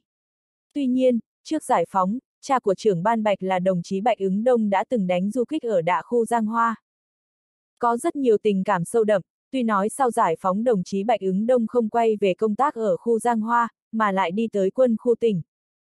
Đương nhiên lúc đó không gọi là quân khu tỉnh, gọi là gì tôi cũng không nhớ rõ. Tuy nhiên, vừa mới giải phóng chưa đến 4 năm thì tư lệnh Bạch bị bệnh chết. Mà trước khi chết luôn nói là hy vọng có thể nhìn người dân Giang Hoa được hạnh phúc. Muốn cho Giang Hoa trở thành thành phố Mỹ lệ. Hy vọng trưởng ban Bạch nhớ kỹ điều này, sau này thành công chớ có quên thành phố Giang Hoa. Còn trưởng ban Bạch từ nhỏ đã luôn nhớ kỹ lời cha dặn, tuy nhiên ông ta vẫn làm việc ở bộ phận tổ chức, việc muốn xây dựng thành phố Giang Hoa cũng không ảnh hưởng nhiều đến công việc của ông ta. Hơn nữa, muốn xây dựng thành phố Giang Hoa mà nói cần sự giúp đỡ lẫn nhau mới có thể hoàn thành được ước nguyện của Bạch ứng Đông. Chẳng qua việc bắt tay nhau trong khu vực cũng không phải đồng chí Bạch Vạn Thăng đánh nhịp xuống dưới. Mấy năm trước, trưởng ban Bạch tích cực giúp đỡ, ông ấy dốc hết sức giúp đỡ. Chu Gia Sinh ngồi ở vị trí trưởng phòng hành chính khu Giang Hoa. Đương nhiên, Chu Gia Sinh đã sớm công tác ở địa ủy Giang Hoa, chẳng qua lúc ấy trưởng ban bạch còn không có giúp đỡ, chỉ có thể từng bước một đưa anh ta đi lên. Ở khu hành chính Giang Hoa đồng chí Chu Gia Sinh đảm nhiệm chức vụ trong thành ủy là phó chủ tịch thường trực địa khu, phó bí thư địa ủy. Sau khi trưởng ban bạch giúp đỡ ông ta cũng lên tới được vị trí trưởng phòng cơ quan hành chính.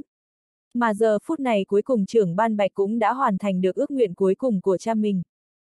Còn Chu Gia Sinh vừa lên nhận chức cũng đã ra sức xây dựng thành phố Giang Hoa. Nhưng ông ta chỉ là người chỉ huy thứ hai của khu hành chính Giang Hoa, ở trên còn có đồng chí Thái Tín Lâm bí thư địa ủy Giang Hoa. Mà đồng chí Thái Tín Lâm đảm nhiệm chức bí thư địa ủy khu hành chính Giang Hoa đã 7-8 năm. Nếu bàn về quan hệ cá nhân trong khu này đồng chí Chu Gia Sinh không có khả năng so sánh. Mà Chu Gia Sinh muốn xây dựng phát triển mạnh khu vực hành chính Giang Hoa thành phố Giang Hoa.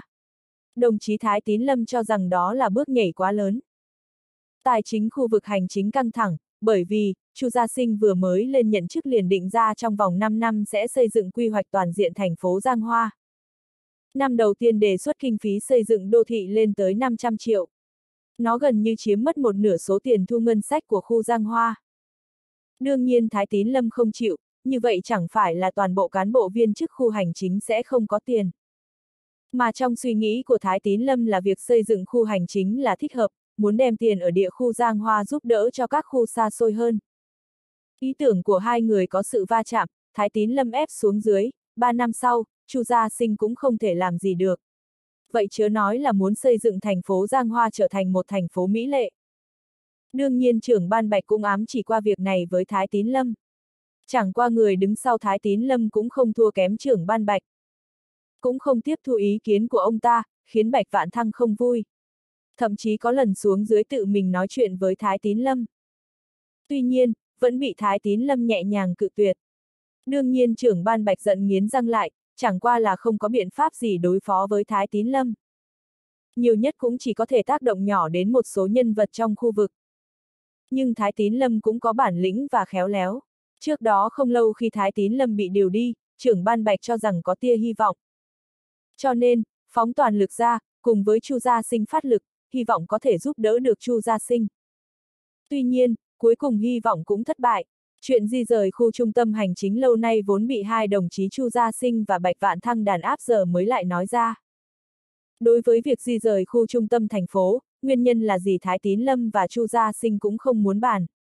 Bởi vì Chu Gia Sinh muốn xây dựng thành phố Giang Hoa, còn Thái Tín Lâm thấy có tiền không ngờ lại chỉ muốn nghĩ đến cuộc sống của người nghèo. Hơn nữa, lần này hai người đứng đầu trên tỉnh dường như đều thống nhất. Thật sự nói đến chuyện này, chủ yếu chuyện di rời là do chủ tịch tỉnh Dương ra tay đấy. Lúc trước bí thư tỉnh ủy Trần có do dự một chút. Tuy nhiên, việc tập đoàn hoành không ký thành công mấy hạng mục hợp đồng lớn chính là chất xúc tác thúc đẩy bí thư Trần quyết định. Tuy nói trưởng ban tổ chức bạch cật lực phản đối việc di rời trung tâm hành chính, nhưng tay không thể to bằng chân được. Hội nghị ban thường vụ tỉnh ủy đành phải kết thúc trong sự phản đối. Cho nên, ha ha, bí thư Diệp xuống đây, trưởng ban bạch phải giải quyết toàn bộ đúng không, mà chủ tịch địa khu chu phỏng chừng là mặt tương đối lạnh. Võ Đông Sơn cười nói. Thì ra là thế, không thể tưởng được chuyện ngày xưa đúng là sâu xa. Diệp Phàm gật gật đầu. Đài tưởng niệm của tư lệnh Bạch còn ở thành phố Giang Hoa, cũng là một cảnh Giang Hoa. Giống như dạy lòng yêu nước, đảng viên đến thành phố Giang Hoa đều đã đến đài tưởng niệm anh hùng tư lệnh Bạch để chiêm ngưỡng. Võ Đông Sơn nói, nếu trưởng phòng Chu muốn đưa đầu về phía trước, cụ thể bí thư Diệp sẽ không triển khai ngay. Dù sao những công việc cụ thể trong việc di rời đều do chủ tịch địa khu Chu đi làm. Không có cơ quan hàng chính dẫn đầu, việc di rời làm sao có thể nói đến chứ? Ừ, vấn đề này thật đúng là không nhỏ. Diệp Phàm khẽ gật đầu, nhíu mày nói. Lão lãnh đạo biết việc này, chắc hẳn là đã sớm nghĩ ra giải pháp rồi. Đỗ vệ quốc lại sen mồm vào cười hỏi. Nói thật, giải pháp là có nhưng sẽ rất khó khăn. Tuy nhiên, Võ Đông Sơn cố ý chơi trò bí mật, cầm chén rượu lên bắt đầu nếm, giống như là trêu Diệp Phàm. Chắc chắn lão lãnh đạo có giải pháp. Đỗ vệ quốc truy vấn. Biện pháp, việc này. Võ Đông Sơn tiếp tục chơi trò thần bí, đương nhiên đang chờ Diệp Phàm mở miệng, để thể hiện thân phận của ông ta. Gặp người thích thể hiện, Diệp Phàm lập tức tiến lên, cười nói. Chuyện gì đều có giải pháp thôi, huống chi chuyện gì rời là do tỉnh ủy và ủy ban nhân dân tỉnh quyết định.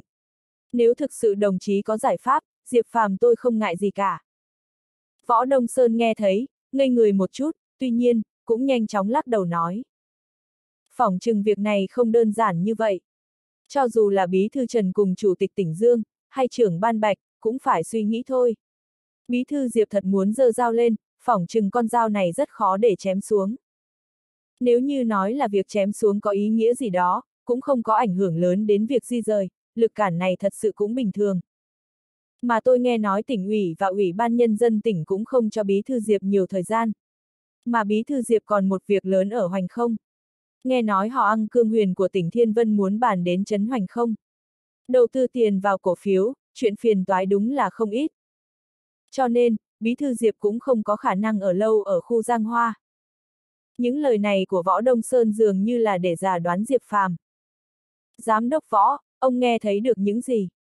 Diệp Phàm bưng chén rượu lên cười thần bí. Bí thư Diệp nhắc lại một chút đi, bằng không, rất khó để phỏng đoán. Vẻ mặt hả hê của võ Đông Sơn dần dần mất đi, trong lòng cũng âm thầm cắn răng. Vốn là muốn cho người này mở miệng cầu xin mình, không ngờ được người này giống như đã có biện pháp, chuyện của mình nói ra thành bọt nước. Lúc này võ Đông Sơn có chút hối hận vừa rồi đã có phần hơi quá một chút, cảm thấy được người này tuy trẻ tuổi, nhưng là nhân vật thật khó chơi. Tập đoàn Hoành không không chỉ của riêng tỉnh Thiên Vân mà tập đoàn Hoành không cũng là của tỉnh Điền Nam. Ông hiểu được ý của tôi không? Vẻ mặt Diệp Phàm bình tĩnh, cười hỏi Võ Đông Sơn. Việc này đương nhiên là tôi biết, tỉnh Thiên Vân nắm giữ 60% cổ phần của tập đoàn Hoành không. Tỉnh Điền Nam nắm giữ 40% cổ phần của tập đoàn. Võ Đông Sơn gật đầu nói. Như vậy là được rồi, nếu tập đoàn Hoành không là tập đoàn trực thuộc Ủy ban Nhân dân tỉnh Điền Nam, đương nhiên cũng có thể tham dự xây dựng tỉnh Điền Nam. Đến lúc đó, tôi mượn Ủy ban Nhân tỉnh kéo tập đoàn Hoành không vào, nếu đồng chí nào không hài lòng trong việc di rời trung tâm hành chính, hoặc là còn có ý kiến nào khác, tôi sẽ loại các chướng ngại vật này. Đem đội ngũ hành không ra để hoàn thành việc di rời trung tâm hành chính Giang Hoa thôi. Diệp Phàm cười nói, nghe thấy vậy võ Đông Sơn thiếu chút nữa nghẹn họng lại nhìn chân chối, vẻ mặt ngu ngốc của lão già nhìn Diệp Phàm, không khỏi kêu lên. Việc này, cũng được sao? Ông nói xem tại sao lại không được. Diệp Phàm cười nhẹ nhìn ông ấy. Tôi vẫn còn là trợ lý ủy ban nhân dân tỉnh Điền Nam. Điều chuyển những người này tới đây hoàn toàn hợp lý thôi, bởi vì, tập đoàn Hoành không là tập đoàn nhà nước trực thuộc tỉnh Điền Nam. Điều chuyển một số nhân viên đến cơ quan hành chính khu Giang Hoa nhậm chức cũng hoàn toàn thích hợp. Hơn nữa, đến lúc đó khẳng định phải thành lập ban chỉ đạo di rời. Một số cán bộ tập đoàn Hoành không đến đây thành lập ban chỉ đạo cũng là đúng với quy định có phải không? Bởi vì cán bộ Hoành không chính là cán bộ của tỉnh Điền Nam thôi. chương 3094, Võ Đông Sơn hối hận. Phỏng chừng khó khăn là tương đối lớn, cán bộ doanh nghiệp đến nhậm chức ở chính quyền địa phương, hơn nữa nhận quyết định nhậm chức, việc này là quá dễ dãi. Võ Đông Sơn bình tĩnh trở lại, tuy nhiên, trong lòng cũng có chút không yên. Ha ha, chẳng qua là đến nhậm chức ở ban chỉ huy di rời thôi. Hoàn toàn có thể mượn tạm được, xong việc lại trở về thôi mà. Diệp Phàm vừa nói lời này ra. Thiếu chút nữa võ Đông Sơn té xỉu, sắc mặt khá mất tự nhiên cười nói. Ha ha, võ Đông Sơn tôi không thể không nói, trợ lý Diệp thật là có biện pháp hay. Tuy nhiên, cũng không dễ dàng làm được. Nói thẳng ra, so với việc này còn có cửa sao. Diệp Phàm biết võ Đông Sơn nhìn không nổi, phỏng chừng là muốn vứt mục đích của chính mình. Đương nhiên, nếu có biện pháp tốt hơn sẽ rất tốt. Nếu không, với cách lập luận này của Diệp Phàm, kỳ thật Diệp Phàm vẫn sẽ giả mồm át lẽ phải. Bí thư Diệp có thể còn chưa hiểu hết về tình hình của các thành viên cấp dưới đúng không? Võ Đông Sơn hỏi. Tôi còn chưa kịp để hiểu, không có thời gian mà. Diệp Phàm nói. Ha ha, đồng chí Tiến Quý Thành Phó Chủ tịch địa khu Giang Hoa đã bị điều đi rồi. Công văn đã xuống dưới, thật ra đồng chí Quý Thành đã sớm được điều tạm sang Sở Giao thông công tác. Đảm nhiệm chức Phó Giám đốc Sở Giao thông, anh ta đi sang Sở Giao thông cũng đã 2 năm, chẳng qua là cấp trên vẫn chưa có phê duyệt xuống dưới. Còn một số người vẫn còn ở lại Ủy ban Nhân dân địa khu Giang Hoa. Võ Đông Sơn cười nói. Việc này, cũng không có liên quan mấy đến việc di rời trung tâm hành chính. Đồng chí Tiến Quý Thành đều đi rồi, đương nhiên trong tỉnh sẽ phải sắp xếp một đồng chí khác đến nhận chức. Một cây củ cải với một cái hố, sau đó không còn củ cải có sợ không? Diệp Phàm nói. Trong lòng đã sớm hiểu được, Võ Đông Sơn muốn thay vị trí của Tiễn Quý Thành. Người này làm mọi thứ là vì như này. Tuy nhiên, hiện tại Diệp Phàm cũng phải mạnh mẽ tìm con đường. Bí thư Diệp không nghĩ tới việc cho người của mình vào vị trí đó sao? Nếu như là người của mình, sẽ là một cánh tay đắc lực cho việc di rời khu trung tâm hành chính. Phó Chủ tịch Thường trực địa khu cũng giữ một vai trò rất lớn. Hơn nữa, cũng có thể tốt cho việc kiềm chế đồng chí Chu Gia Sinh có phải không? Võ Đông Sơn có chút nóng nảy, biết là người ta muốn nắm bắt mình. Nhưng cũng không thể hiện ra là phản đối, kiên trì nói. Người của mình, tôi cũng muốn như vậy. Tuy nhiên, tôi mới đến tỉnh Điền Nam mấy ngày, cũng không có biết mấy người, nào có người của mình chứ. Diệp Phàm cố tình nói ra, thiếu chút nữa làm cho võ Đông Sơn phát điên lên. Lão già này nghe thấy vậy, lập tức đứng lên, bưng chén rượu lên, rất cung kính. Nói, Bí thư Diệp, nếu cho Đông Sơn này có cơ hội. Tôi nguyện lòng làm người tiên phong trong việc di rời khu trung tâm hành chính. Hơn nữa, tôi và vệ quốc cũng từng làm việc với nhau, phối hợp với nhau rất ăn ý. Có một người thành thạo ở trong văn phòng hành chính thành phố, việc di rời trung tâm hành chính càng có thể đẩy nhanh tiến độ một cách thuận lợi. Lão già này đúng thật là mặt dày, nói được thì làm được. Lập tức tỏ rõ thái độ của mình. Hơn nữa, còn dùng cả đỗ vệ quốc để ngụy trang. Đúng là đồ không biết xấu hổ, chưa thấy ai vô liêm sỉ như vậy. Đương nhiên là trong lòng đỗ vệ quốc rất khinh thường. Ha ha, đồng chí Đông Sơn, nếu ông chịu đến khu Giang Hoa, đương nhiên là tôi rất vui mừng. Diệp Phàm cười nói. Rất thoải mái khi được Võ Đông Sơn mời rượu. Tuy nói Võ Đông Sơn cung cấp cho một số chuyện bí mật, nhưng những bí mật này so với việc đưa tiền còn khó khăn hơn nhiều. Tuy nhiên, phòng trừng đồng chí Đông Sơn đã sớm có quyết định này rồi sao? Diệp Phàm uống một chén rượu sau đó quay sang hỏi.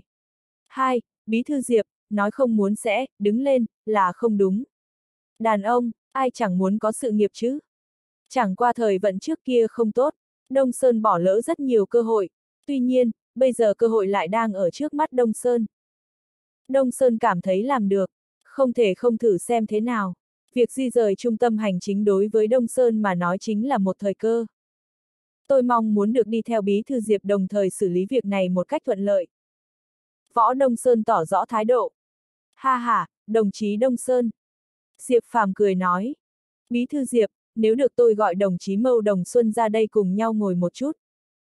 Võ Đông Sơn lại bỏ ra một viên đường.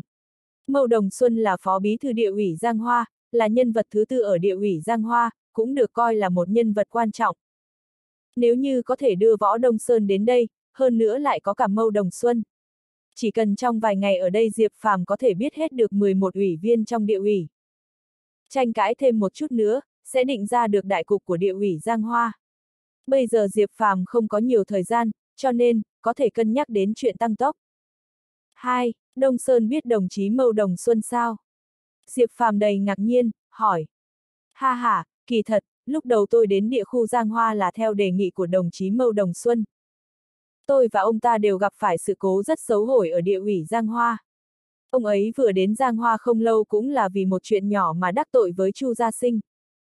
Về sau vẫn không thể giảng hòa, mà anh ta cũng không muốn dựa vào bí thư địa ủy bên kia Thái Tín Lâm. Bởi vì, quan hệ của anh ta với Thái Tín Lâm có chút vấn đề. Từ những chuyện này, tôi và anh ta trở thành nhân vật, cậu không thương bà ngoại không đau. Vài năm sau vẫn là tương đối gian nan, cho nên, lần này có vị trí trống, anh ta lập tức nghĩ tới tôi.